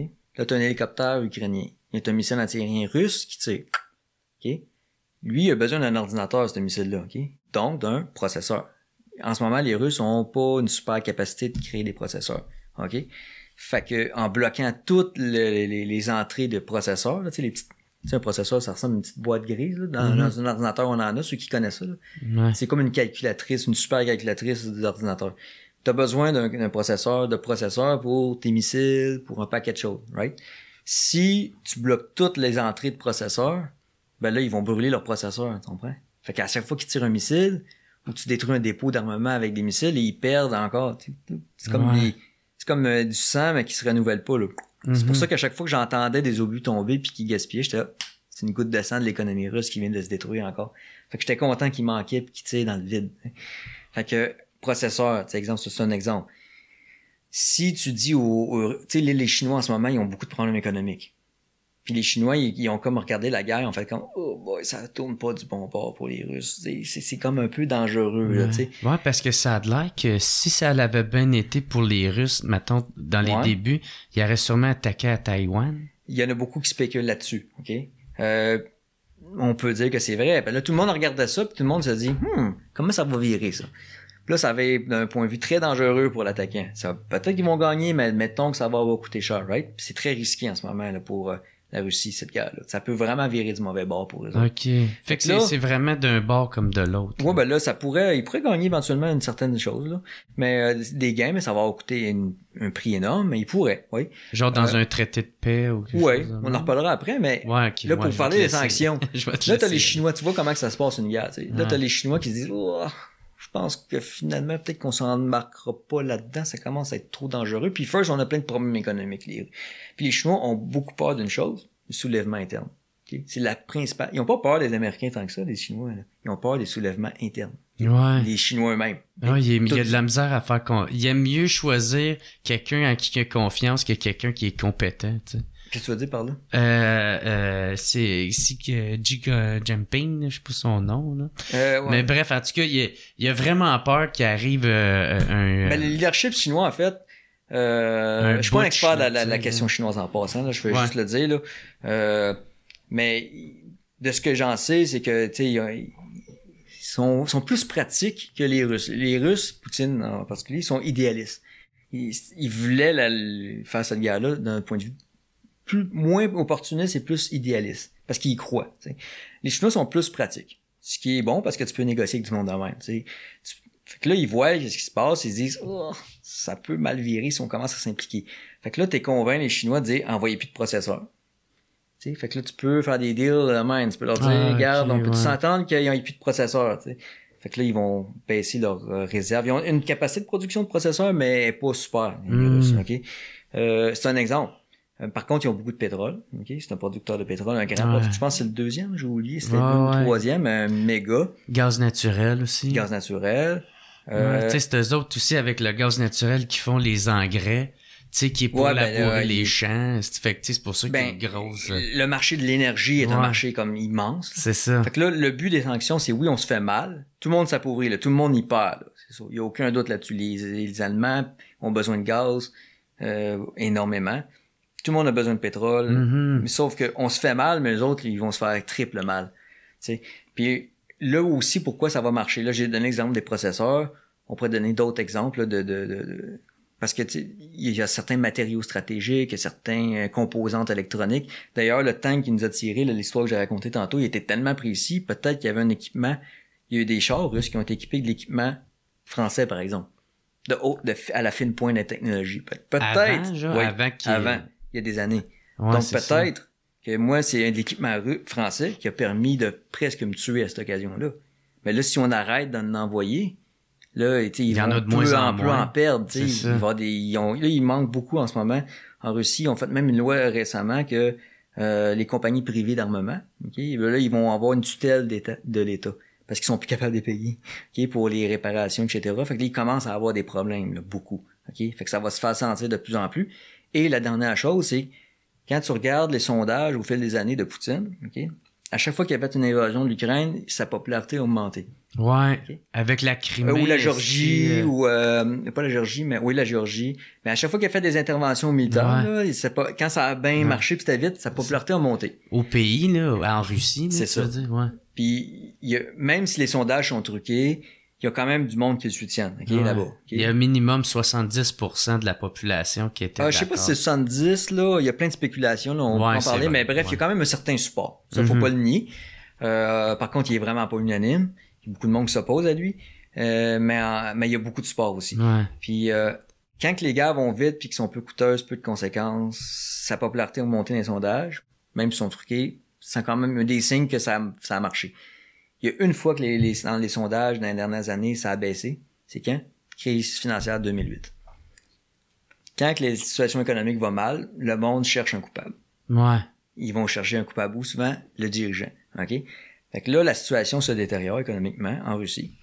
Puis, ça fait un peu comme 2008. 2008 avait aucune, à peu près pas rapport à la Russie. C'est un effet, c'est le système financier, en fait, plutôt américain, occidental qui a flanché. Puis ça a affecté tout le monde.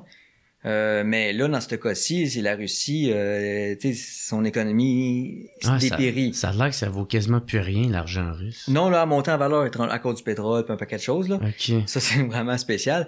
Mais ce qu'il faut comprendre, c'est que là, il y a de l'inflation là-bas, énorme, parce que là, pense à ça, t'as un processeur que maintenant, là, je donne un exemple du processeur pour continuer l'exemple de tantôt, mais tu sais, t'es une compagnie qui veut un processeur pour faire, je sais pas moi, une voiture. Mais là, il en manque. Fait que le prix manque. Parce que là, tout le monde le veut, ton processeur. Comprends? Fait que là, il, tout vaut plus cher, tu sais, euh, avec une inflation qui se crée. Fait que là, le pays s'appauvrit. Fait que là, le peuple s'en va dans la misère, tout le monde s'en va dans la misère. Mhm. Plus qu'on saisit tout ce qui est les oligarques, là, les riches russes, on saisit leurs yachts, on saisit leurs actifs, on saisit tout. On les fait payer. ok? Ça, ça marche, là, parce que là, tu as vu en 2008, euh, c'est là que ça, ça a baissé les sondages. Même truqué. Fait que là, si ça continue de se détériorer, puis il y a des pertes, puis il y a plein de problèmes, ça peut amener un soulèvement à l'intérieur. Mhm. Fait que là, c'est là aussi qu'on peut avoir un effet. Fait que oui, il y, a, il y a- il y a une guerre à gagner de ce côté-là aussi. Là. Ah ouais. Puis toi, qu'est-ce que tu penses de ça? C'est. Est-ce que tu penses que les, les Ukrainiens ils ont une chance de. Oui, oui. Euh, c'est pas facile, OK? Euh, en même temps, je veux pas tomber dans la propagande stupide de euh, c'est facile, euh, les Russes, c'est des imbéciles. Mhm. T'sais, Puis là, des deux bords, il y a ça un peu, là, OK? Euh, puis là, ça, c'est... faut pas... Ça, c'est... La meilleure façon de gagner, de perdre une guerre, c'est de surestimer ou de sous-estimer son ennemi. Mais en fait, beaucoup de défaites militaires ont été faites, parce, ont été dues parce qu'on a sous-estimé l'ennemi. OK? Donc, faut pas sous-estimer les Russes. Ils sont coriaces, puis c'est quand même des, des- une Ouais. armée dangereuse. Ils ont des faiblesses, par contre, aussi, puis il faut les exploiter. Euh, ils ont une chance, les Ukrainiens. Euh, les Ukrainiens, leur principale force, c'est qu'ils sont euh, aussi très coriaces. T'sais, ils sont en mode survie. là. Comme tu l'as dit, têtu, ils voulaient Hein? pas partir. C'est ça, son, son, son tête de cochon, puis ça, c'est... Puis moi, je les trouve vraiment courageux. Euh, moi, je parlais aux soldats là-bas, ils, sont- ils ont des coliques de base, OK? Ils sont vraiment courageux, OK? Même les pas courageux, là, les, pas les, euh, je, je veux dire, les soldats non entraînés, là, ils sont... Regarde, les deux gars qui sont morts, là, tu sais, le dernier, là, l'histoire Ouais. que je t'ai contée. Quand je suis revenu, son ami voulait aller le chercher. Il me croyait pas, il pensait que, tu sais, je reviens, je suis le même encore j'ai l'oreille qui me cille, mais tu sais, euh, il, me regarde, il fait Qu'est-ce qui s'est passé? C'est mon ami qui est là-bas. Je dis non, non, il est fini, là. il n'y a plus de jambes, il n'y a plus rien. Là. OK, puis il me croyait pas. Mais tabarouette, il n'y a pas d'entraînement, le gars. Il est parti, là, juste un équipement de protection, là, un casque, pas de gun focal, retourné. OK? Il est venu me parler. Moi, j'étais en train de me, prendre un repos. Je me, je me lève de, j'étais dans la salle des professeurs, encore. Là, je me lève de mon sleeping bag. Là, il, il y avait un gars qui parlait anglais avec. Fait que là, on parle. Je raconte ce que je viens de te dire. Puis je dis là, va pas là, là, c'est le jour, euh, le temps que regarde encore peut-être, ça fait juste comme deux heures de ça. Va pas là, là, OK?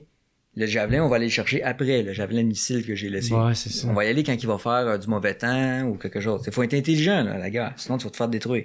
OK? Là, tu vois dans ses yeux, là. Non, non, il faut que j'y aille, c'est mon ami. J'ai dit, garde, je vais te faire un dessin de qu'est-ce qu'il y a, OK? Là, je fais un dessin, je monte où les corps, je montre quoi faire pour être le plus possible sécuritaire. Puis là, finalement, je fais comme gars, je vais venir avec toi. OK? Euh, tu vois comment ils ont des fucking guts. Je dis, OK, je m'en vais avec toi. Là, je dis à Shadow, regarde, j'ai besoin d'un gars de sécurité, viens-tu avec moi? Shadow était un peu shaké, là. Il regardait à terre, il fait, retourne pas là-bas, moi. fait que là, j'ai fait, donne-moi ton gun.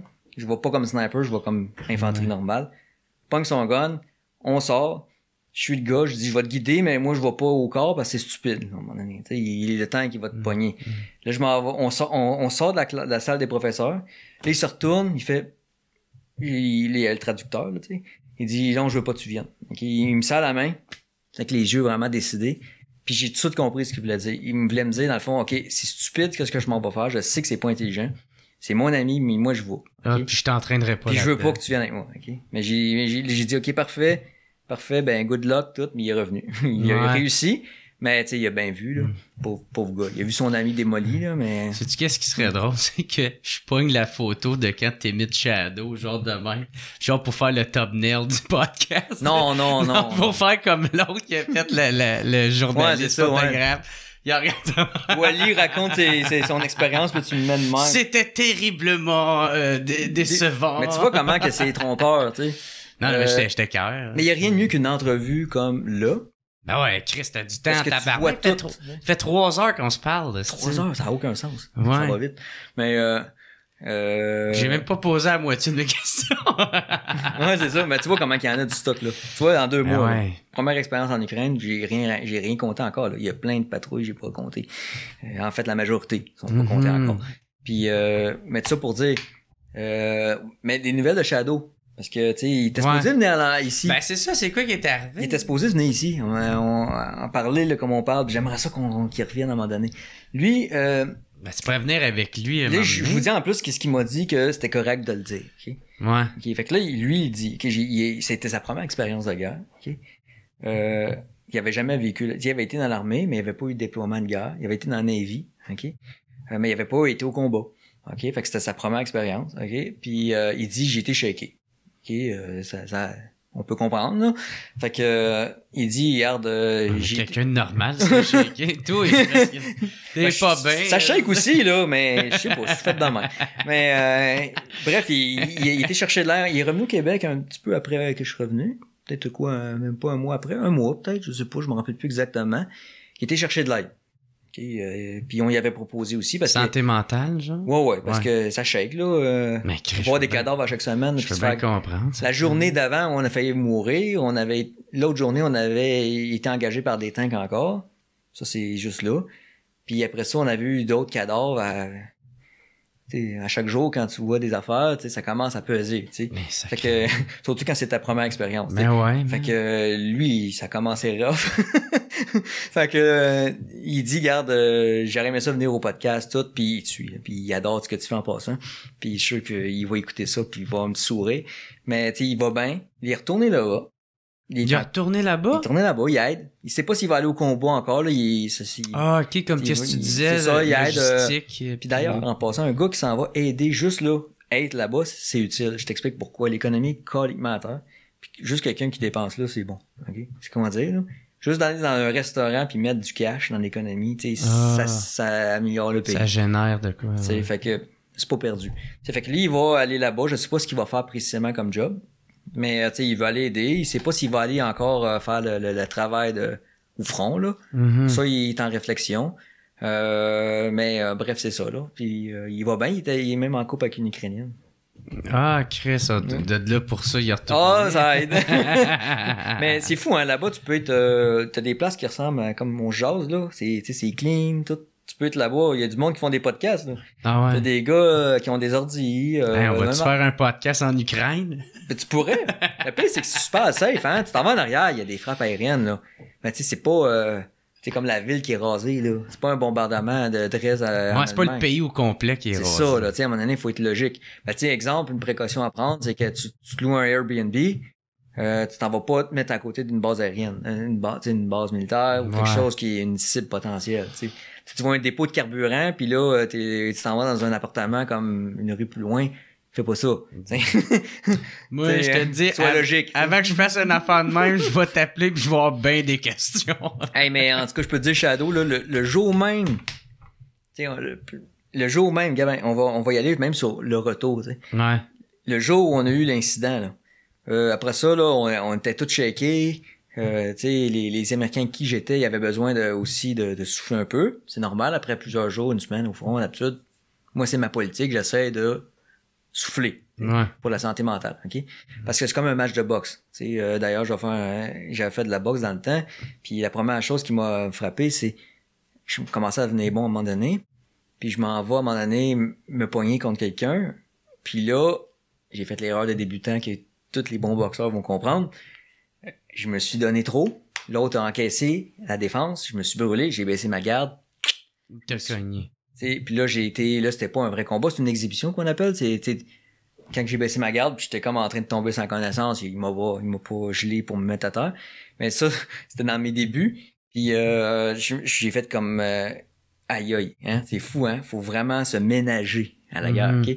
Puis d'ailleurs, les, les armées qui sont les meilleures au combat, c'est celles qui savent garder son énergie, sa force, on veut, mentalement au niveau individuel, mais collectivement. Tu fais attention à tes gars. C'est comme c'est comme au hockey, hein. Tu, tu fais même pas tout le temps tes bons sur la glace puis t'es brûles. Là. On retourne, on prend nos forces, on retourne. C'est comme ça que tu gagnes. Puis tu sais, les, les, les Romains étaient comme ça, hein. sais, les Romains étaient des professionnels. C'est pour ça qu'ils ont pris un continent complet, même ben, autour, autour de la Méditerranée parce que les, Romains étaient organisés. Fait qu'au combat, il y avait un système de rotation. Fait que les autres économisaient leur énergie. Les armées, au, début de l'Empire romain, c'était souvent des armées un peu de, ben là, je vais dire barbares, mais le mot barbare veut dire étranger, mais des armées de paysans qui travaillent dans les champs. On rassemble ça dans une ville, on, leur donne les armes euh, qu'il y a. Puis, ce gros moton-là, t'envoies ça contre les légions romaines de soldats professionnels. Là, qu'est-ce que ça va faire? Ces gars-là vont souvent se brûler. Tu euh, à la boxe, c'est super brûlant, mais là, imagine avec des armes, des boucliers, c'est super. C'est, tu vas te brûler en trois minutes. Mm-hmm. Surtout que ces gars-là, ils n'étaient pas nécessairement entraînés à le faire. Fait que les Romains encaissent les coups, encaissent les coups, encaissent... rotation, on envoie des projectiles, on démoralise l'ennemi. Puis là, après ça, le front finit par céder, on envoie la cavalerie exploiter, puis là, c'est là que tout le monde se fait ramasser. Il faut être intelligent, encore là, à la guerre. Fait que rotation, on économise nos forces, l'ennemi se fatigue, nous autres, on économise nos forces, on pense toujours à ça. Mm-hmm. Puis euh, là, dans ce cas-ci, on avait été shaké, moi j'entendais plus d'une oreille, j'avais mal à la tête. Euh, là, ça fait comme à chaque jour, quasiment, on avait des, pertes ou des incidents. J'ai fait comme, OK, il y a une rotation qui se fait. Fait que là, il y avait une rotation avec d'autres soldats qui s'en venaient. J'ai fait, OK, nous autres, on va demander de s'en aller, comme je faisais régulièrement. Euh, puis là, le commandant dit, parfait, c'est bon. Euh, mon commandant, parce que t'avais le commandant du village qui commençait à, je pense, paniquer un peu. Puis là, il y avait des chars qui approchaient. Euh, mais finalement, ils ont rien fait. Mais là, ils ont demandé, OK, allez, toute la gang, euh, ils voulaient nous utiliser comme char à canon, tu sais. T'sais, nous mettre dans une... Ils nous disaient, nous autres, on fait une joke, ils disaient food for yesterday, mais c'est trompé yesterday tomorrow. Ouais. Food for yesterday, puis allez là-bas, puis c'est comme... Fais débrouille-toi, tu sais, pas de gun, quasiment dans le char, rien. On a fait, non, on va pas là. Euh, on n'est pas de la chair à canon. Là. À un moment donné, on, on peut-tu être intelligent, tu sais? Fait que c'est un civil, là. Y a pas de... C'est un commandant civil, il n'y a pas d'expérience. là. Des militaires, mhm. c'est correct. Là. Puis ils font de leur mieux, là. sais je leur en veux pas. Mais euh, nous autres, on a dit non, non, non, nous autres, on rotationne à moins qu'il y ait une attaque là. Puis il y, avait des renforts qui s'en venaient. Fait qu'on dit non, non, non, nous autres, moi j'ai dit mes gars, moi, on s'en va en arrière. OK? Finalement, on a eu euh, le commandant passé par là, un autre commandant d'une autre unité. Fait que là, c'était parfait, ça tout était parfait. Euh, là, les trucks sont arrivés, mais là, l'artillerie est tombée, fait que tous les trucks ont commencé à casser. fait qu'on avait plus de trucks, c'est pour ça qu'il faut renvoyer des trucks blindés à l'Ukraine, parce que juste faire les navettes, ça devient un aria. Fait que là, on avait des trucks, j'ai des photos de ça, des éclats d'obus qui, qui, qui défacent les composantes des moteurs. Là, on, le filtre à air était cassé, le radiateur était cassé. Là, à un moment donné, j'ai sorti des tie wraps pour réparer le filtrage. On était vraiment dans le moteur avec des obus qui tombaient. Là. Mais pas. Pour essayer de le réparer. le Mais tu sais, à chaque deux, une minute, là, t'avais les maisons en feu autour, partout. Là, nous autres, on se cache. Là, ben, quand c'est fini, on se remet debout. Là, t'as la population qui nous engueule parce que là, il dit, il y a un pro-russe qui, j'imagine, pensait que c'était à nous autres, euh, à cause de nous autres, la maison est en feu. là, on met le tie wrap avec euh, du tape, plein d'affaires sur le filtre pour essayer de réparer les affaires. On répare des flats. Euh, tu comprends? Ça, ça, c'est encore là, c'est compliqué. Ah, Fait que là, finalement, on a réussi à s'extirper de ça. Moi, je me suis mis dans la caisse en arrière, dans le truck. Euh, on a réussi à, en tout cas, bref, à, à trouver des véhicules, à sortir de ce merdier-là pour aller prendre un break. Puis là, quand je suis arrivé, j'ai compté ça. La rumeur s'est un peu répandue là, de les dernières histoires. Puis le commandant a fait, là, OK, toi, Shadow, vous en allez dans le truck, puis on s'en va vous rejoindre dans quelques jours, vous allez aller en arrière, OK? Puis là, j'ai fait parfait, euh, je veux prendre un break, fait que ça tombe bien. Fait que euh, on embarque dans le truck, on s'en, en une journée, on est passé de on se fait blower le matin à on est relativement plus sécuritaire en arrière. Ça a été l'extraction la plus rapide. ok? Puis là, le soir même, on a pris des shots en l'honneur de nos deux partenaires qui se sont fait tuer le matin. Puis le Shadow, mais, ah, il m'a serré, il m'a dit Tu m'as sauvé encore. Puis là, il était, il était émotif, puis tout. Là. Et puis, euh, que ça faisait plusieurs fois aussi que ça nous arrivait des situations de même. Puis j'avais appelé ma femme aussi, puis j'avais dit, OK, là, ouais, là, c'est le temps de revenir, souffler un peu, respect par le nez, on réévaluera après ça. Fait que c'est Puis ça. justement, elle, qu'est-ce qu'elle pense de ça que toi, tu t'en vas là? Ah boy. Tu sais, parce que Euh. Chris, tu viens d'avoir un enfant, tu Ouais. sais, qui, a- qui a à peine euh, un an et quelques, tu sais. euh, t'as une bonne job, t'as une femme, t'as Moi, une ma vie est facile. tu sais. OK, ben oui, c'est ça. C'est trop facile, tu sais. Fait que, bon, euh, c'est, qu'est-ce que je te dis, c'est pas facile, OK? Euh, j'étais un soldat à la base, fait que c'était comme un peu connu que j'étais de même, là. J'ai- C'est dans ma personnalité. Fallait mais- qu'elle deal avec ça, là. À deal, il n'y a pas vraiment de façon de dealer, là. Euh, mais tu sais, il y a deux aspects, OK? Elle comprend, tu sais. elle est pas noune, là. Elle sait que, à un moment donné, il faut quelqu'un qui arrête ce, ce, ce fou-là, là, de, de Poutine. C'est un peu comme Hitler. Fait qu'à un moment donné, il faut qu'il y ait quelqu'un, quelque part, qui fasse sa job. Mais elle veut pas que ce soit moi. Ouais, c'est ça. fait que, ça, je peux comprendre ça. Fait que là, c'est, c'est, c'est, c'est difficile. Comme dirait le go, c'est difficile. Fait que, fait que c'est difficile. Fait que, ben, c'est difficile, mais c'est la, c'est ça. C'est comme ça. Qu'est-ce que je te dis? Il y a des choses dans la vie qui sont pas faciles. Puis il faut arrêter de, faire semblant que c'est facile. Des fois, la solution, c'est d'accepter que c'est dur. Mais ça n'a pas changé depuis que t'as un enfant? Ben, moi, j'ai eu l'enfant l'an passé. Fait que j'avais, c'était son premier anniversaire. J'étais dans un train en route vers Kiev. Puis j'ai voyé les panaches de fumée, euh, ben, pendant que j'ai fait un live, c'était noir, ok? Puis, euh, mais le matin, en me levant, tu sais, je voyais des panaches de fumée de la ville auto en feu, là. Ouais. en banlieue en banlieue de Kiev. Mais j'étais dans un train un peu comme un train de Deuxième Guerre mondiale avec du bois puis des cabines. C'était vraiment hot comme ambiance. Mais quelques heures avant, j'ai j'ai fait un live avec mon téléphone, puis là, j'ai assisté live au premier anniversaire de mon fils dans le train en, en banlieue de Kiev.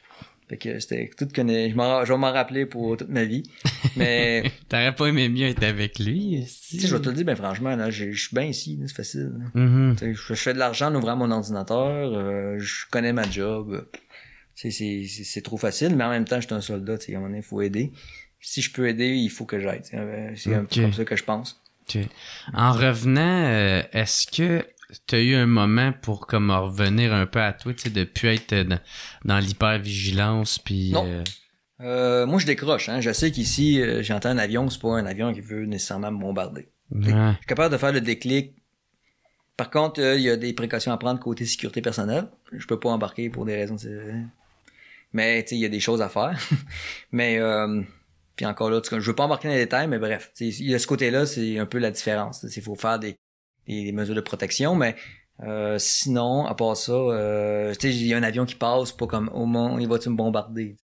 Tu sais, quand t'es en Ukraine, t'entends un avion, euh, un Mm. jet, tu tu- t'es tout, tout le temps un petit... t'es- Ouais. Tout le temps comme, hum, t'attends, là, t'es comme, Ouais. ils vont-tu me tirer Ici, t'as pas de flashback, là. Non, non, non, ben, ce que, une affaire que je m'attendais, que j'avais peur qu'il arrive, en fait, j'avais peur de plus aimer euh, être dans la forêt.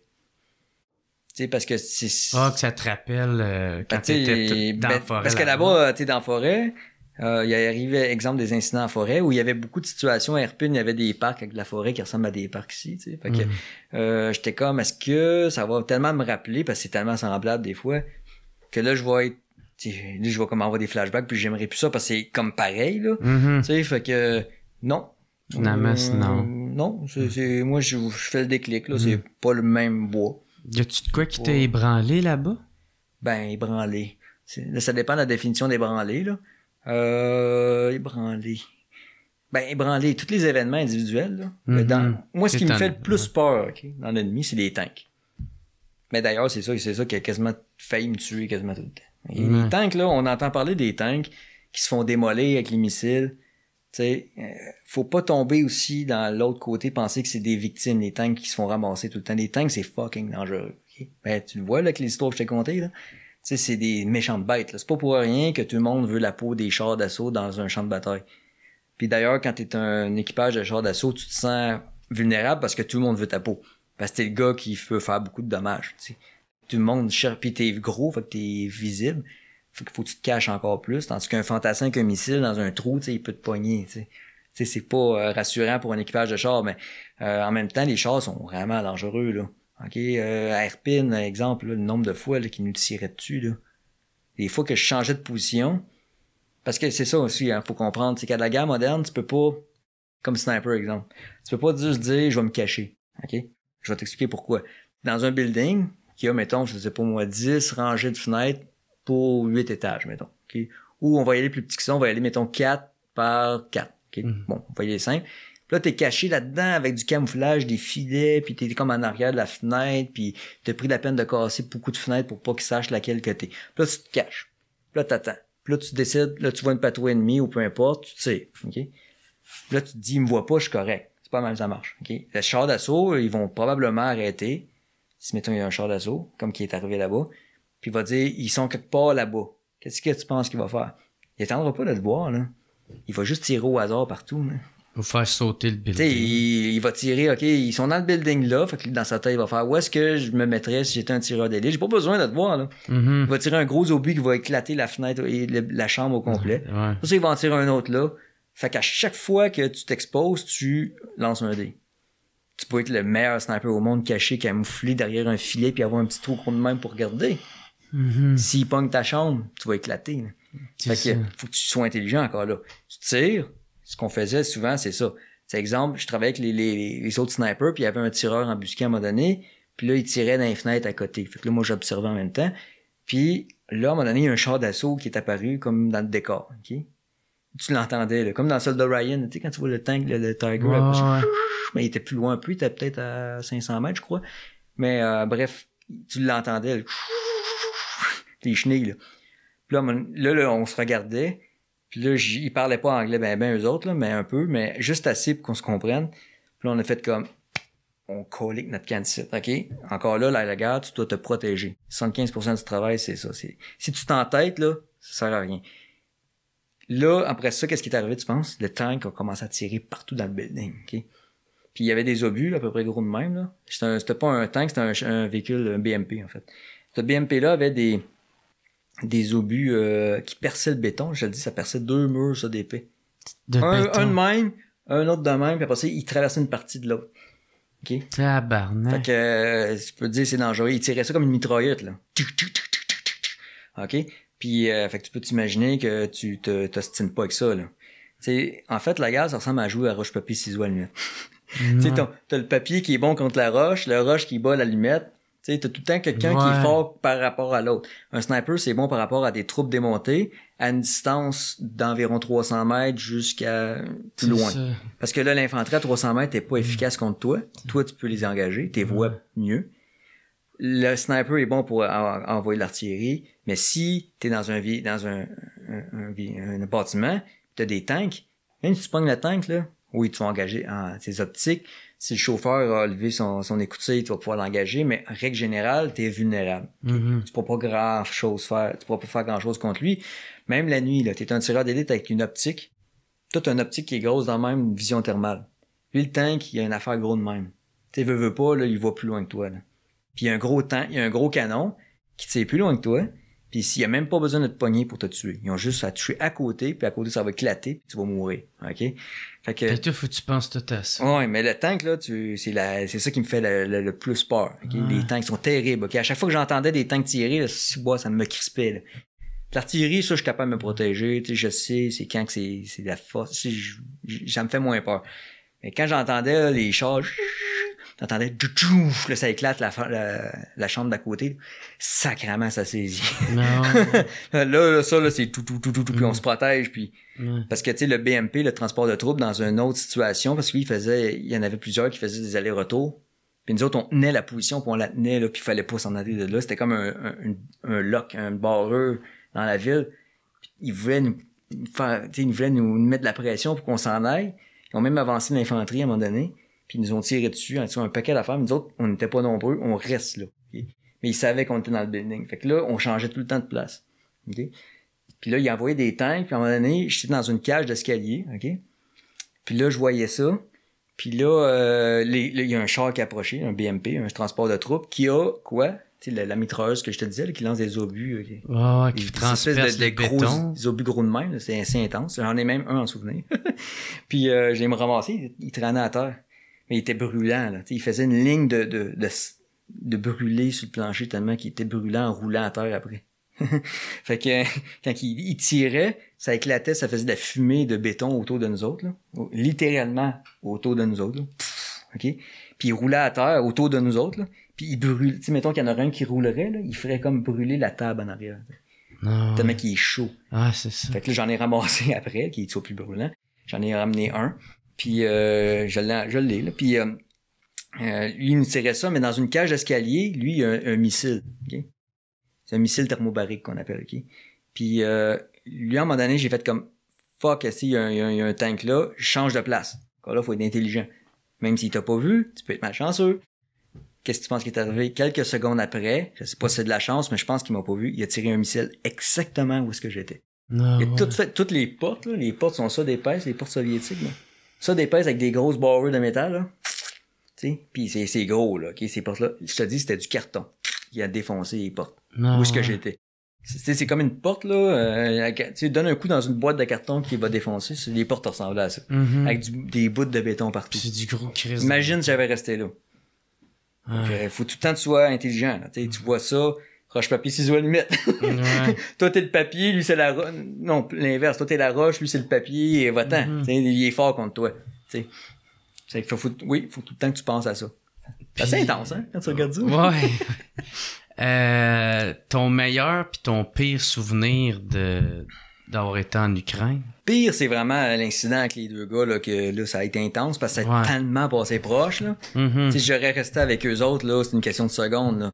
Tu sais, ça m'a frappé à quel point je suis comme, ça passe proche un temps, là. Tu sais, c'est une question de si j'avais pas eu de bons réflexes ou je l'aurais eu 10 secondes de plus tard, j'ai, Ouais. C'est comme euh, parler à quelqu'un, tu te retournes, puis un train qui passe là, à deux pieds de ta face. Là, tu, fais comme Ouh, bon, c'est proche. Mhm. en Kurdistan aussi, ça passait proche des situations de même. Afghanistan aussi. Mais euh, en tout cas, ça, en Ukraine, ça a été assez popé cette shot-là. Puis euh, le, un bon moment, un bon moment, ok, ben ça c'est en général, je trouve une excellente camaraderie euh, entre les soldats ukrainiens Ok. pas parfaite, il y a des tensions, etc. Mais en règle générale, ils sont ils savent leur genre de situation puis ils mettent de côté leur chicane souvent. Ils chicanent mais ils sont pas rancuniers. Puis tu vois beaucoup de tu t'arrives puis des poignées de main puis des sourires puis Ah, tu sais ouais. euh, on n'a pas ça nous autres, tu sais. Tu sais il y en a beaucoup d'exemples dans l'armée canadienne qui me critiquent. Tu à peu près à moitié fait. Ouais, pourquoi? Parce que tu parles Ben, de qu'est-ce que Tu regarde, euh, là-bas, là, c'est complètement imbécile penser de même, là. Tu sais, c'est, tu sais, t'es là pour aider. Tu sais, à un moment donné, je leur disais, est-ce que vous trouvez que j'en fais trop que les sorties médiatiques ou que, tu sais, je veux pas, tu sais, je Ouais, dis que c'est moi qui est bon là-dedans, tu sais. Moi, je mets l'accent sur vous autres, dire que vous êtes bons aussi, parce que c'est ça qui est vrai aussi.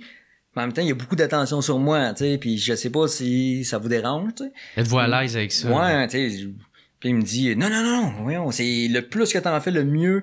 Puis on en veut, on aime ça, puis c'est parfait. Puis euh, ils sont, tu sais, ils voient une entrevue là, mettons là qui, a- qui a bien passé, mettons euh, avec, en, en Ukraine. Tu sais, ils vont arriver avec le téléphone, puis tu sais, hey, regarde ça, tu sais, il se passe, c'est que c'est hot, puis ils sont contents là. Ok. Ici, esprit négatif.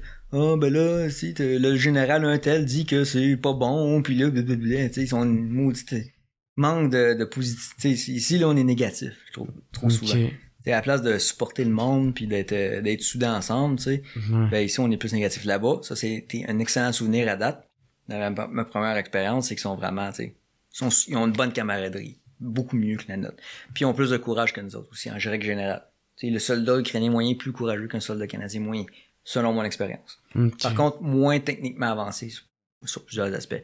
Mais sont vraiment courageux. Puis ils sont quand même techniquement compétents, là. C'est, c'est juste que c'est en, c'est en cours de se faire. Ils sont pas au même niveau, mais ça s'en vient. Puis une, une camaraderie quand même vraiment meilleure que la nôtre. Ben, je pense que j'ai pas mal tout posé mes questions, mon gars. Moi, je n'aurais d'autres, mais on va garder ça pour une autre fois parce que On est rendu à 3 heures. Puis j'aimerais ça, s'il veut, là, qui, qui vient euh, Shadow, là. Ouais, ben, il, il t'aime bien en partant. Ouais. Fait que là, euh, c'est sûr que ça va l'intéresser. C'est juste que là, il est retourné de suite. Euh, mais, tu sais, euh, on pourrait, ouais, Ok. l'inviter à avoir son, son point de vue. Un méchant bon Jack. Ben, Puis, il est pas parfait, il est pas parfait. pas, man. Il est, il pas parfait, mais c'est un Christy de bon Jack. Puis il était là quand ça comptait. Mhm. Et puis il s'est pas désisté, il a retourné à chaque fois. avec Ouais. moi. Il m'a suivi tout le long. là. Toutes les patrouilles que j'ai faites, je pense que une ou deux, je pense que j'ai faites sans lui. Euh, mais c'est tout, là. Et tu suivais. Ouais, il était là, puis il était volontaire, puis il a fait la bonne chose, il m'a écouté, il écoutait l'expérience. Ouais. Puis Luto, il t'a aidé. ben oui, certainement, il Il m'a t'a dit, eh, on décalisse. Ouais, à la fin, ben, tu vois, des fois, ça te prend quelqu'un de te rappeler le, le bon sens. Ah ouais. Parce que, tu faut se battre à la guerre en même temps. Hein. Faut être intelligent. Il dit, on crée notre camp d'ici. Ouais. Fait que quelque part dans une forêt ukrainienne, Shadow a dit, on crée notre camp d'ici. ok. Avec des tanks russes qui nous tiraient dessus. Hey, un énorme merci, mon gars, man. C'est crissement apprécié. Puis, ah, puis il y a un petit rappel sur le livre que je... Ouais, ben c'est ça, je voulais te donner le point en partant, mais c'est ça, s'il y a de quoi à plugger, j'imagine le monde, ils peuvent aller acheter ton livre. Ouais, puis Mission de tireur d'élite, il est récemment traduit en anglais en plus. là. Si jamais vous avez du monde qui vous le demande en anglais. Puis c'est où qu'ils peuvent trouver ça? Amazon, Renaud Bré, euh, tu peux demander à des, des, des, des boutiques, en, des libraires. Par contre, le système de distribution au Québec euh, de livres, là, fait dur. Là. C'est des monopoles, là, puis pas des monopoles, mais c'est une industrie un petit peu fermée puis un peu vieille. Fait que des fois, ça se peut que votre libraire ne puisse pas vous le fournir. Ou sinon, il l'a sur Amazon. Amazon, ou, euh, euh, Renaud Bré, ils l'ont. Archambault. Euh, puis sinon, il y a aussi euh, livrewally.com, livre avec un S. Mhm. Ok. Euh, que je mets mes liens, puis un paquet de choses. C'est. Puis j'ai mon blog torchépé.com. Ouais, c'est C'est ça. une page c'est- Facebook, mais j'essaie de me plus en mettre euh, sur mon autre blog. Parce que tu te fais souvent, euh, des fois... euh, Mais c'est parce que je peux plus rien dire sur Facebook. Là. c'est Ils ça. ont barré des posts, là, puis là, ouais. euh, dès que je dis guerre, ah, Ouais, faut pas... Ukraine, sais, guerre, là, J'exagère, là, mais c'est quasiment ça. Ben, ouais. Ça déplaît au monde, là, dire la- les, les choses Mhm. comme elles sont, puis sans filtre. Fait que- Ben, même ce podcast-là, je sais même pas si on va pouvoir le mettre. J'ai repensé, je sais même pas si on va pouvoir le mettre en ligne parce que ça, il risque d'être shadow ban. Fait que ça va être sûrement juste mes membres Patreon puis des, une coupe d'extraits que ouais, je sais va qui, pas tu mettre les extraits. qui est pas si pire que ça, là, tu va sais. falloir que tu coupes puis que t'enlèves euh, certaines parties peut-être, en tout cas, bref. Non, ben c'est parce que, tu sais, juste les mots Ben, tu peux guerre, pas le monétiser, mettons. C'est ça. Mm. Ou même pire, ils prennent même comme shadow ban. euh, ils vont euh, dire, ils vont même moins mettre de portée. C'est ça. Moi, j'ai reçu un message de Facebook à un moment donné. Euh, j'avais fait un post, puis ils m'ont dit, OK, votre- on est sur le bord de fermer ta page. C'est ça. Puis si t'avais pas grand-chose moi, d'informations. man, je viens d'avoir 50 000 abonnés, ça me tente pas d'en faire. Puis là, il me disait, euh, là, à cause de ça, ben là, on, on barre pas ta page, mais on limite la portée. C'est-à-dire que là, à place que là, on, le- on, on le met exposé à tout le monde, Mhm. ben là, le monde, tes abonnés vont moins, vont le voir en dernière ça. priorité. Ils descendent le. là, à cause de ça, ben là, mes likes ont baissé d'un coup. Ouais. Tu sais, c'est pas normal qu'ils peuvent se contrôler de même. C'est pour ça que je, je publie des fois moins sur Facebook. là. Je suis juste tanné de ces plateformes-là. Fait que je Ok. vais plus euh, avec mon blog, la torchépé.com. Mhm. Puis euh, c'est là que je vais mettre les nouvelles euh, pour d'autres euh, d'autres petits projets magiques. Ah, Ok, cool. Mm. Puis c'est ça. Puis il y a ton livre aussi. Là, esti. Euh, Wally, mission tireur d'élite, esti. Bien sûr. Fait que, gros merci, mon gars. Crissement apprécié. Ben oui, ça fait plaisir. Merci d'être revenu. Tu reviendras. Que- J'ai d'autres questions, là. Fait que tu Ah ouais? reviendras. Ok, parfait. Puis, euh, ben c'est ça. Fait qu'un gros merci. Merci tout le monde d'avoir écouté. Merci ceux qui ont toffé jusqu'à la fin. Trois heures. yes, sir, tout le monde. On se revoit la semaine prochaine. Ciao. Gros merci à Wally. Ciao tout le monde. It's the What's Up Podcast. What's Up Podcast. What's Up Podcast. Avec Jeremy Alain. Yeah, yeah, yeah, yeah, yeah, yeah. Poum, poum, poum, poum. Yeah.